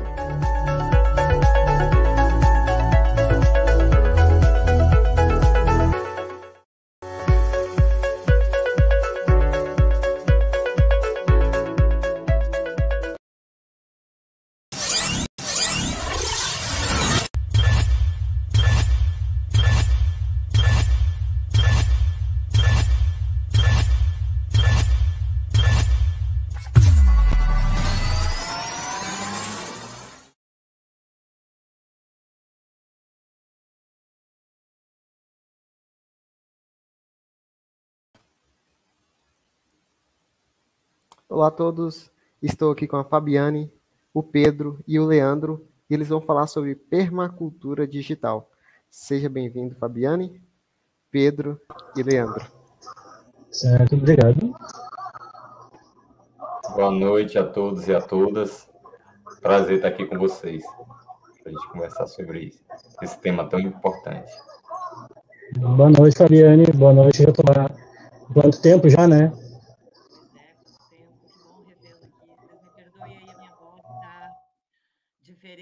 Tô rouca. Vai ser um desafio hoje falar aqui. Então, gente, queria primeiro agradecer, né, a Latinoair por disponibilizar esse espaço aqui para nós e se dispor a fazer esse evento tão importante aí para as tecnologias livres e abertas E nesses tempos aí que a gente teve que utilizar tanto a tecnologia durante a pandemia, eu acho que ter esse espaço de debate e de compartilhamento de tanto conhecimento faz toda a diferença. É, eu queria só ver aqui a compartilhamento da tela aqui. Eu tenho duas telas, acho que eu vou colocar essa daqui já primeiro para falar sobre a... Primeiro, deixa eu dar uma introdução, né, no tema e me apresentar, né? Eu sou a Fábio Balvede, eu trabalho com softwares livres desde o ano 2000, é, e acredito que é um ecossistema muito mais saudável para as tecnologias, e por isso estamos aqui falando sobre permacultura digital. É, a permacultura digital, ela surgiu num, a, a palavra, né, eu ouvi pela primeira vez num evento na UFPR, em Curitiba, uh, onde nós estávamos uh, com o Laboratório de Cultura Digital fazendo um aquário de debates, e dentro né, desse aquário de debates surgiu o questionamento sobre a permanência né, das nossos saberes digitais, dos websites, né, dos links 404 se espalhando por aí, a gente tentando buscar nossas memórias e não encontrando mais na rede né, essa formação de acervos aí e essa nossa dificuldade na cultura digital. E aí, quando a gente falou sobre cultura digital, veio essa, essa, essa necessidade de se adicionar o per à cultura, né, da permanência, ah, da persistência, de, de você perseverar né, na, na manutenção desses ambientes digitais, é, pensando na sustentabilidade e na ética em todos os caminhos desse processo. Então, a gente fez um mapa mental aqui. Deixa eu ver aqui se eu compartilho aqui com dois monitores. Compartilhar a tela. Vou compartilhar essa daqui. Vamos ver. Ok. Então, tá aí. Essa daqui é a flor da permacultura digital. Opa, ela não está conseguindo. Enfim, não sei porquê. Ah, consegui aqui, mexendo. O Fred me mostrou esse software aqui há pouco tempo. E eu resolvi me desafiar a utilizá-lo. Frederico Guimarães, querido, né? Eu resolvi me, me desafiar a utilizá-lo aqui durante a apresentação. Aqui é tudo feito na hora, né, gente? Quem sabe faz ao vivo, aquela história. Então, aqui no, na, na cultura da permanência, nós temos aqui o manejo da terra, o espaço construídos, as ferramentas te e tecnologias, a educação e cultura, saúde e bem-estar, físico e espiritual, economia e finanças, posse da terra e governos comunitários, com a ética permeando todas essas pétalas. Né? Essa é a conhecida flor da permacultura. A permacultura da terra, ela nasceu na Austrália como uma forma de é, fazer com que a terra não se exaurisse, né? Com que se conseguisse tirar alimento da terra é, de forma mais permanente, por isso a cultura da permanência.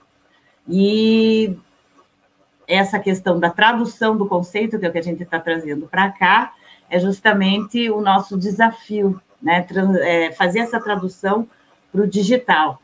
E aí, nessa pegada, né, nós fizemos né, um brainstorm aqui sobre o, no digital o que, que seria a água, o que, que seria a terra, o que, que seria o alimento. Né? No digital, a água seria eletricidade, energia, a terra seria infraestrutura, o código, pensando em termos né, de latifúndio, até para o proprietário de coletividade e horizontalidade no livro. Né? E o que seria o alimento? Seriam os dados, Aí até teve muito bacana essa lembrança da seiva bruta e da seiva elaborada e do anelamento que é feito nas árvores para a seiva não voltar, né? não volta para a planta. Então, quando a informação não volta para a internet, né? ela só vai. E aí a gente pensou no zero rating, né? Poxa, o zero rating acaba fazendo um anelamento nessa informação mesmo, você não consegue elaborar a informação. Então, tem muitos insights que podem sair dessa tradução aí, que podem ajudar a gente nesse processo de permacultura digital. Mas como a gente tem pouco tempo, então eu quero passar já agora para o Leandro, né, para o Atlas, para ele fazer a, a, a, contribuição dele em relação à acessibilidade, né, porque se a informação é para permanecer, ela tem que permanecer para todo mundo, né? Então, fala aí, Leandro. Boa, boa noite, pessoal. Meu nome é Leandro. Uh, como, a, como, eu comentei antes no início ali, essa rodada eu surgi meio que de gato por cima ali, que aconteceu um evento, acho que a Fábio corrigir ali há uns três anos ali, né, Jatobá? 2017. É, é, 2017, quatro anos já faz, aonde a gente começou esse bate-papo aqui no, em Porto Alegre, aqui na região metropolitana do Rio Grande do Sul, uh, sobre importância e hoje, como eu convivo assim com pessoas que necessitam de acessibilidade, achei importante focar nesse assunto, porque uh, não existe muito material, inclusive, uh, e pessoas engajadas nessa parte. Uh, os pouco que tem hoje uh, precarece, ou como o próprio Frederico comentou ali, tem, tem várias aplicações no ambiente Linux ali que foi descontinuado ali uh, que a pessoa abandona, não exatamente do, que, contexto que ele está dizendo, mas no Linux normalmente, uh, como acontece com distribuições, as pessoas começam, atendem a necessidade e acabam deixando de lado.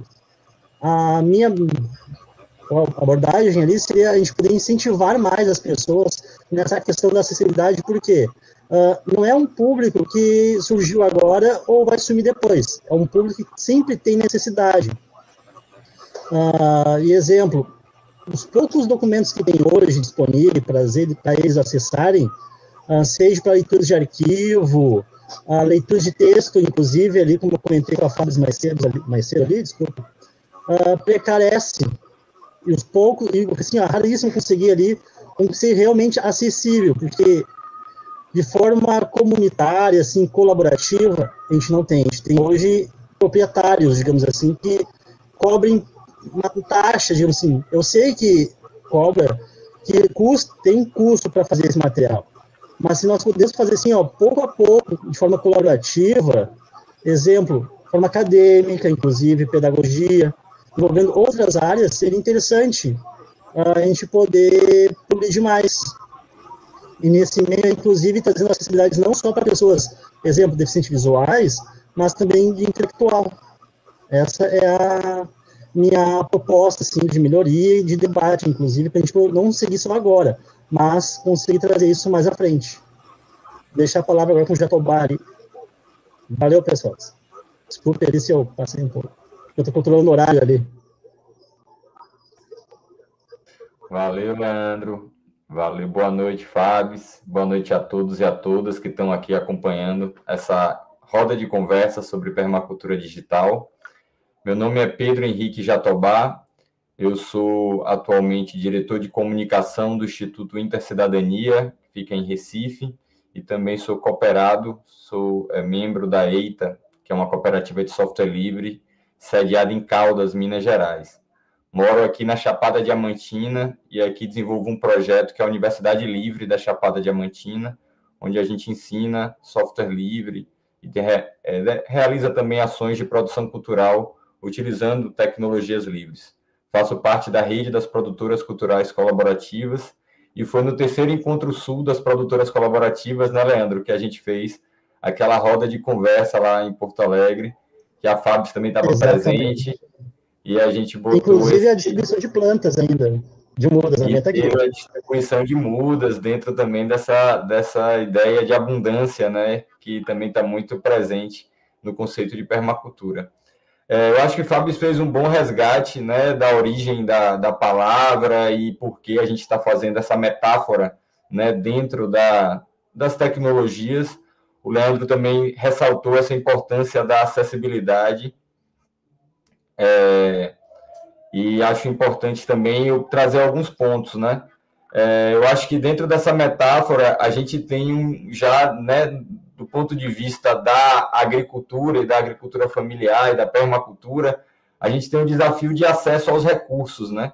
Hoje, quem quer fazer permacultura no Brasil tem dificuldade de acesso à água, muitas vezes você está aqui no Nordeste, tem a dificuldade de acesso à terra e aos insumos também, as capacitações técnicas para poder desenvolver permacultura. E se a gente pensa do ponto de vista digital, né, um grupo de, de pessoas numa comunidade periférica ou na zona rural que quer começar a trabalhar com tecnologia, tem acesso, tem dificuldade à eletricidade, à energia, à internet, tem dificuldade à infraestrutura física, a softwares livres, muitas vezes e a conhecimento técnico. Então a gente vê que a reforma agrária não foi feita no Brasil e a, e a inclusão digital, né, que é a nossa reforma agrária, também não foi feita no nosso lado do campo digital. A gente tem desafios que se preservam. Apesar de todo mundo estar tá com o celular no bolso, não necessariamente está todo mundo incluído digitalmente, né? Saber apertar botões coloridos não é necessariamente entender como é que funcionam certas ferramentas. Então a gente tem um desafio aí de gerar, né, essa reforma agrária digital que é a inclusão digital com tecnologias acessíveis a todos né, e a todas, e, e também softwares livres que podem ser adaptados. E a gente tem o desafio né, dessa monocultura digital que já está intrínseca na população brasileira. A gente teve recentemente a queda das grandes plataformas e muitas vezes a mídia falando que o mundo parou e que tudo tinha saído do ar, quando na verdade quem estava se apoiando em ferramentas livres, né, assim, só percebeu que um serviço ali que de vez em quando a gente acessa estava fora. Mas, por exemplo, né, na EITA a gente trabalha com a plataforma Rios, tem cursos de, de EAD na plataforma Varal, que são softwares livres que a gente vem trabalhando, e os cursos continuaram, as reuniões no Rios funcionaram, nada abalou naquele momento. Então, se a gente tem né, a cultura da permanência, a autonomia tecnológica, como a permacultura defende, né, quando você tem né, acesso à terra e aos insumos e, e tem segurança alimentar através né, de um processo permacultural, né, se, o, se o mercado não abriu naquele dia, você não passou fome, porque você tem abundância né, no seu próprio território, no seu próprio quintal.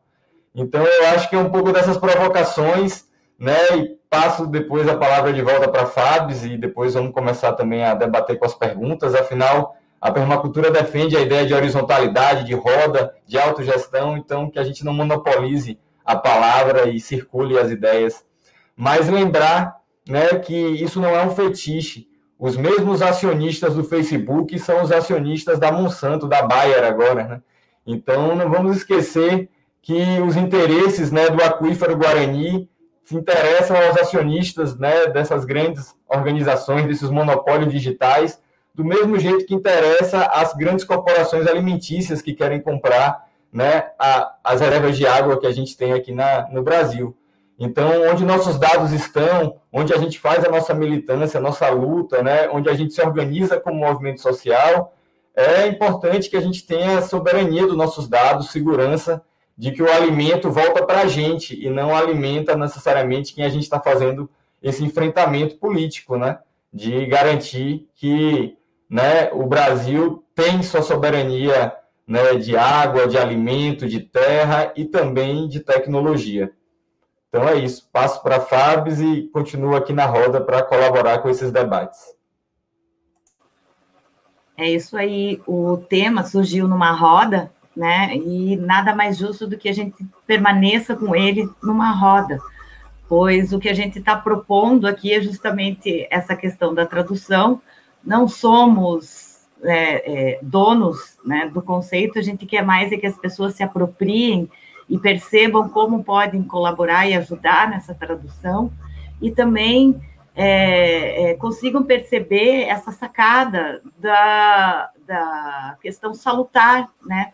Dessa tecnologia ser realmente mais saudável, saudável até a ponto de que é, um pessoal que talvez nem tenha estado na nossa roda de conversa, que é o pessoal da Rede Trans, fez aquele é, site pratododia.org que eu referenciei aqui no mapa mental, né? O pratododia.org mostra um monte de ferramentas livres, né? Como um prato saudável para ser consumido no mundo digital. Cara, isso é genial, isso é muito legal, é totalmente a pegada dessa permacultura digital, né? E da gente compreender que a gente consegue extrair comida sem necessariamente degradar o ambiente, a gente consegue fazer culturas de permanência no ambiente digital também, tanto quanto a gente consegue atualmente né, no ambiente da Terra, né, no ambiente físico.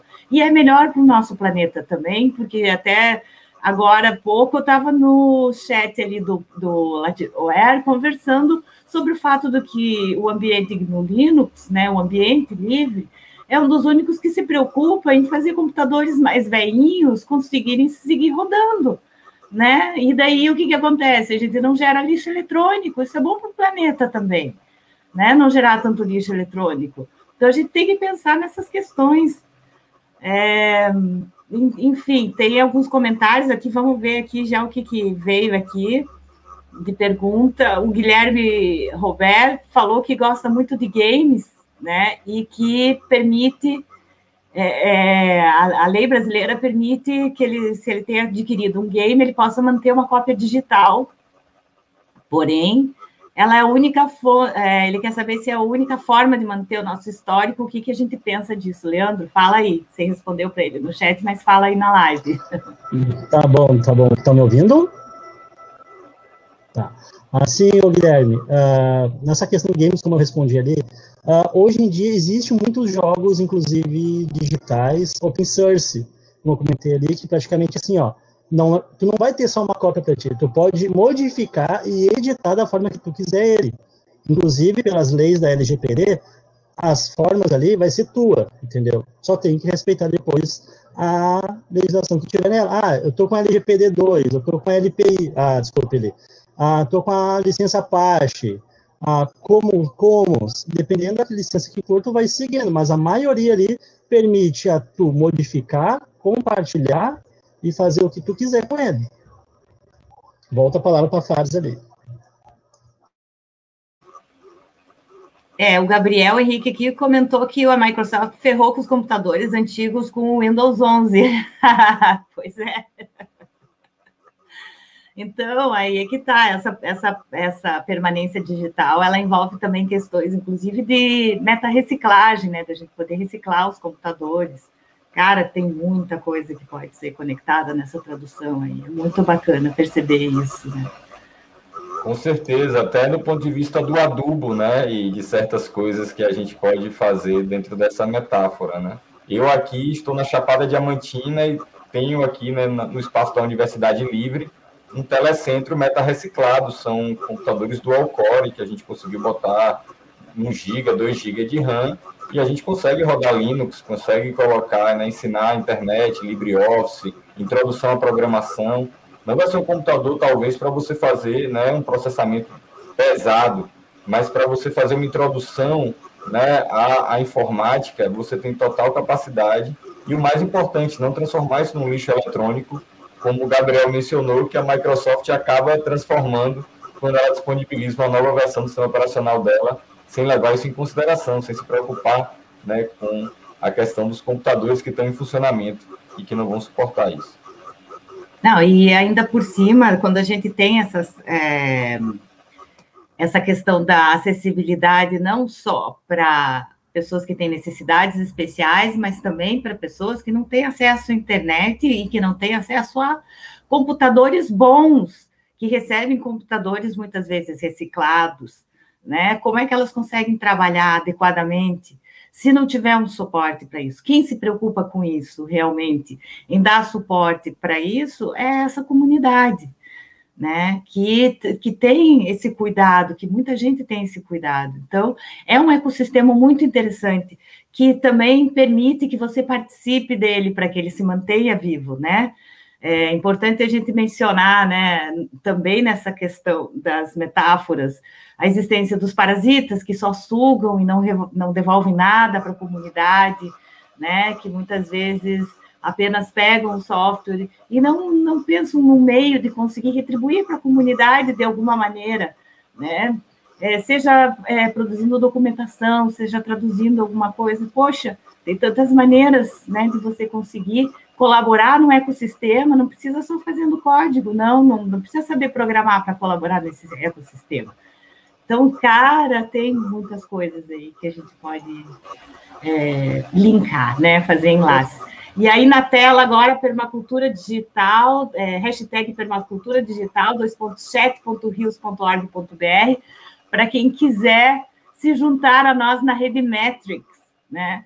que é, é na sistema de mensageria da Metrics, que é o Element, né? o antigo Riot, a gente chama vocês para conversarem com a gente e manter viva essa permacultura digital por lá nas rodas de conversa síncronas e assíncronas que a gente pode tocar por lá.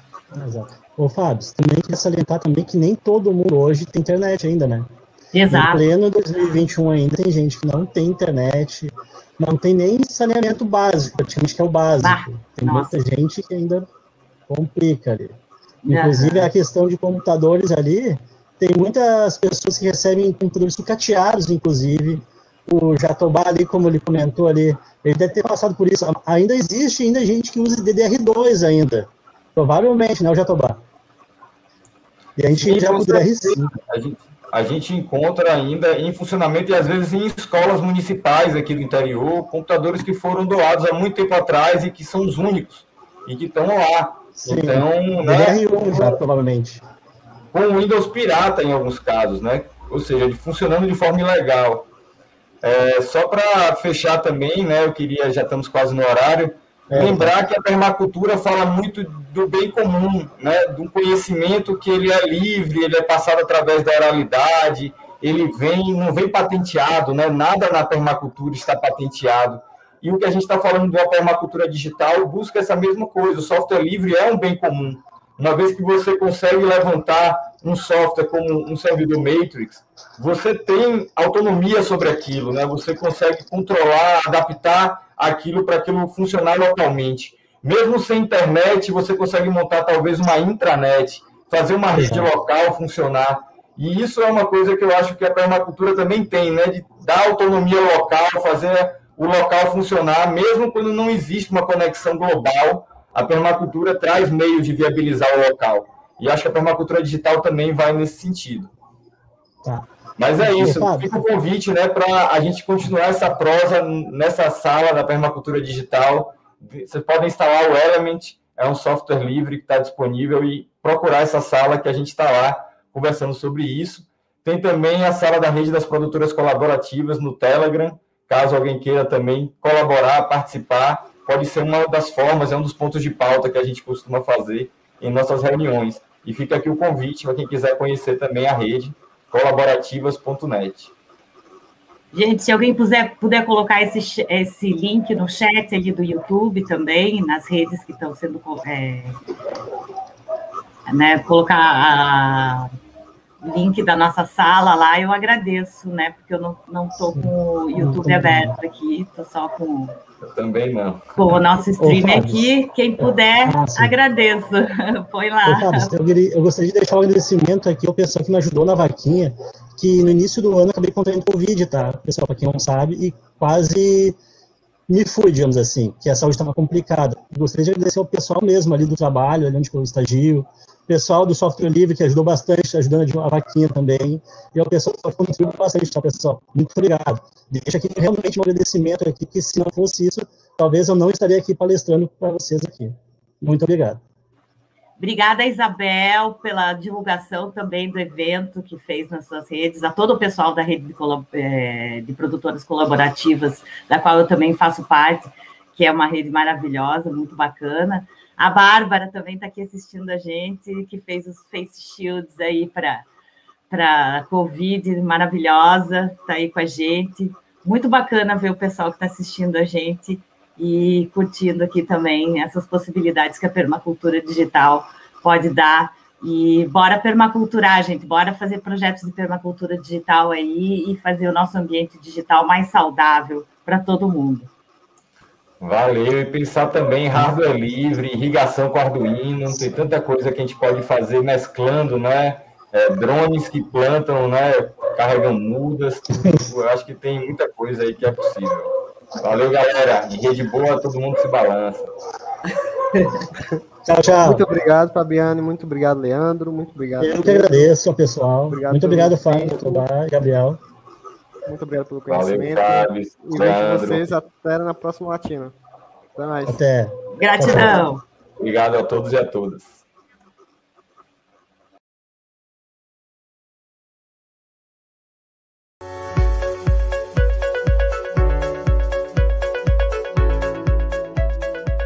Vale dos Dinossauros, Museu de Cera, Bar de Gelo, Motor Show, tudo isso faz parte do Dreams Park Show, aqui em Foz do Iguaçu.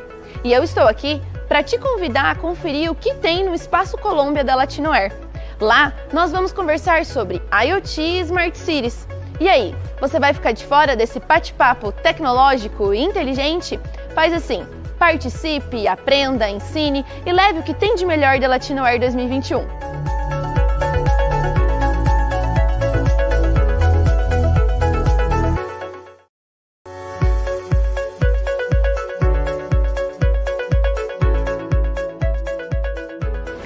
Cataratas do Iguaçu, uma das sete maravilhas do mundo localizada na fronteira entre o Brasil, o Paraguai e a Argentina. E não por acaso, a Latinoair tem um espaço Argentina, um local de debate sobre o desenvolvimento de software e suas linguagens.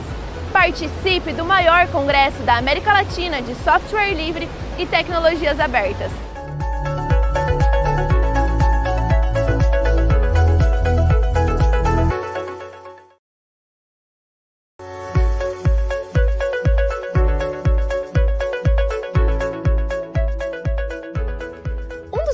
Turísticos mais visitados da Tríplice Fronteira entre o Brasil, o Paraguai e a Argentina é a Itaipu Binacional, uma obra que une tecnologia e a natureza, resultando em um verdadeiro show.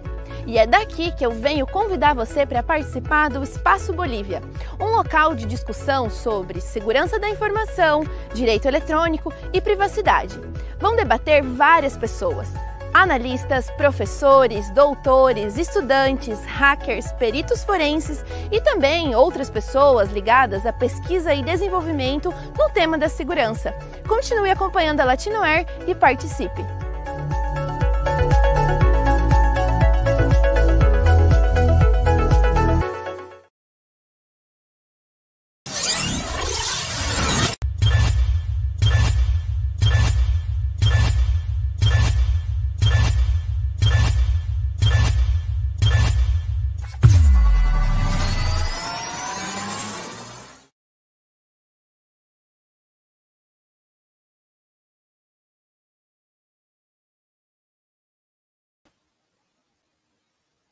Olá a todos novamente. Estou aqui com o Danilo e a Carolina e eles vão falar sobre Rich.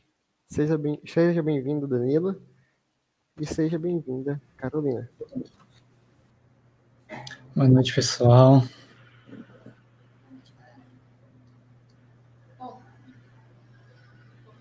Tudo já? Carol, tá um pouco baixinho seu, seu mic.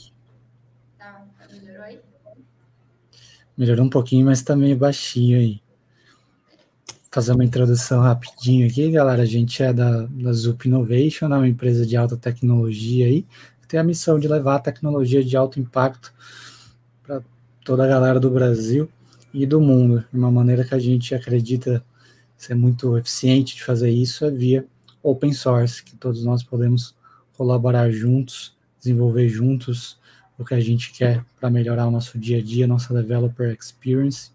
E hoje os produtos, os projetos open source da Zup são todos voltados para isso, para acelerar e melhorar a developer experience nossa. A gente tem nossa querida, querida Carolina Fonseca, que vai falar um pouquinho sobre ela mesma, ela é a nossa advocate do, dev advocate do, do REIT CLI. Eu sou Danilo Cominotti, é, o antigo advocate e hoje developer aqui do, do. Bom, espero que esteja funcionando agora melhor o meu microfone, uma aumentada aqui no som. É, vou compartilhar aqui a apresentação para a gente já ganhar esse tempo.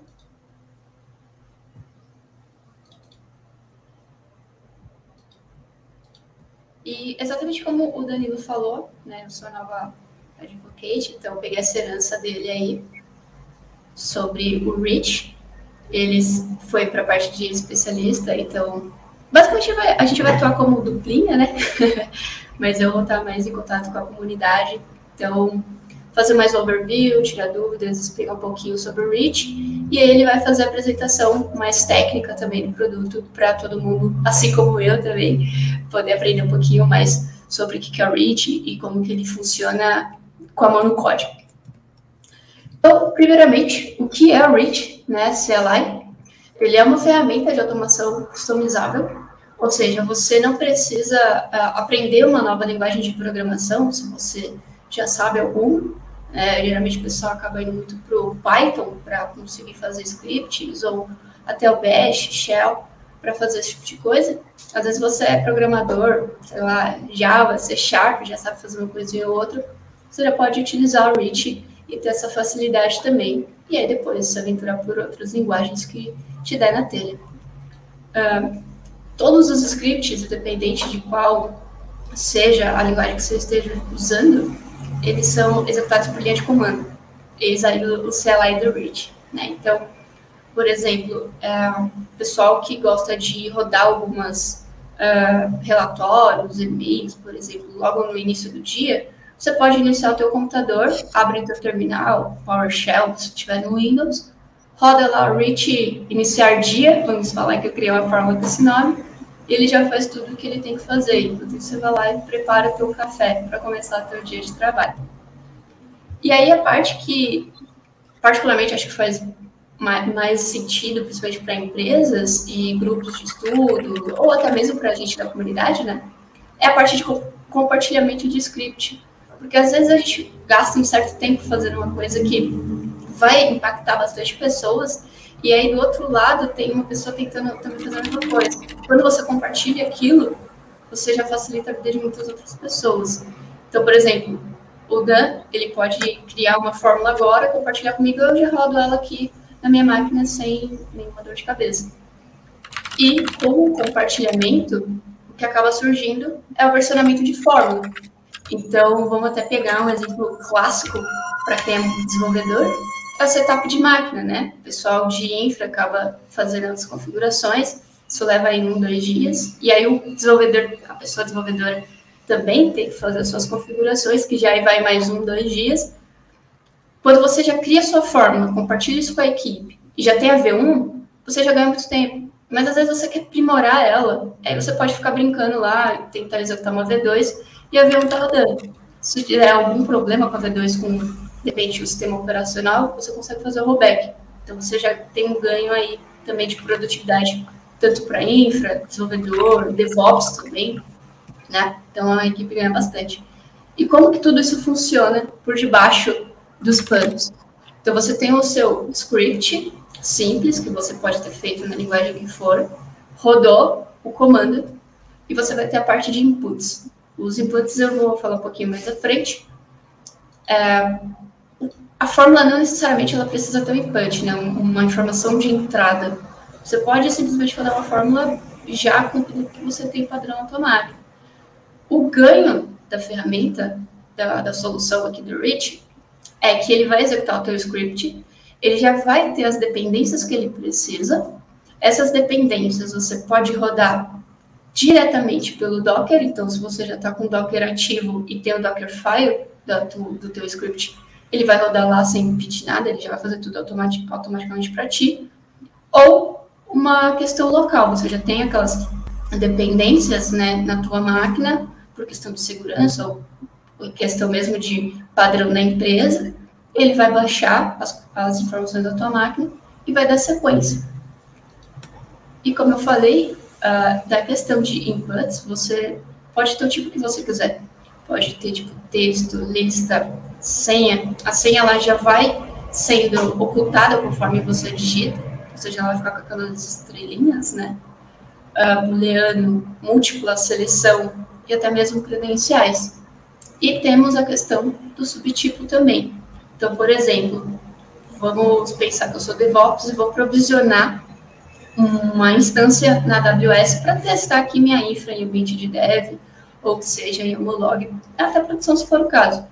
E eu sei que a minha aplicação vai rodar lá em Java 17, um exemplo. E aí eu coloco na, no meu script que, por padrão e por é, requisição, ou seja, eu preciso ter a informação de qual é a versão do Java, ou qual é a versão e a linguagem da aplicação que eu vou subir na AWS, para ele fazer o build e o deploy lá na nuvem. Né? Então, a gente consegue trabalhar já com uma estrutura bem mais redonda para a equipe do lado de DevOps falando no nosso exemplo, né? E aí, uh, durante agora esse mês de outubro e até o final de novembro, nós estamos com a jornada Open Source da ZUP, que tem tanto o Reach, que é um dos produtos open source, como outros, que é uma oportunidade para quem quer conhecer mais, é, descobrir mais sobre a documentação, uma oportunidade também de começar a mexer com script. Eu mesma estou começando agora a brincar um pouquinho mais com essa parte de automação. É bem divertido, então é uma oportunidade de você conhecer um, um mundo novo, né? É só escanear aqui o QR Code, que você já é encaminhado, encaminhada para a nossa jornada, e lá vai ter eu e o Danilo para poder te orientar um pouquinho melhor sobre a ferramenta. E, bom, Dan, tá tudo pronto aí para fazer o ao vivo aqui para a galera? Vamos lá, vamos brincar um pouquinho, Carol. Vou compartilhar minha tela para a galera ver.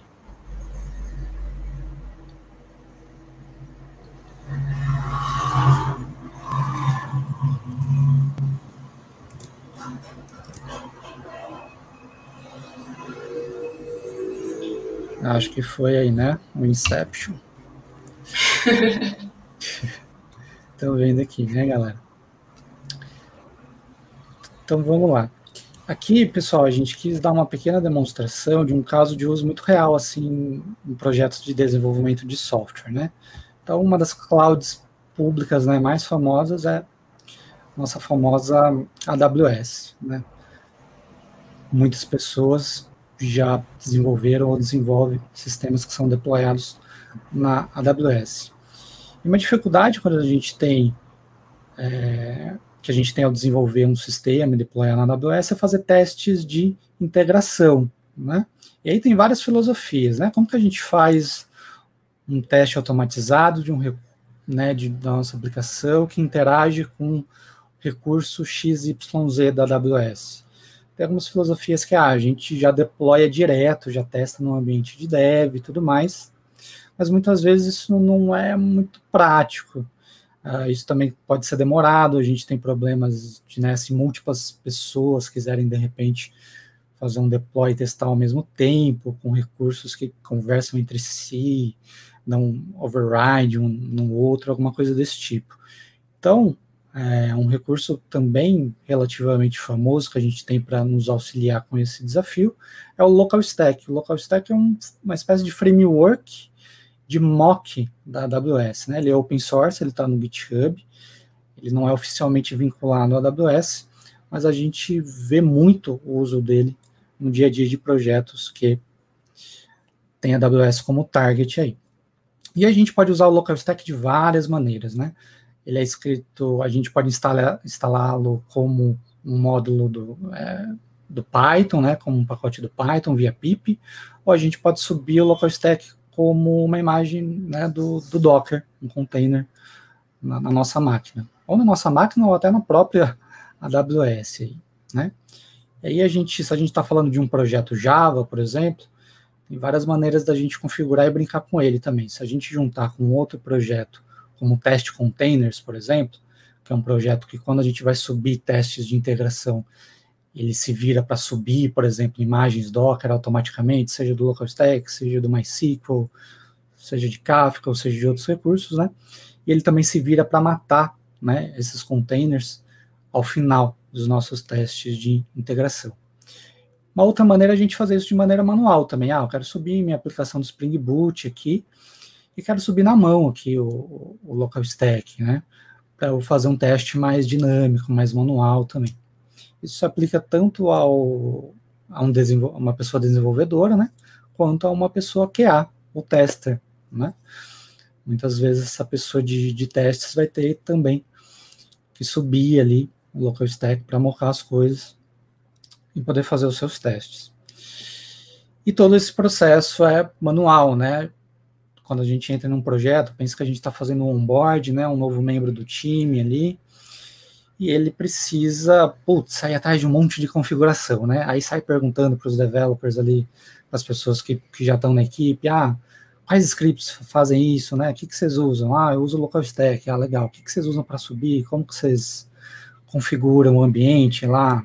Ah, a aplicação usa filas, ah, SQS, ela usa tópicos SNS. E aí a gente tem um monte de script espalhado para todo lado para configurar esses recursos, para subir o local stack, para amarrar um recurso ao outro e tudo mais.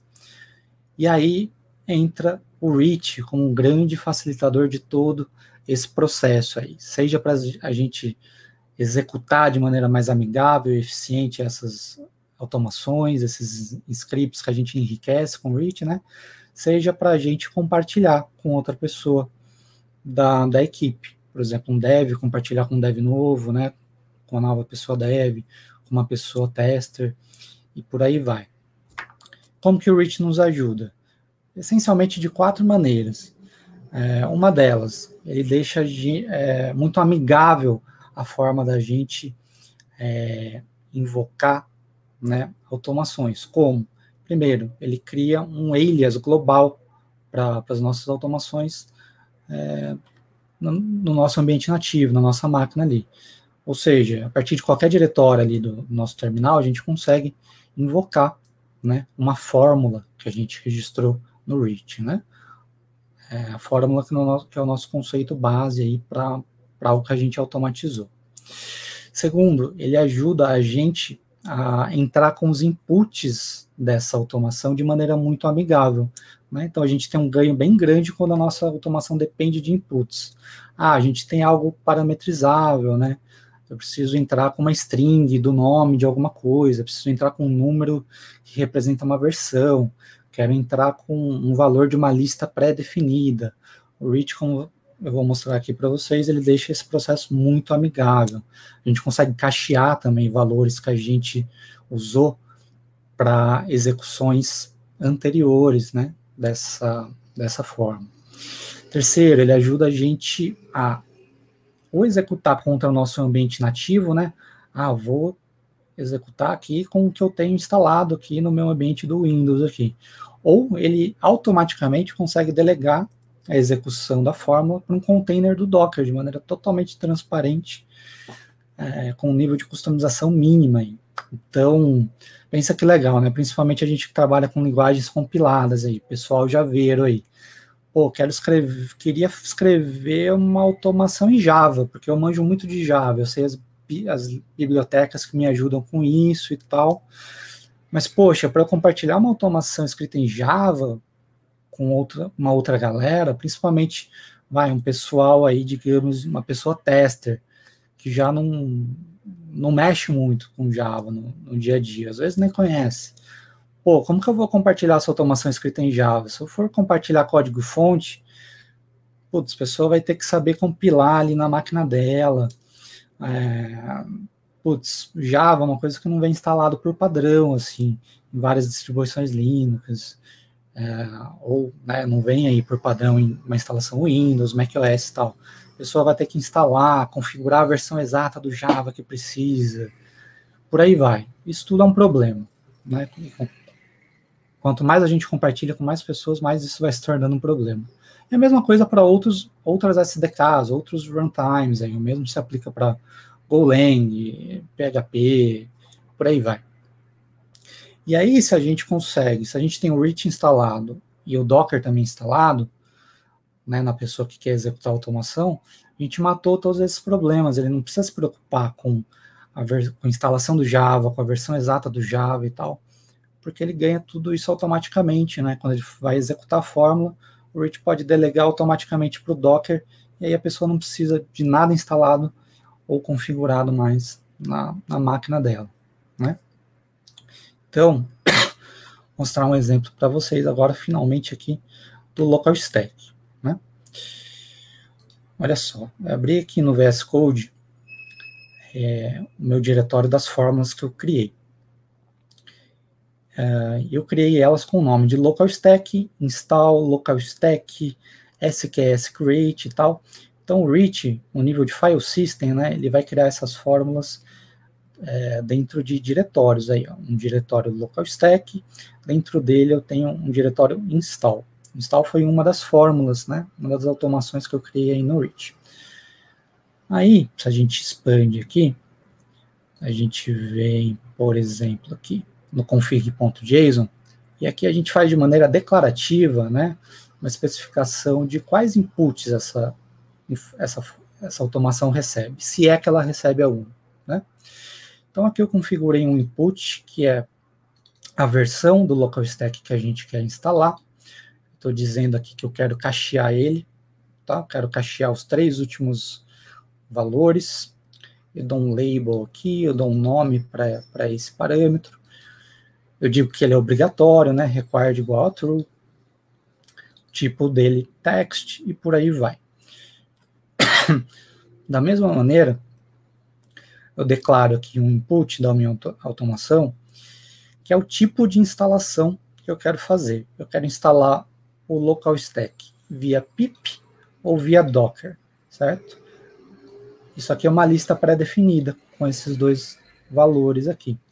E eu digo que o valor default é docker. Né? Também um parâmetro aí obrigatório do tipo texto também. Aqui na forma, no diretório src e depois fórmula, eu tenho o código da minha automação em si. Vocês estão vendo que eu estou rodando Windows aqui, eu escrevi essas automações em PowerShell, tá?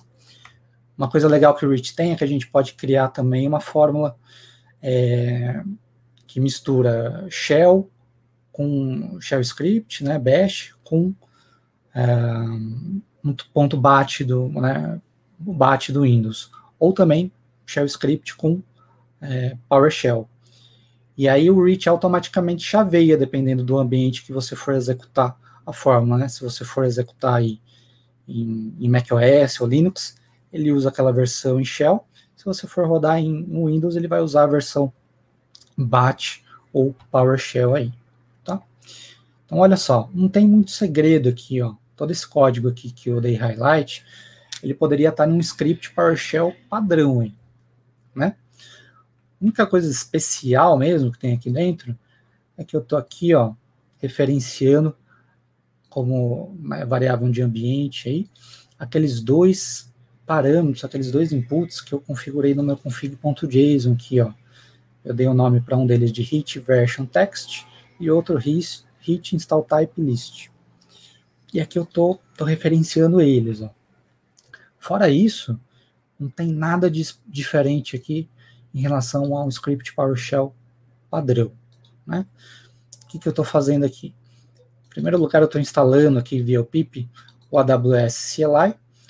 Para quem nunca usou, é uma ferramenta oficial da AWS, né, para a gente interagir de maneira programática com ela, ou, ou manual via CLI, com a AWS de verdade. E estou instalando o, w, o AWS CLI-local. Isso aqui é um módulo que o pessoal do do Local Stack, né, que desenvolve o Local Stack, fez é, um wrapper para ficar mais fácil da gente interagir com o AWS CLI e registrar recursos aí no Local Stack, adicionar, excluir e tudo mais, sem a gente ter que espe especificar uma URL e uma porta manualmente aí, tá? Aqui eu estou fazendo um if, um if else bem simples aqui, só para ilustrar, se, se, a pessoa que executou a fórmula tivesse selecionado PIP lá, na lista, né, no, qual forma de, de instalar o local stack, a gente executaria aqui a linha 11. Né? Aqui eu não estou nem levando em consideração a versão que, que a pessoa entrou aí do, do local stack. Essa versão, do, esse código do pip ficou só para ele ilustrar aqui. O que interessa para a gente de verdade é o else, tá? É o código que instala via Docker. E aí eu vou fazer o pull ali, ó, a automação vai fazer o pull do local stack, da imagem na versão que a pessoa especificou ali. Eu vou ver se tem um container que já existe, com o nome hit-local stack. Se ele existir, eu vou executar uma outra fórmula do reach. Olha que legal, a gente pode encadear, né, a, a, agrupar a execução de fórmulas. Uma fórmula pode executar uma outra. Né? Eu vou executar uma fórmula do reach que para o container, então, se ele existir, e aí vou dar um remove nele. E aí depois, de um jeito ou de outro, eu vou criar, né, ou recriar um container aí usando a imagem do local stack, um container com o nome hit-local stack, com algumas portas aí pré-definidas para ficarem abertas, né? E joia. Vamos executar agora esse, essa automação aqui para vocês verem. Então, ó, hit local stack install. Olha aqui que bacana. Então o reach ó, já está me pedindo aqui ó, para um dos inputs que a gente declarou lá. Qual versão do local stack você quer instalar?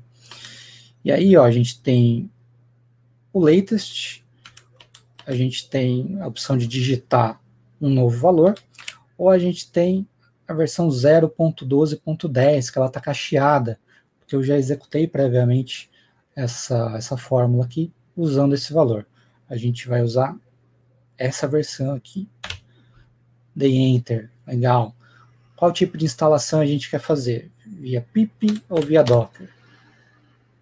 A versão robusta aqui que a gente quer usar na prática é a Docker. Legal, vou selecionar. Joia. Já estou dentro da fórmula.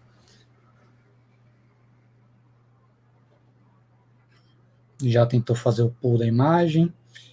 Eu já tinha aqui na minha máquina, então foi rápido. Está parando o container que já existia, removeu, joia e criou um novo. Legal, terminou a execução da minha fórmula. Algumas outras, agora a gente vai startar, vamos subir agora esse container que a gente criou ali. Para isso eu criei uma fórmula local stack start. O código dela é super simples, não tem segredo aqui. Seria só a gente dar um docker start hit local stack, né? O legal aqui de eu ter encapsulado na fórmula é que a pessoa fica mais fácil dela memorizar, ela não precisa lembrar o nome, por exemplo, do, do container, né? Então, apesar de ser uma automação simples, de uma linha só, ela tem um valor aí prático legal também.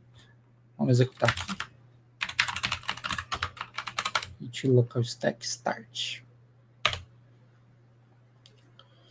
Joia, subiu meu container do local stack.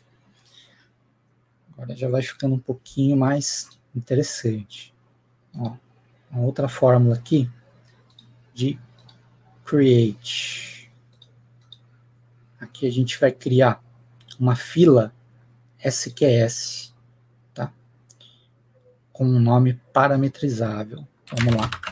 Hit local stack SQS create. Então veja que esse nome, esse nome aqui que a gente dá para o comando, né, para a fórmula, ele pode ter múltiplos níveis aí. A gente pode ir separando por espaço, tá?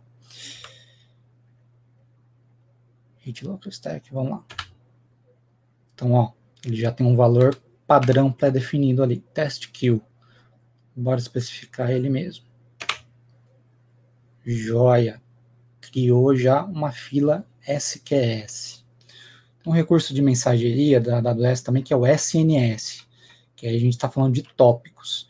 E a gente pode amarrar um tópico a uma fila SQS. E aí, quando eu posto no tópico, no tópico ele pode redirecionar né, o payload da mensagem para uma ou mais filas SQS aí.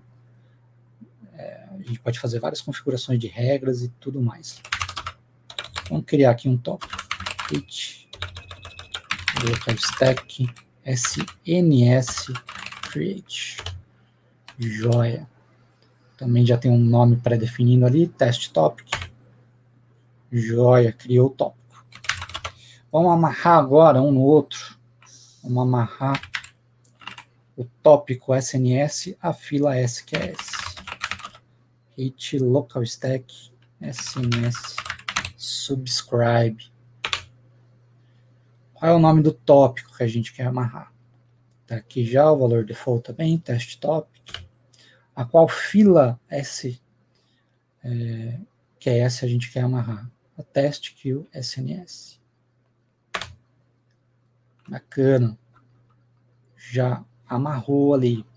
E agora só, olha que barato. Vamos pensar que, pô, conheço uma biblioteca Java que me ajuda a criar dados fakes aí, que eu quero usar nos meus payloads de teste, né? Seja como pessoa dev, seja como pessoa tester.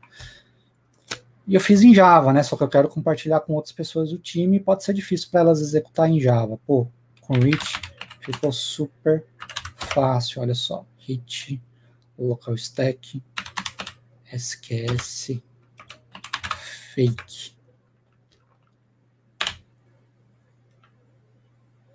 aqui especifico o bloqueio aqui dos dados é, para gerar os dados fakes, né? Então eu fiz uma forma super simples aqui, essas filas do SQS e tal, elas esperam um payload JSON, né, com, com campo nome e um outro campo ali, ó, age, joia. E aqui eu, eu pedi para a fórmula fazer um print aqui no terminal para gente, né? É um código Java, é um projeto Maven padrão ali, quando a gente cria uma fórmula nova do, do Reach para Java, ele vai criar por padrão um projetinho do Maven aí, que você pode incluir qualquer tipo de biblioteca. É um projeto padrão do Maven sem segredos. Tudo que é um projeto do Maven que dá para fazer com ele, dá para fazer aqui na fórmula do Reach, né, de, de Java.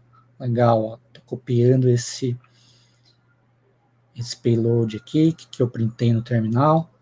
E ó, tem um códigozinho de uma aplicação aqui do Spring Boot que eu configurei, ó, ela é super simples, tá? Ela tem um endpoint REST ali, ela aponta para o endereço do local stack aqui, então localhost na minha máquina, a porta apropriada aí, o nome das filas, dos tópicos.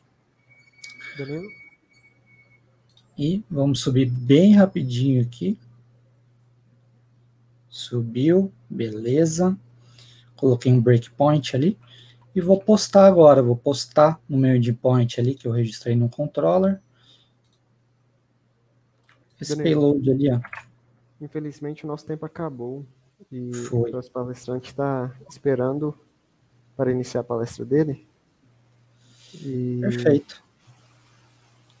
Parou aqui a execução no breakpoint, galera.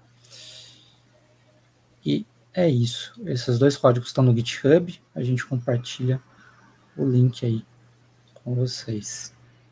Espero que tenha dado para dar uma certa visão aí do, do Reach, de como eles podem ajudar. A ferramenta pode te aj- ajudar no dia a dia aí, principalmente com aplicações cloud native, mexe com cloud, local stack. Muito obrigado pela, pela palestra, muito obrigado pelo tempo seus, pelo conhecimento. É, espero vo- vocês na próxima Latinoware. E até mais, Valeu. obrigado pelo conhecimento. Tchau, tchau. É, Gabriel. Tchau, tchau.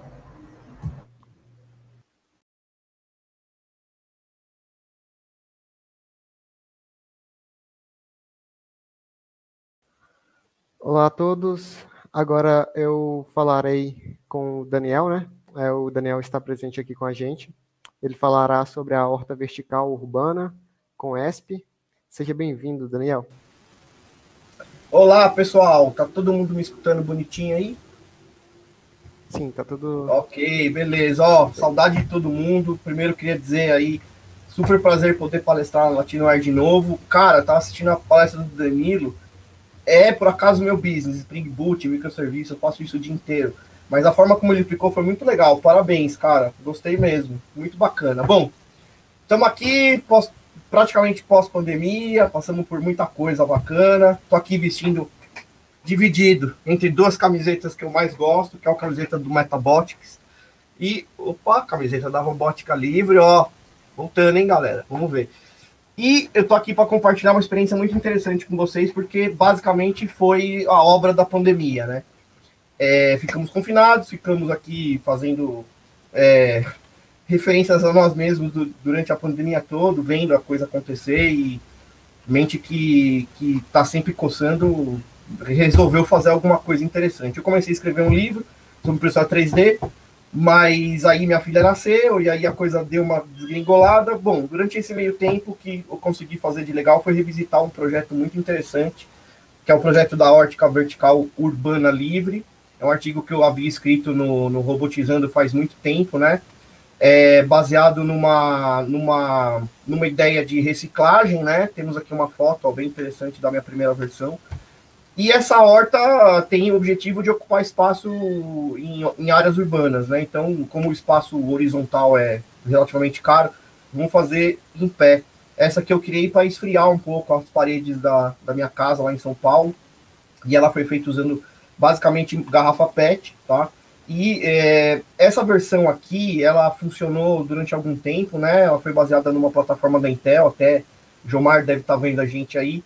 É, foi até pro evento, foi um negócio muito legal, mas ela tinha uma, um monte de problemas. em relação à, à estética, né, em relação à perenidade da horta. Tem que ser um negócio que não começa a cair no meio do caminho, e essa aqui tinha esse problema. Então, pandemia, estamos confinados em um apartamento pequeno, aqui em Brasília, nossa casa, é, nosso lar, nosso ninho, e a mente começou a tentar resolver alguns problemas, né? Então, eu resolvi reescrever o artigo do zero, é, e nesse artigo eu mostro basicamente como foi os, os problemas que foram resolvidos. É, a, a, palestra é, não é só sobre a horta, tá? É sobre um pouco do processo de desenvolvimento que eu usei nela e sobre o futuro agora dos sistemas conectados. A gente está na época do Big Data, então tem uma proposta interessante que eu vou lançar como projeto aberto. Convido a quem estiver participando é, também participar. Estou numa fase agora de planejamento, mas eu vou falar disso daqui a pouco. Bom, então qual que foi o, o primeiro problema da, da, da, da, primeira versão da horta? Né? Basicamente, problema de estética. É, essa abordagem de colocar a garrafa PET encadeada uma atrás da outra, assim, sem eira nem beira, fica feio. Né? Eu não tenho muita noção, porque eu sou o maker que está preocupado em resolver os problemas, mas é sempre bom você ter a opinião de outras pessoas que podem que podem te dar uma, uma ideia de que às vezes dá para fazer melhor, dá para fazer mais bonito. Então eu procurei resolver alguns problemas, tá? O primeiro problema é o problema de encadeamento. Na primeira versão da horta, eu havia feito é, de uma forma que usava a própria tampa da garrafa como elemento para grudar uma garrafa na outra. E isso funciona, tá? Só que, assim, eu não gosto da estética e também o problema da ultravioleta. É, essa peça de plástico branco aqui, ela é feita de um plástico específico, não é PET. É outro plástico, né? Atualmente ela nem precisa mais do, da vedação, porque eles também resolveram esse problema com plástico diferente, que a tampa já funciona como vedação, é um plástico mais maleável, mas ele tem um problema com luz ultravioleta, ele não foi feito para ficar exposto ao sol durante muito tempo, né? Ele é feito para vedar a garrafa enquanto ela está lá guardada no armazém, então ela cumpre a função dela, mas para nossa horta não funciona. O que aconteceu foi que isso aqui começou a quebrar com o tempo e a coluna inteira caía, tá? Então, quando você pensa nesse encadeamento aqui, você tem um problema é, muito, muito forte, né? Que é o problema do peso. É, nesse caso aqui, a primeira versão, tá? Foi uma versão que eu desenvolvi para teste ainda, tanto que só tem essa coluna aqui. E essa versão teve um problema porque eu encadeei as, as garrafas usando uma peça de PLA. Obviamente podia ser ABS, mas eu só tinha PLA, então foi com PLA. E essa peça, ela ainda, ela ainda tem o problema do peso, né? o peso que fica nela, especificamente aqui, que dependendo do sol que bate, talvez até a ABS não, não fique inteiro, mas mais o problema de, de, de prender a, a, a, a, garrafa de baixo no próprio aro dela, né? Você corta a garrafa e prende aqui. Tipo, tenho uma foto interessante que eu posso mostrar para vocês. Ó, aqui são meus filhos, já vou mostrar essa parte. Tem uma foto aqui que eu mostro o problema de encadeamento. Ó, Tá vendo? Então aqui, ó, é um aro que eu imprimi para colocar na, na garrafa que foi cortada, né? E aí eu prendia as coisas com esse barbante, uma garrafa em cima da outra, e o que aconteceu foi que quando você coloca, tipo, seis dessas uma em cima da outra e rega, isso fica muito pesado, começa a deformar a, a, a estrutura, né? Então a solução veio num sonho, tá lá no artigo como eu cheguei nisso, mas basicamente foi uma inversão onde eu passei o ponto de apoio do, do peso, né, do, da coluna inteira, em vez de usar o, a parte mais frágil da garrafa, que está cortada, inclusive, eu transferi o ponto de apoio para baixo, que fica, no caso, no gargalo, que é o ponto mais forte da garrafa, é o ponto onde tem mais resistência, né, e com esse cabo de tração que vai de cima a baixo, você consegue encadear todas as, as, as garrafas, e ainda por cima ele serve como escoador, então a água que vai descendo do vaso, do primeiro vaso cai no segundo, vocês podem ver aqui, a, a única coisa que você precisa fazer a mais é fazer um elemento de, de, de alinhamento, né? Nessa parte de cima da garrafa, porque quando você corta fica muito mole. E para isso aqui não tombar, você acaba fazendo um, um elemento de, de, de, apoio com um palito de dente, com um palito de sorvete ou um pedaço de, de madeira velho. Você faz um, um troço aqui e passa o cabo por dentro do sistema todo, tá? Aí funcionou. Aí ficou muito bom.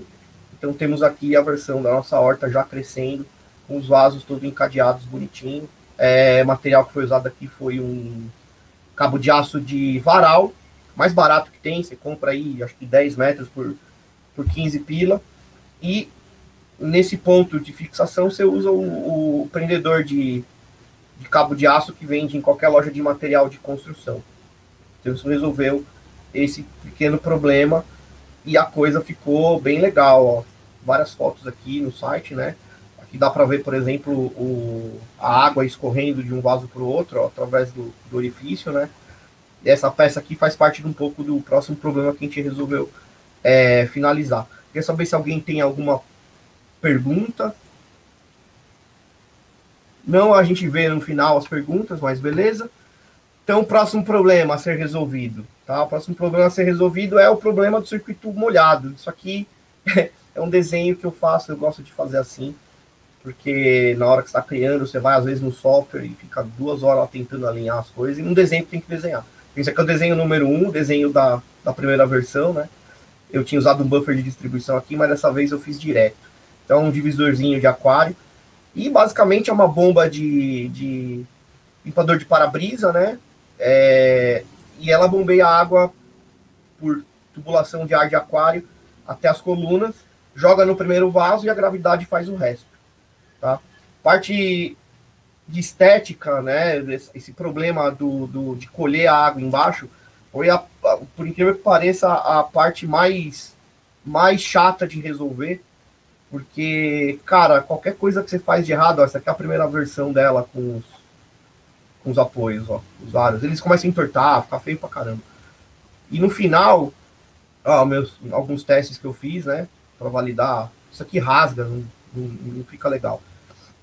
Mas eu quero mostrar outra coisa. Peraí, tem umas fotos bacanas. É a foto dos meninos, é bem a foto deles. Ó, Maria. Essa é a Maria, descansando. É, vamos ver aqui, peraí que eu tenho a foto certo. Essa foto aqui, ó.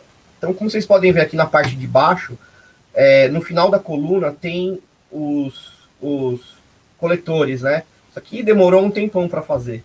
Então, eu passei por várias versões, né? Primeiro eu fiz uma versão assim, que era a versão que ia segurar todas as garrafas embaixo com, com corrente. Depois a gente fez uma versão de um cone, tá? Que coleta a água que cai do cabo e direciona para a parte de baixo, que é uma tampa de garrafa, inclusive. Só que isso aqui também não ficou bom.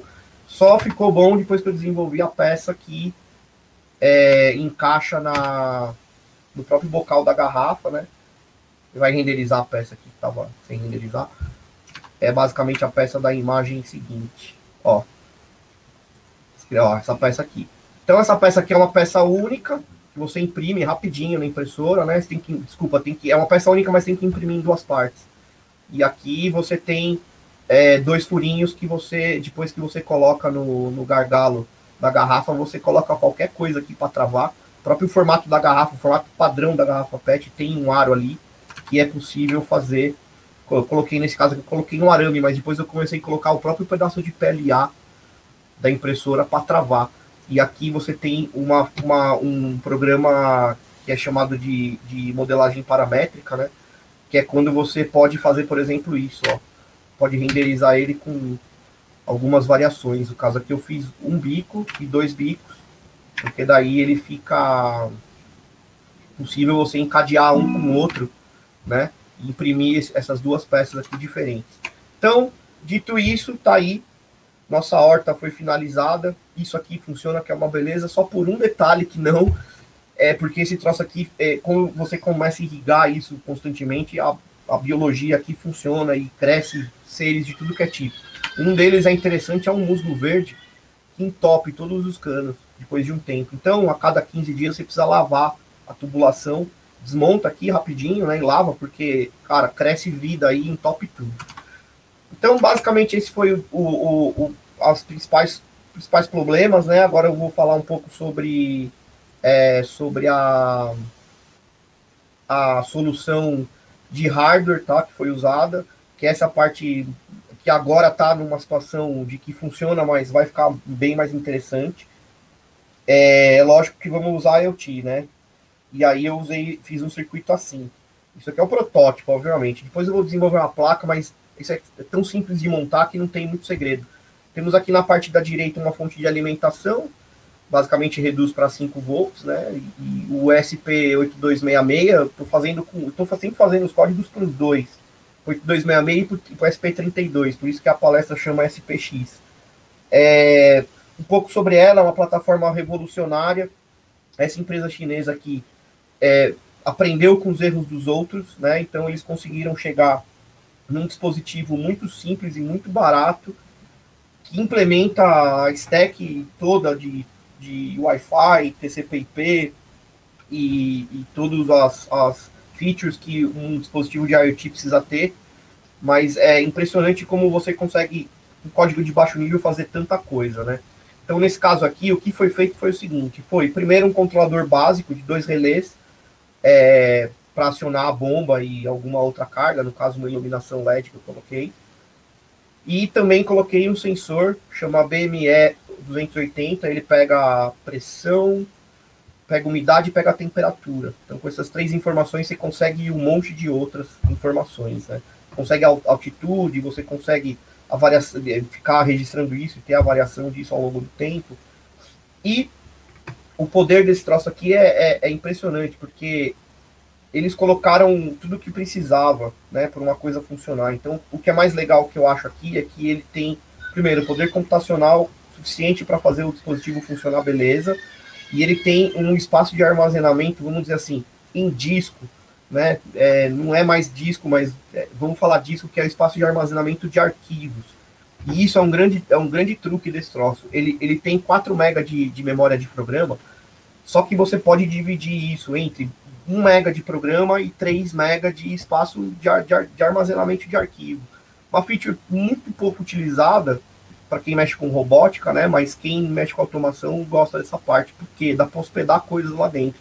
E você consegue colocar, por exemplo, um web server aí.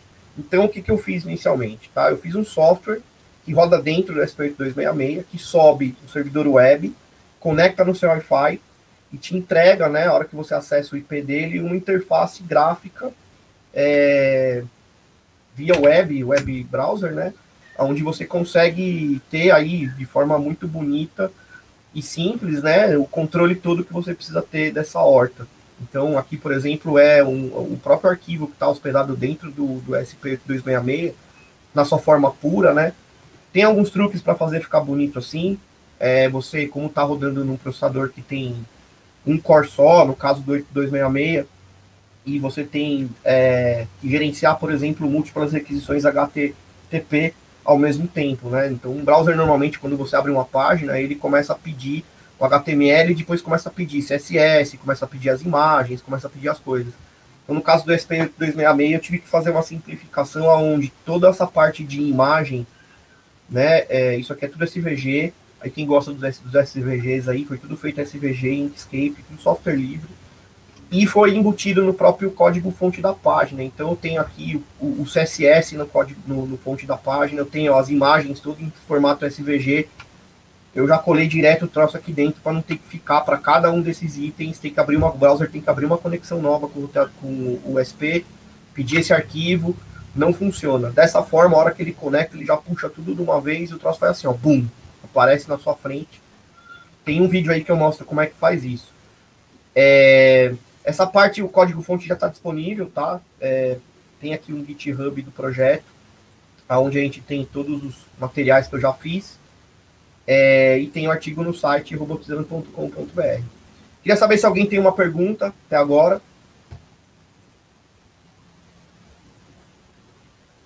Ah, parte elétrica da horta. Oi, Desirê, saudade. Tudo bem? Só gente amiga, meu Deus, coisa linda. É, o seguinte, a parte elétrica da, da, da, da horta não tem muito segredo. Deixa eu pegar o diagrama aqui.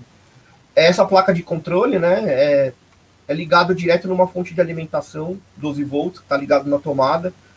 E basicamente o que ela faz é acionar a bomba, mandar 12 volts para a bomba, tá?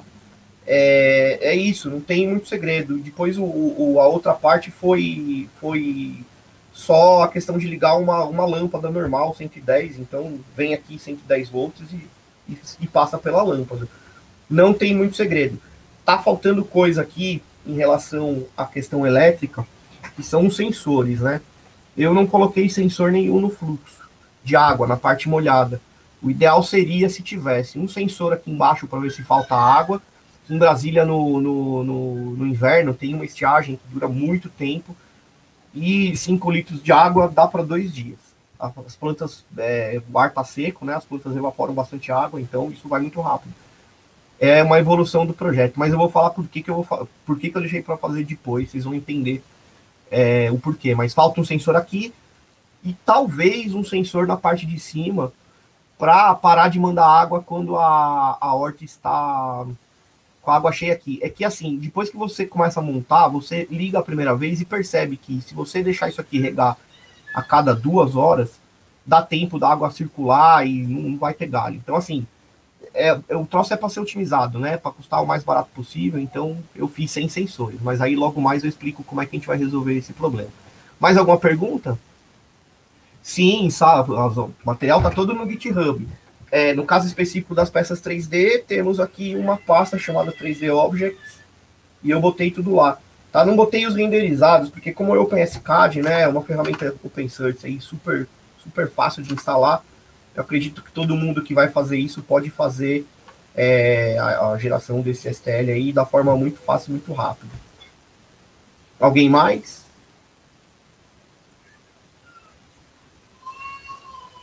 Bom, é, em relação a. Vamos lá, vamos continuar com, falando da questão da automação, né? Automação feita com Arduino, tá?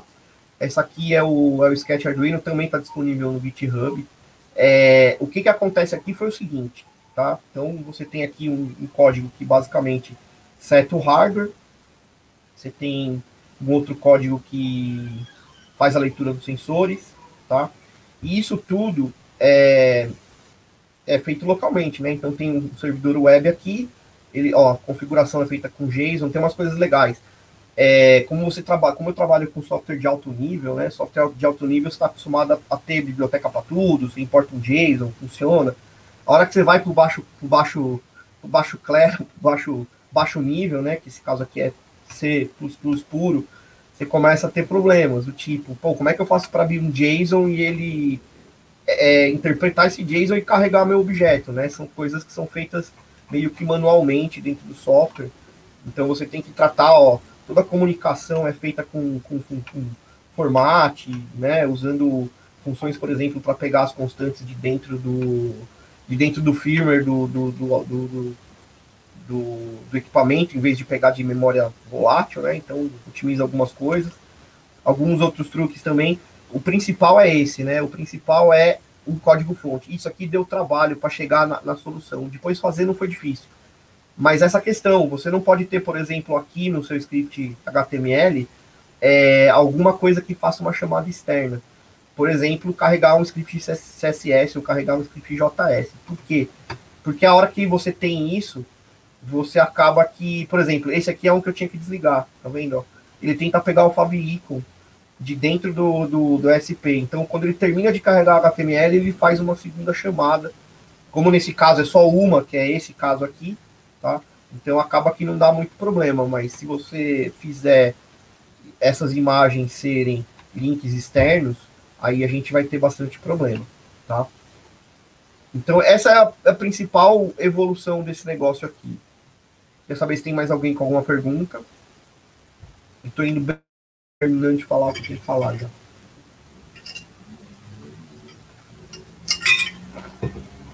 Ah, o link do Git, ó. Como que eu mando aqui? Ó, mandei aí no, no chat privado do pessoal aí. Aê, obrigado, gente. Bom, é... aqui vamos, vamos para a evolução desse troço agora, né? Então, temos uma situação onde eu tenho um dispositivo de IoT, é um dispositivo que está conectado na internet, é, tem uma dashboard que deveria funcionar. Eu não sei se está no ar ainda, que eu acho que eu tirei. Não, não está no ar. Deixa eu ver aqui se, se eu acho ela. É, não está no ar. É uma interface que é, eu estou reformando ela, né? Vocês vão entender qual é a, a graça do, do assunto. Hoje, na, na, no cenário da robótica e no cenário do IoT, eu acho que a parte de hardware, coleta de informação, está basicamente sendo resolvida, né? Temos aí muitos projetos de, de bibliotecas e hardware que já esse, esse caso do, do, do circuito que, que eu usei aqui, o BME 280, ele é, é, espetacular, né? É um sensor que você consegue usar ele com duas, três linhas de comando, você consegue ler o que tem dentro dele. Mas o que acontece é que quando você começa a jogar isso para a nuvem, você começa a ter é, problemas, né? Então, por exemplo, nesse caso da horta não, porque é uma coisa de baixa latência, ele vai jogar esse troço aqui para nuvem a cada, sei lá, 10 minutos, 15 minutos.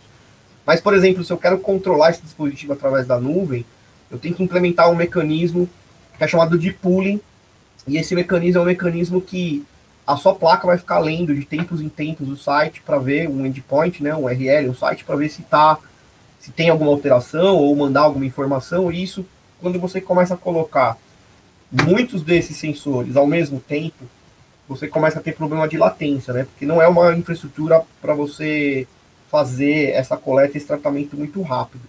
Então a gente tem alguns outros projetos, no caso Jabuti Edu, por exemplo, que é um projeto que a gente já apresentou no Latinoair um monte de vezes. Esse projeto foi feito com uma arquitetura meio, meio estática. Fiz com PHP, a gente fez um projeto de, de, de os robôs conectarem e fazerem é, os comandos passarem pela nuvem, né? Isso não funciona muito legal. Então, quando estava desenvolvendo essa horta, basicamente, depois que eu coloquei o sensor para funcionar e percebi que estava faltando coisa aqui, né? eu pensei, cara, se eu começar a colocar muita coisa aqui, o que, que vai acontecer? Eu tenho vários sensores para mandar informação para a nuvem e tenho também que, que, que, ter uma forma de receber controle da nuvem é, para eventualmente fazer uma, um acionamento manual e etc. Né?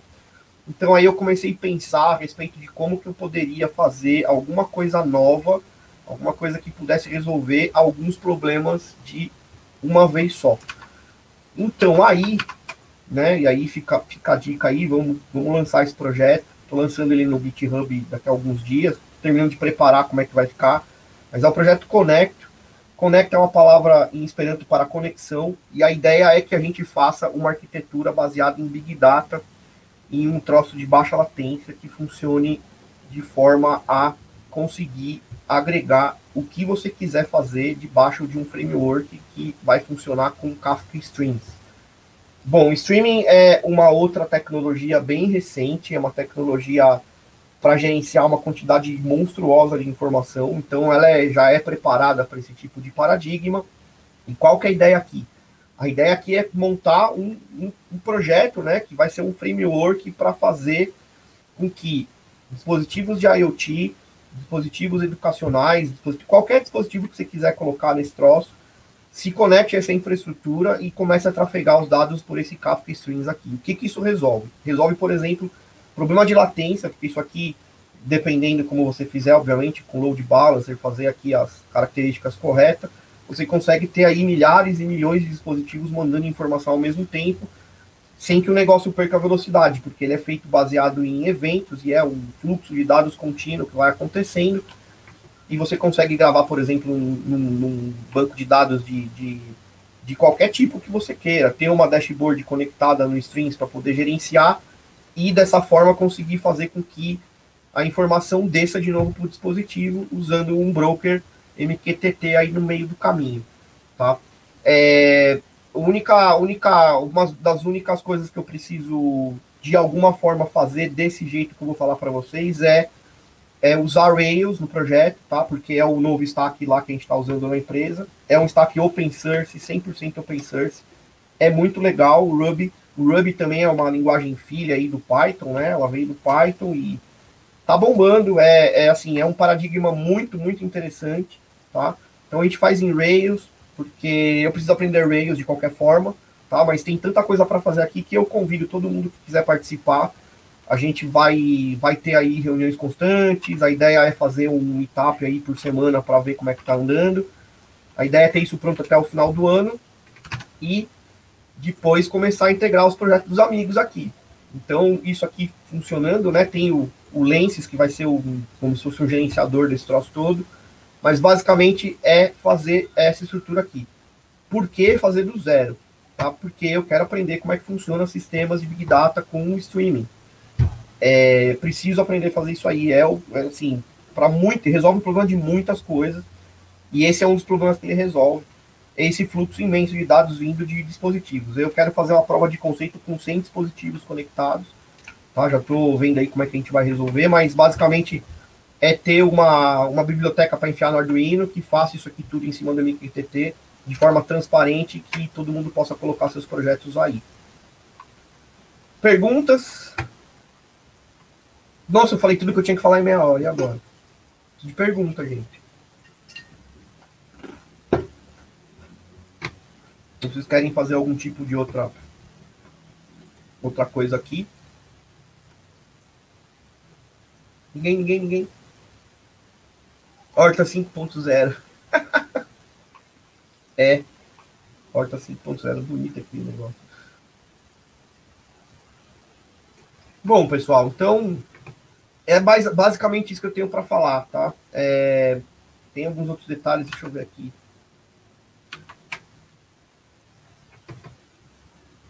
Precisa transformar isso aqui numa biblioteca.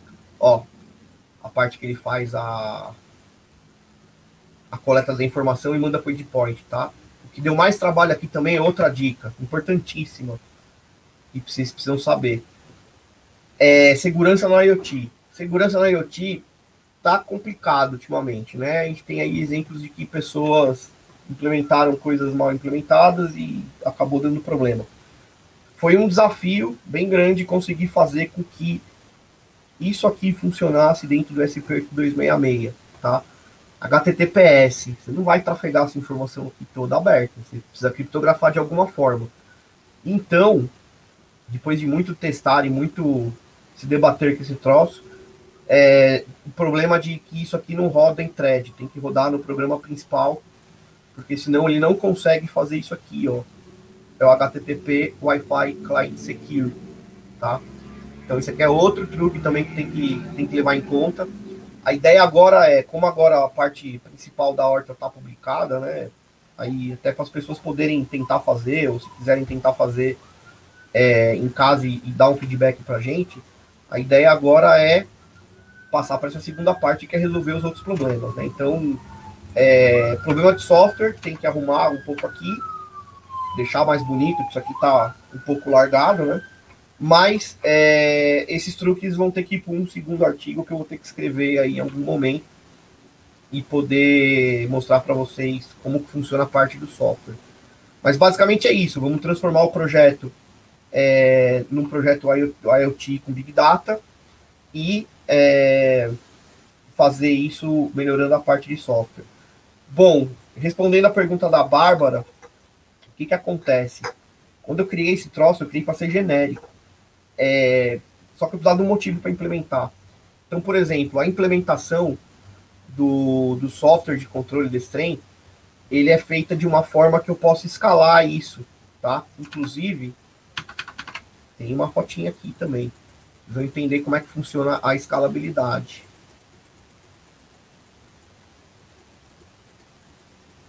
Aqui, boom, tá aí. Tá, então, qual que é a ideia agora? É, dá, dá pra, vai dar para usar em colmeia. Como é que vai ser a, a, a, coisa? Nessa mexida de software que a gente vai dar agora para fazer entrar no, no, IoT Big Data, é, vai ser implementado a técnica de generics. Que seria o seguinte, seria a biblioteca que vai rodar no Arduino, ela não vai ser uma biblioteca onde eu vou ter que falar, ó, é, estaticamente, né, o que que cada porta faz. Normalmente você fala, ó, o pino tal, se define isso, define aquilo. No Arduino, tudo bem, você tem que fazer isso mesmo, mas como que você faz isso para quando você passar isso para o contexto de Big Data, né? Isso tem que ser de alguma forma não estático, deveria ser alguma forma configurável. Então, junto da ideia de passar por Big Data, a ideia é construir a, a biblioteca em C para colocar no Arduino, de forma que eu faça uma configuração com uma string dizendo que pino tal que, que isso vai ter que fazer mesmo, só que a parte que se comunica com o resto do sistema vai ser assim. É, a partir do momento que eu definir que a porta 5 é um, é um atuador, automaticamente o sistema em nuvem sabe, quando ele questionar esse dispositivo, o que, que tem lá de porta. Então vai ser como se fosse assim, eu faço uma configuração única no dispositivo, e o dispositivo, quando se conecta na nuvem, ele informa para o sistema que é um dispositivo com ID tal e que ele tem tais capacidades de funcionar. isso tanto para entrada quanto saída. Tá? Eu tentei implementar um pouco isso nesse projeto, é, fazendo um objeto genérico, onde eu passo é, quais são as configurações do relé. Mas está em, tá em um, pouco de, um pouco de alto, um pouco baixo nível ainda, né? Tá como se fosse uma, uma, uma um array, tá? Então, eu nem lembro onde está mais o array, mas ele está aqui em algum lugar. Você configura os relés e tal, mas a ideia é essa, a ideia é que você faça com que esse dispositivo tenha as portas informadas, o que ele tem de saída, o que ele tem de entrada, e a programação toda vai ser gerenciada por esse cara aqui, ó.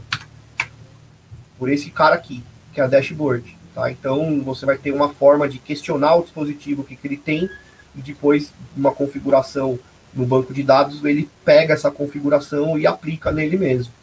Então, aí o que, que acontece? Não só para é, abelhas, você começa a fazer para qualquer coisa, porque você consegue definir o que cada porta vai fazer, o quanto tempo ela vai durar, se ela vai ligar, se ela não vai ligar, você pode agendar, né? No caso, a parte do agendamento está quase pronta. Estou fazendo um interpretador de, de, de comando simples para poder configurar. Eu quero que isso aqui ligue, por exemplo, 6 da manhã, fique 30 segundos ligado e depois desligue. Mas eu quero que ligue só no dia seguinte. E aí vai ser um interpretadorzinho. Está quase pronto, isso vai entrar ainda na, no, no artigo que vai ter é, do, do sistema de controle, tá? Isso vai, já vai ter isso aí lá. Quem mais? Quem mais? Próximos projetos. Então, o próximo projeto é esse, é o projeto Conecto. É, vamos ver o que, vai acontecer. Depois do projeto Conecto, a gente vai fazer também uma atualização do projeto da Jabuti Edu, fazendo com que ela entre no contexto do Big Data e fique também se comunicando com esse sistema é, de controle, né? Tá tudo, assim, fase de planejamento. Eu tenho esse desenho, né? Eu vou abrir o GitHub em breve. Quem quiser participar, vai ter tanta coisa para fazer aqui que eu acho que vai dar para ter, tem bastante lugar para bastante gente. Não vou ter que fazer tudo sozinho, vai demorar um tempão e não vai ficar bom. Vai ficar bom, tem que ser gente que ajuda junto que mais, pessoal? Mais alguma coisa? Diga. Desculpa te interromper aqui, mas na plataforma, no painel aqui da Latinware, o Marcos Antônio, ele perguntou, a bomba é ligada manualmente ou automaticamente? Se for Não, automático, quais os parâmetros que você utiliza para ligá-la? Isso. Então, a bomba é ligada automaticamente, tá? Como eu disse aqui, o sistema de controle, ele tem um relé para ligar a bomba automaticamente, tá? E aí é assim, né? Hoje, a programação está estática. Então, eu tenho aqui no código um, é, uma, um agendamento tá, que eu faço. Esse agendamento liga a bomba e manda a informação para a nuvem a cada 20 segundos. Tá? Então, a 20 segundos, não, desculpa, 20 minutos. Ele liga a bomba por 10 segundos durante 20 minutos. E ele faz isso durante o dia todo. Tá? Você não precisa se preocupar em ter que regar sorte. Dá para esticar esse tempo também. Dá para você fazer o tempo o tempo alongar, né? Tem uma, um JSON de configuração que ele lê. Eu tenho ele aqui. Ó. Esse aqui é o JSON de configuração, né? No caso aqui eu tenho, ó, o intervalo do pulso, tá duplicado, inclusive. Né? E de quanto em quanto tempo ele faz. Aqui na configuração local, né, que tá no, na minha máquina, tá que o pulso demora 9 segundos e demora 5 minutos, é, 10 minutos para acontecer, né, que são 600 segundos. Mas, quando você sobe esse troço no ar, você tem aqui um projeto, que é o Edit, você consegue mudar essa configuração ao vivo. Eu vou ligar a minha aqui, eu tenho uma aqui. Ó. Inclusive a do projeto eu tirei fora lá da caixa que fica, para poder mostrar para vocês bonitinho. Deixa eu ligar ela aqui, aí vocês vão entender direitinho. Peraí.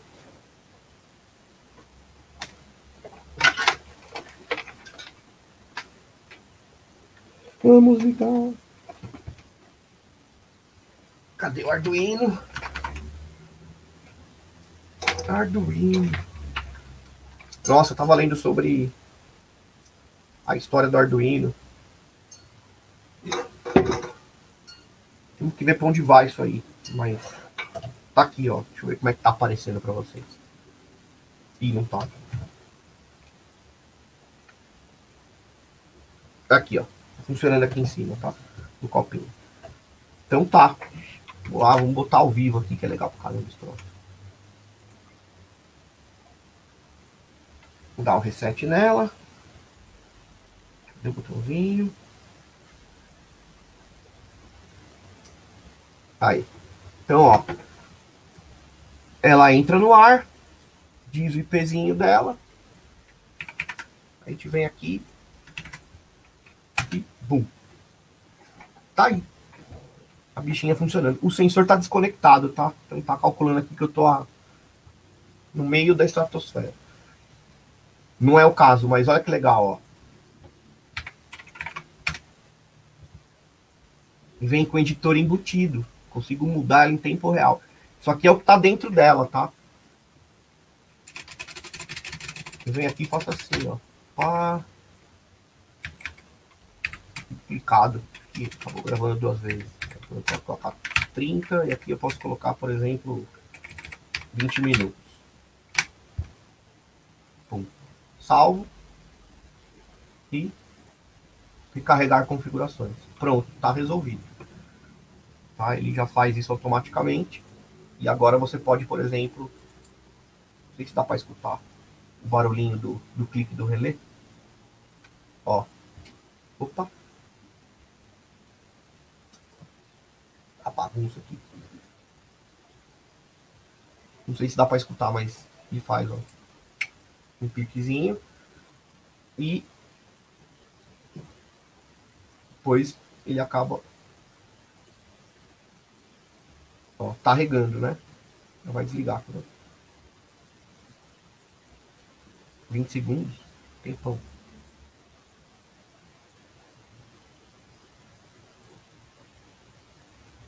Tá, tem, tem que ver. E pode também ligar e desligar a iluminação. Ó, foi. Agora eu liguei a iluminação. Vai desligar a iluminação. Tem uma latência, não sei se vocês percebem, que se aperta, demora um pouco. Essa latência é decorrente de você fazer tudo rodar dentro dela, né? Então, quando ela está, por exemplo, processando a página que você abriu aqui, você não consegue num outro browser dar o comando para ele poder fazer o que tem que fazer. Então, tem, tem essas coisas. A ideia é que essa dashboard aqui não fique dentro dela, né? Uma dashboard é uma prova de conceito. Mas hoje dá para você poder pegar esse projeto aqui, por exemplo, e colocar na sua casa e simplesmente controlar via essa telinha bonitinha, né? Sem precisar de absolutamente mais nada. Assim, não precisa de nuvem, não precisa de nada.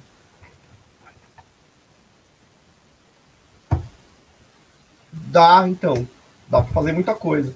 Aqui a ideia também é, é, como eu já disse, permitir com que seja genérico, né? No final, não é uma horta, né? No final vai ser um dispositivo de IoT completo. que mais, pessoal? Mais alguma coisa? Vamos ver. O que mais legal tem para mostrar aqui? Bom, o circuito aqui é básico, tá? O circuito conecta o ISP8266 na nas portas e aciona, liga e desliga. E o sensor é que é um barato, o sensor é I2C. Você consegue ler ele de, de, de uma função muito simples e fazer com que a informação flua para onde tem que fluir. E é isso, é o que eu tenho para falar por agora sobre esse projeto, tá? Queria dizer que o, o processo de desenvolvimento desse, desse, desse equipamento foi feito com 100% software livre. É, hardware também, se for ver, porque isso aqui também é aberto, né? Então, temos aí esse contexto. E agora a ideia é que ele evolua para um projeto de IoT Big Data.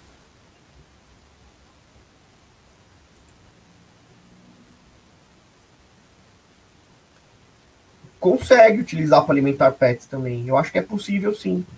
É, desenvolvendo uma, uma peça mecânica para fazer a abertura e fechamento de uma porta, por exemplo, é uma porta física, né? Você consegue fazer um alimentador, você consegue colocar esse projeto aqui para acionar um servo, por exemplo, ou no caso do próprio relé, se você tiver um alimentador de, de pet, né? Existe alimentador de pet no mercado, ele tem basicamente um mecanismo que tem motor que faz virar uma, uma, uma parte plástica e essa parte plástica ela alimenta o seu pet, ou solta água ou solta é, comida. Então, pensando no contexto de que isso aqui é, uma, é um dispositivo de automação, Você pode ou fazer o seu, imprimindo as peças, ou simplesmente adaptando um alimentador que tem normal, fazendo com que esse, esse circuito se comporte da forma que ele espera. Ou seja, ele aciona, tiver que acionar, de tantos em tantos minutos. Então é possível utilizar assim. Acontece que quando, quando isso aqui fica genérico, né, que você possa configurar ele do jeito que você quiser, você consegue fazer qualquer coisa. Não tem muito segredo. Dá para fazer também para chocar frango. Tem um, um amigo nosso, Jeremias, lá do Rio Grande do Sul, o pessoal aí que está acostumado com o Fizzly lembra dele. Ele, ele tem um projeto de uma estufa de chocar pintinho. E essa estufa de chocar pintinho nada mais é do que esse negócio aqui. Só que aí, no caso, ele tem mais sensores de temperatura, né? E mais atuadores para poder fazer a troca de. Fazer um sistema de calor funcionar do jeito que tem que fazer, mas ele usa um sistema parecido com esse aqui, daria para implementar também no conceito de genérico para fazer estufa de pintinho. E para alimentar pet também é possível. Então é isso, pessoal. Agora vamos falar um pouco é, do Robotizando. O Robotizando está voltando para o ar, tá? Eu dei uma reformadinha nele, então vocês podem ver que aqui os projetos ainda estão ativos, tá? Então tem aqui o projeto da Horta que está atualizado, o da impressora 3D, o Make Make, Robô Escova, e a Ponte H. Ponte H, tem bastante gente fazendo ela ainda, eu preciso dar uma reformada. E os cursos, que a gente também gosta de escrever cursinho. Então, quem puder dar uma força, entrar lá, tá? É, tem bastante coisa legal, ó. Tem cálculo de algumas coisas, tem os mini cursos. Tem até um, um artigo aqui do nosso querido Rasgris, que escreveu faz bastante tempo, ó Tá como colaborador do nosso site, ó, do Voronoi, que ele adora. Tá muito legal. Alguma pergunta adicional, pessoal?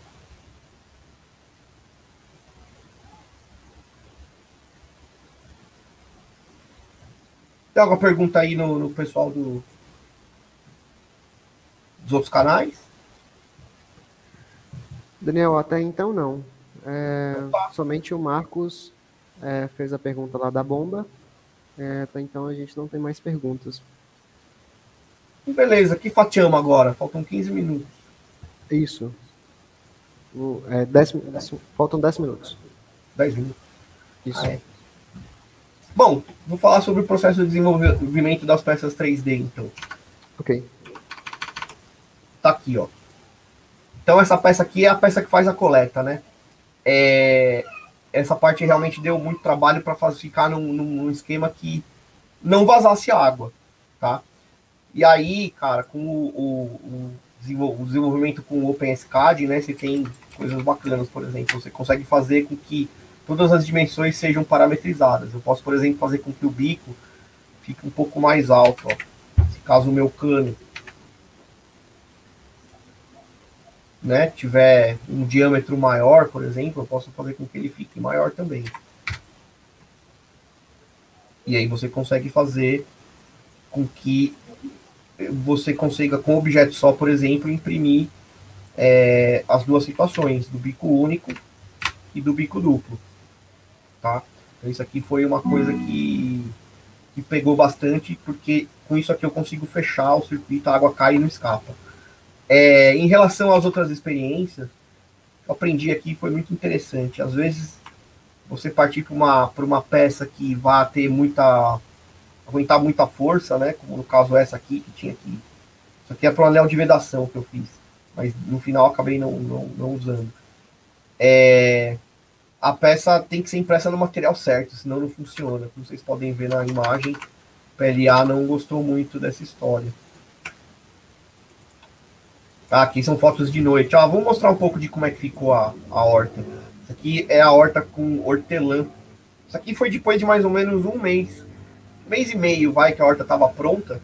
As plantas começaram a crescer, né? E cresceram de uma forma estúpida, assim. Cresceram muito.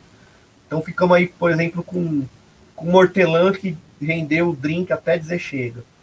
É, como eu gosto de imprimir, eu fiz umas libélulas aí em material fluorescente e, e, e fica bonito, ó. Fica muito legal. ó, que a horta pronta. Só que ela tá, tava com as plantas mais ou menos não crescidas, né? Então aqui temos, ó. Vamos, vamos ver o que, que a gente tem aqui. Cebolinha, manjericão, manjerona, em cima era uma flor. Aí aqui tem hortelã, que o pessoal chama de capim cidreira, né? Aqui a erva cidreira, da mamãe, inclusive, que é uma erva cidreira que veio lá de São Paulo. Aqui mais cebolinha e aqui morango. Aqui os morangos. Morango não deu muito certo, porque o morango ele precisa de muita terra, ele precisa de muito nutriente. Nessa abordagem aqui, que não é hidropônica ainda, vai ter a versão hidropônica, mas essa aqui não é. Ele esgotou a terra muito rápido. E aqui em cima eu coloquei orégano. Ó o orégano aí, ó. O orégano tá embaixo, desculpa. A cebolinha entrou depois. Orégano. Ó, o manjericão também ficou. Olha, fica enorme. Começou. Isso aqui deu bastante pizza, viu, gente? Nossa senhora. Ó, o morango aí, ó. Cresceu, funcionou. Ele, ele é uma trepadeira. É gozado porque ele, depois de um tempo ele começou a escapar pela, pela grade aqui da, do apartamento. Capim cidreira da mamãe. As imagens estão tudo fora da rotação, certo? Peraí. Aí, ó. Capim cidreira da mamãe. Muito bonito. Erva cidreira. Ah, mais uma vez o. Ah, isso aqui é a pimenta. Aí. Essa é a foto depois de um tempo também, ó. Já tinha aqui mais hortelã. Aqui os morangos já um pouco maiores. Aqui a Maria, que é minha filha. Quem não conhece a Maria. É, minha querida, tava, tá, ela estava com poucos meses de vida. Hoje ela, ela tá com 11 meses. E. Ó, o morango, ó. O morango é um troço louco, porque ele começa a tentar rastejar, mas ele não rasteja, porque tá pendurado. Então ele cai. Ele cai e começa. Essa parte que eu tô segurando aí começa a criar raiz em outro vaso. Rolou cross vaso. Um, um morango conseguiu grudar raiz no outro vaso. Ó, isso aqui cresce raiz. E eles trocaram de vaso. Impressionante, ó. Manjericão dando, dando, dando semente depois de dois, três meses de uso da horta. Ó, agora o, o, o orégano dando semente também. Cresceu estupidamente. Isso aí, vaso pendurado na sacada de casa. Ó, as pimentas, ó. A pimenta tá em outro vaso, não tá pendurado, tá? Isso aqui é uma orquídea. Queria mostrar essa foto. Essa foto aqui é legal, ó. Essa foto aqui já tem cebolinha, tá vendo, ó? Crescendo. E aqui é a primeira versão do coletor. Essa versão que usou o cone. Que é esse cone aqui, ó. Opa. Tá? Então esse cone aqui se gruda numa numa tampa de garrafa e prende esse, esse troço aqui no fim. E aí com um furinho aqui você consegue mandar água para lá para baixo. É, o desafio foi vedar esse troço. Só funcionou com aquela última peça. Aí aquela última peça vai encaixada no gargalo da garrafa. Esse aqui é meu filho Theo, essa aqui é minha filha Maria. Ela não fica paradinha. E isso aqui é a peça que ficou no final. Isso aqui ficou bem legal. Ele fica solto, né? E aí a água, mesmo que ela caia por fora do vaso, ela entra, ela entra para dentro da peça azul. E fica, fica muito elegante. Fica realmente, ó, esse aqui é o manjericão e esse aqui é eu não lembro se esse aqui, o orégano tá embaixo, esse aqui, esse aqui é tomilho. Ou esse é o tomilho que tá embaixo é o orégano. Ele cresceu tanto que eu tive que fazer um apoio aqui, ó. Ó. Num vaso pendurado na janela do apartamento. Pra vocês verem como é que chega, né? Como é que fica a coisa.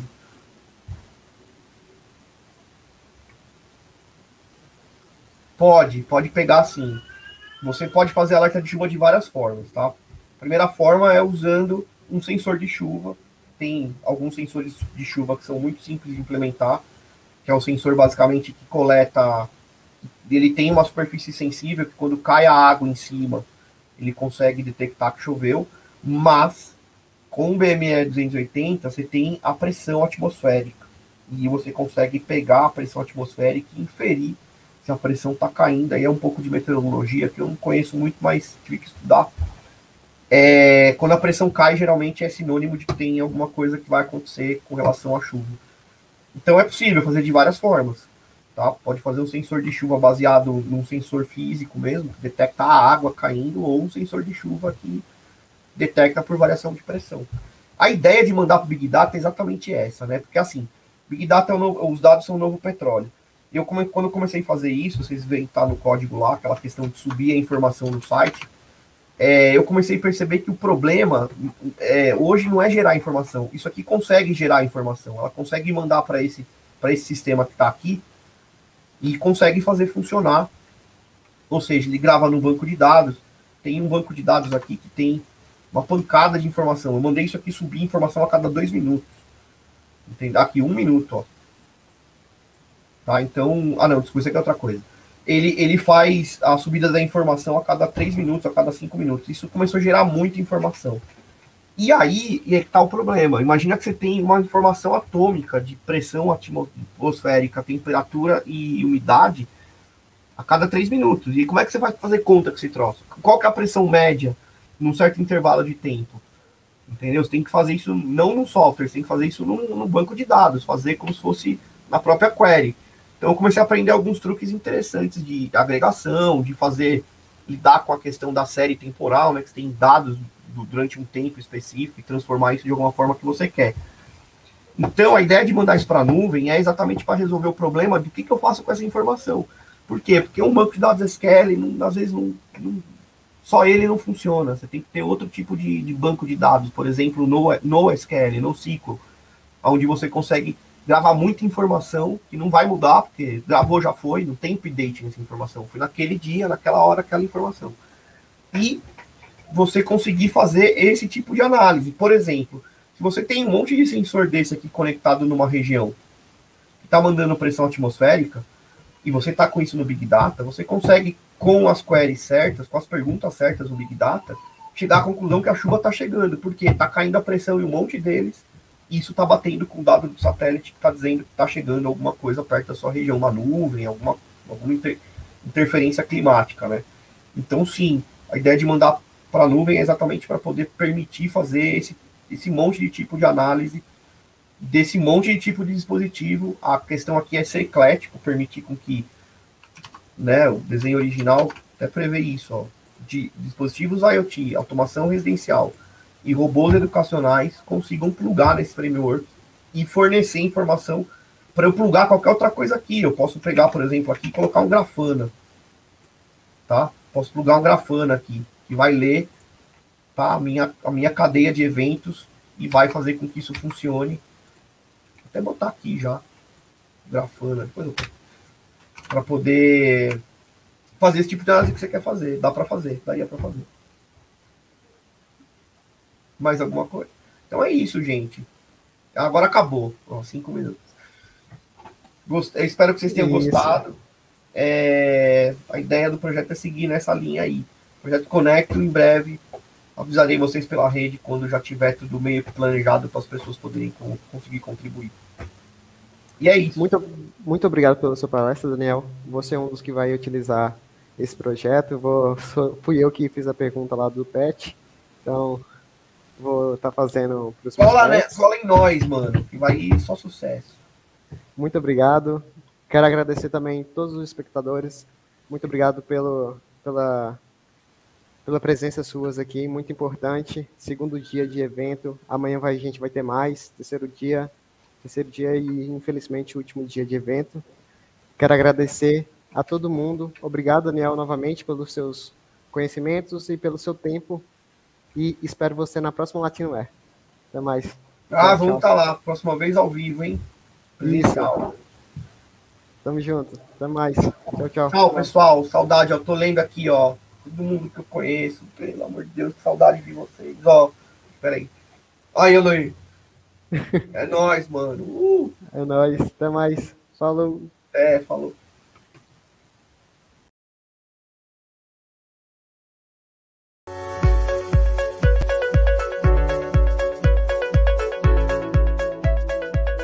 Vale dos Dinossauros, Museu de Cera, Bar de Gelo, Motor Show tudo isso faz parte do Dreams Park Show, aqui em Foz do Iguaçu. E eu estou aqui para te convidar a conferir o que tem no Espaço Colômbia da Latinoair. Lá, nós vamos conversar sobre IoT e Smart Cities. E aí, você vai ficar de fora desse bate-papo tecnológico e inteligente?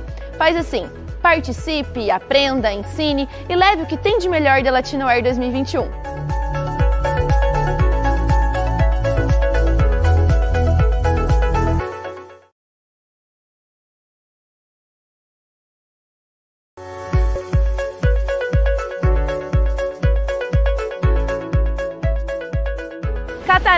Iguaçu, uma das sete maravilhas do mundo localizada na fronteira entre o Brasil, o Paraguai e a Argentina. E não por acaso, a Latinoware tem um espaço Argentina, um local de debate sobre o desenvolvimento de software e suas linguagens.